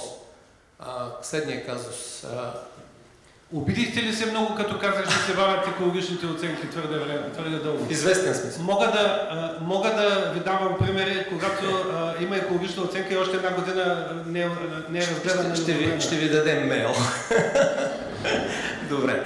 А, следния въпрос. Не, не, проблема е, че в МР не ги притеснява това, защото те пък са сключили договор за подпомагане на изработването на общи устройствени планове и им изтича срока за разплащане на етапи за съответната бюджетна година и ще изгубят средствата за бюджетната година. Придържаме се към законовите изисквания. Добре. Не, не, аз нищо не казвам. Казвам само, че изглежда, може би не е добре разписана стиковката между двата закона и се получава голямо разминаване в процедурите. Сигурно е така, но няма законодателна инициатива. А, следният казус. А, съществуващ колектор, публична общинска собственост, голям диаметър, подлежи на рехабилитация. Ако се предприеме инвестиционно намерение нали, по програмата, влизаме ли в колизия с а, а, закона и частни интереси в терените, под които минава колектора? А, не. Не бих казал. Тук влизаме, между другото, малко в материята на сервитутните права, защото нали, този колектор е подземен. Точно така. Да, Голям така, диаметър ще се извършват дейности по рехабилитация без надземни работи. Той е правен на основа на парцеларен план, предполагам, или не знам как. Ами е правен. 75-та година, А, да. тогавашното Добре, той си носи съответните м, сервитутни права. А, сервитутното право, един от неговите елементи е правото на собственика на а, линейния обект, който е подземен в случая, по всяко време да а, има достъп в търпящите имоти, които са имотите на тези частни лица, за да може да извършва ремонт, поддръжка и опазване на тези обекти. Това е добро уточнение, с уточнение от наша страна, че през годините върху терена са извършени строителни работи. Той в момента тези сервитутни права не са гарантирани. Нямаме този достъп. Разбирате? ли? Ами тогава, тогава много се осложнява задачата. А, и ще ви кажа защо. А, защото на времето, когато е бил изграден обекта, той не е, или не е бил нанесен в кадастъра, а, А може би до сега не е нанесен. Нанесен е, имаме да, пълна геодезия. Кога? Кога е нанесен? Ами, по време на строителството на времето. Значи тогава е било достъпно. Ами? След това са. Значи, са извършени строителства. Извинявайте, ма вината е на този, който е разрешил изграждането на тези обекти. Ако са законно построени, те са нарушили наредбите за сервитутите на, на водните обекти, нали крайна Така, но в случая вече не, не търсиме вина, търсиме бъдещи ползи за общината и държавата с реализация на инвестиционно намерение по по оперативна В каква програма. степен ремонтната дейност ще засегне тези обекти отгоре? Отгоре нищо. Ими няма проблеми, значи. Затова ви попитах, влизаме ли в колизия с Не. законови изисквания? Не, не, не, не, не. Аз съм абсолютно убеден обаче, че те са незаконно строителство. Може би и така да е. Аз, аз винаги е, мисля либерално да ви кажа честно и никога не искам да е, се изсиля и да кажа това е незаконно, но в случая не можеш да извършиш строителство над е, колектор, бе. Ще ви дам пример. Не, хубаво, не дейте, не дейте. Ще ви дам Не дейте, пример. Макдоналдс, Не че има хора от ДНСК, моля ви се. Съжаление, Милка Гечева няма вече, за съжаление казвам. Макдоналдс е построен върху Перловската река за ТНДК. Давам ви фрапиращ пример. Да, да, да. Ето, благодаря ви. Не, вижте, а, той има възможности, възоснова, както в Хасково се направиха някои неща, а, възоснова на взимане на разрешение за ползване на водни обекти, така те така го измислиха на времето, да се строи. Въпреки, че а, реката и пространството на нея са изключително държавна собственост, но това е друг въпрос. Много ми беше приятно, благодаря ви. Да. Друг финален въпрос от някой, ако има желание. Как ще коментирате в момента изграждат а, регулация на коритото на река в а, Дупница и просто а, по време на проектите се сеща, че не е направена канализация на къщите и затварят канализацията на къщите. И в момента се сеща, че трябва да се изгради колектор. И колекторът трябва да мине през дворовете на къщите. Ами какво да ви кажа? А, а, аз бих сезирал някои контролни органи от една страна, без да съм подстрекател. От друга страна, изглежда имаме лош план за организацията на строителството и за план за безопасност и здраве. Нали? В случая сме нарушили и безопасността и здравето май на много хора. Ама, между другото, действително трябва някой контролен орган да го види това нещо, което В момента се строи. Контролните органи, аз визирам и ДНСК, и органите на Министерството на здравеопазването съответно. Добре, тъй като времето напредва, ще помоля това, което вие сега задавате, наистина да е последен въпрос.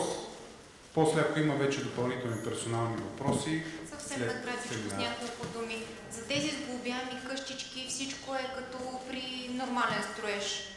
Нали? Разрешение, виза и всичко. А. Тези американския тип къщички, Разбираме. Да.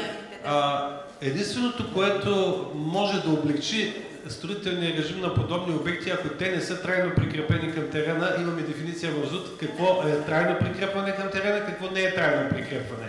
Ако тази американска къщичка след като се сглоби, е така прикрепена към терена, че вълкът от трите прасенца, като я духне да... Шегувам се, разбира се, а, че дойдем с един-два крана, дигнем и я преместим на 300 метра на север, примерно, нали? Значи тя е преместаем обект и би трябвало да, е разрешен, да бъде разрешена по друг начин. Ако обаче я хванем здраво към терена, нали, тогава вече същия обект става строеж. Става недвижим. Значи ние, нали, ние сме юристи, знаем каква е разликата между движима вещ и недвижим имот. Е, режима е, режима е малко по-различен, нали, когато е движима вещ. Да. За въвеждането в експлоатация сградите преди 2001, преди ЗУД, Така. а, само с търпимост ли минават от там нататък? Не чух само какво въведете. Ами те нямат а, всъщност никакви документи а, за въвеждане. Повечето сгради по ви. в Да, да, да. провинцията, да, кажем, не са издавали общините никакви документи, само с търпимост ли ги прехвърляме, да кажем. Ами вижте, това, само а, една оценка да направим в случая. А, търпимите строежи са незаконни строежи. Не можем, а, има и практика, а, между другото, и на, не, не би казвам на съда, но примерно столичната община има практика, когато един строеж, който според тях е законен, а, а му се поиска удостоверение за търпимост, те отказват да издадат удостоверение за търпимост и са прави. А, а, значи търпимост ние търсим, когато имаме незаконен строеж. В случая те блокове, според мен, дето казвате, дето нямат а, а, въ- въвеждане в експлуатация по установения ред, те не са незаконни строежи, според мен. Те а, са, може и да са построени законни, може да имате разрешение за строеж, може да имате строителни книжа и те да се пазват от общината дори. И актове и протоколи могат да може да имат всичко. Единственият проблем е, че те се ползват незаконосъобразно. И за да се ползват законосъобразно, трябва да бъдат въведени в експлуатация, макар и постфактум. Ама как ги прехвърляме? Като груп строеж, като нищо, като правилно строеж. Ами те не са груп строеж. А те са груп строеж. Те са завършени, но отдавна са завършени при това, но нямат документи. А, сега в случая, а, то малко е сложен, нали, а, проблема е особено за един общински архитект, а, който са го налазили от всякакви контролни органи, нали? А, в случая, а, ако са четвърта и пета категория, върху тях лежат плещите да ги въведат сега в експлуатация по регистрационния режим. Нали, ако са първа, втора и трета категория, трябва да отнесат въпроса до ДНСК, за да а, видят дали те ще се навият да, м, а, да ги въведат в експлуатация, макар и с закъснение. С държавна приемателна комисия и така нататък. Това, това е възможно да стане.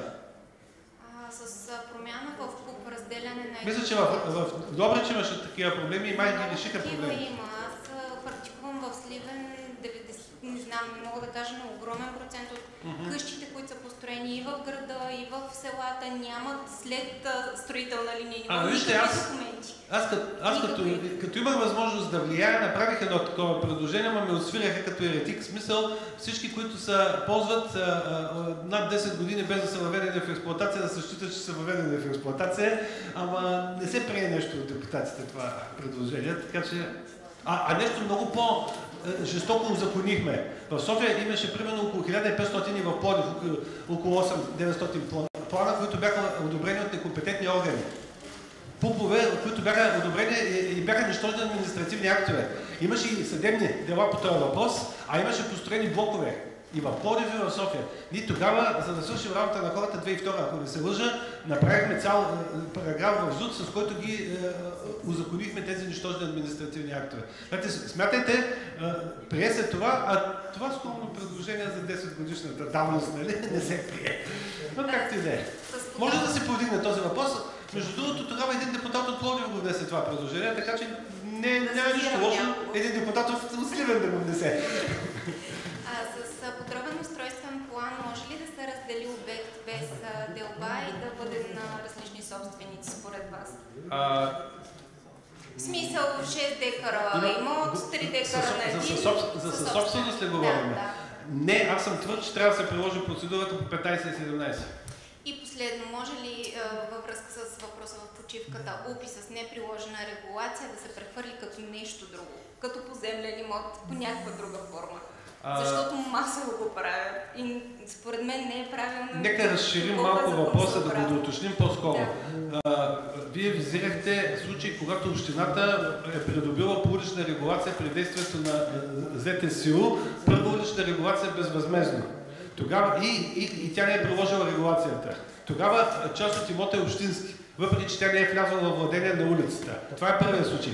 Вторият случай, когато общината е взела 6 метра от вашия имот, но по някакви причини улицата е станала по-тясна и тя ви връща 2 метра. Това, това също ви прави със собственик с общината. А, значи, в този случай ние сме в режим на съсобственост, а, както примерно всеки, аз с общината съм съсобственик. И в този случай ние действаме в режим на съсобственост. Трябва да, а, трябва да правим делба. А при неприложена дворищна? А, Същата работа. А, за двореща регулация там действаме по параграф 6 и 8. Добре, благодаря за въпросите, тъй като времето наистина се изчерпа. За допълнителни въпроси може в писмена форма. От името на фирма PCC организаторите ви благодарим за участието.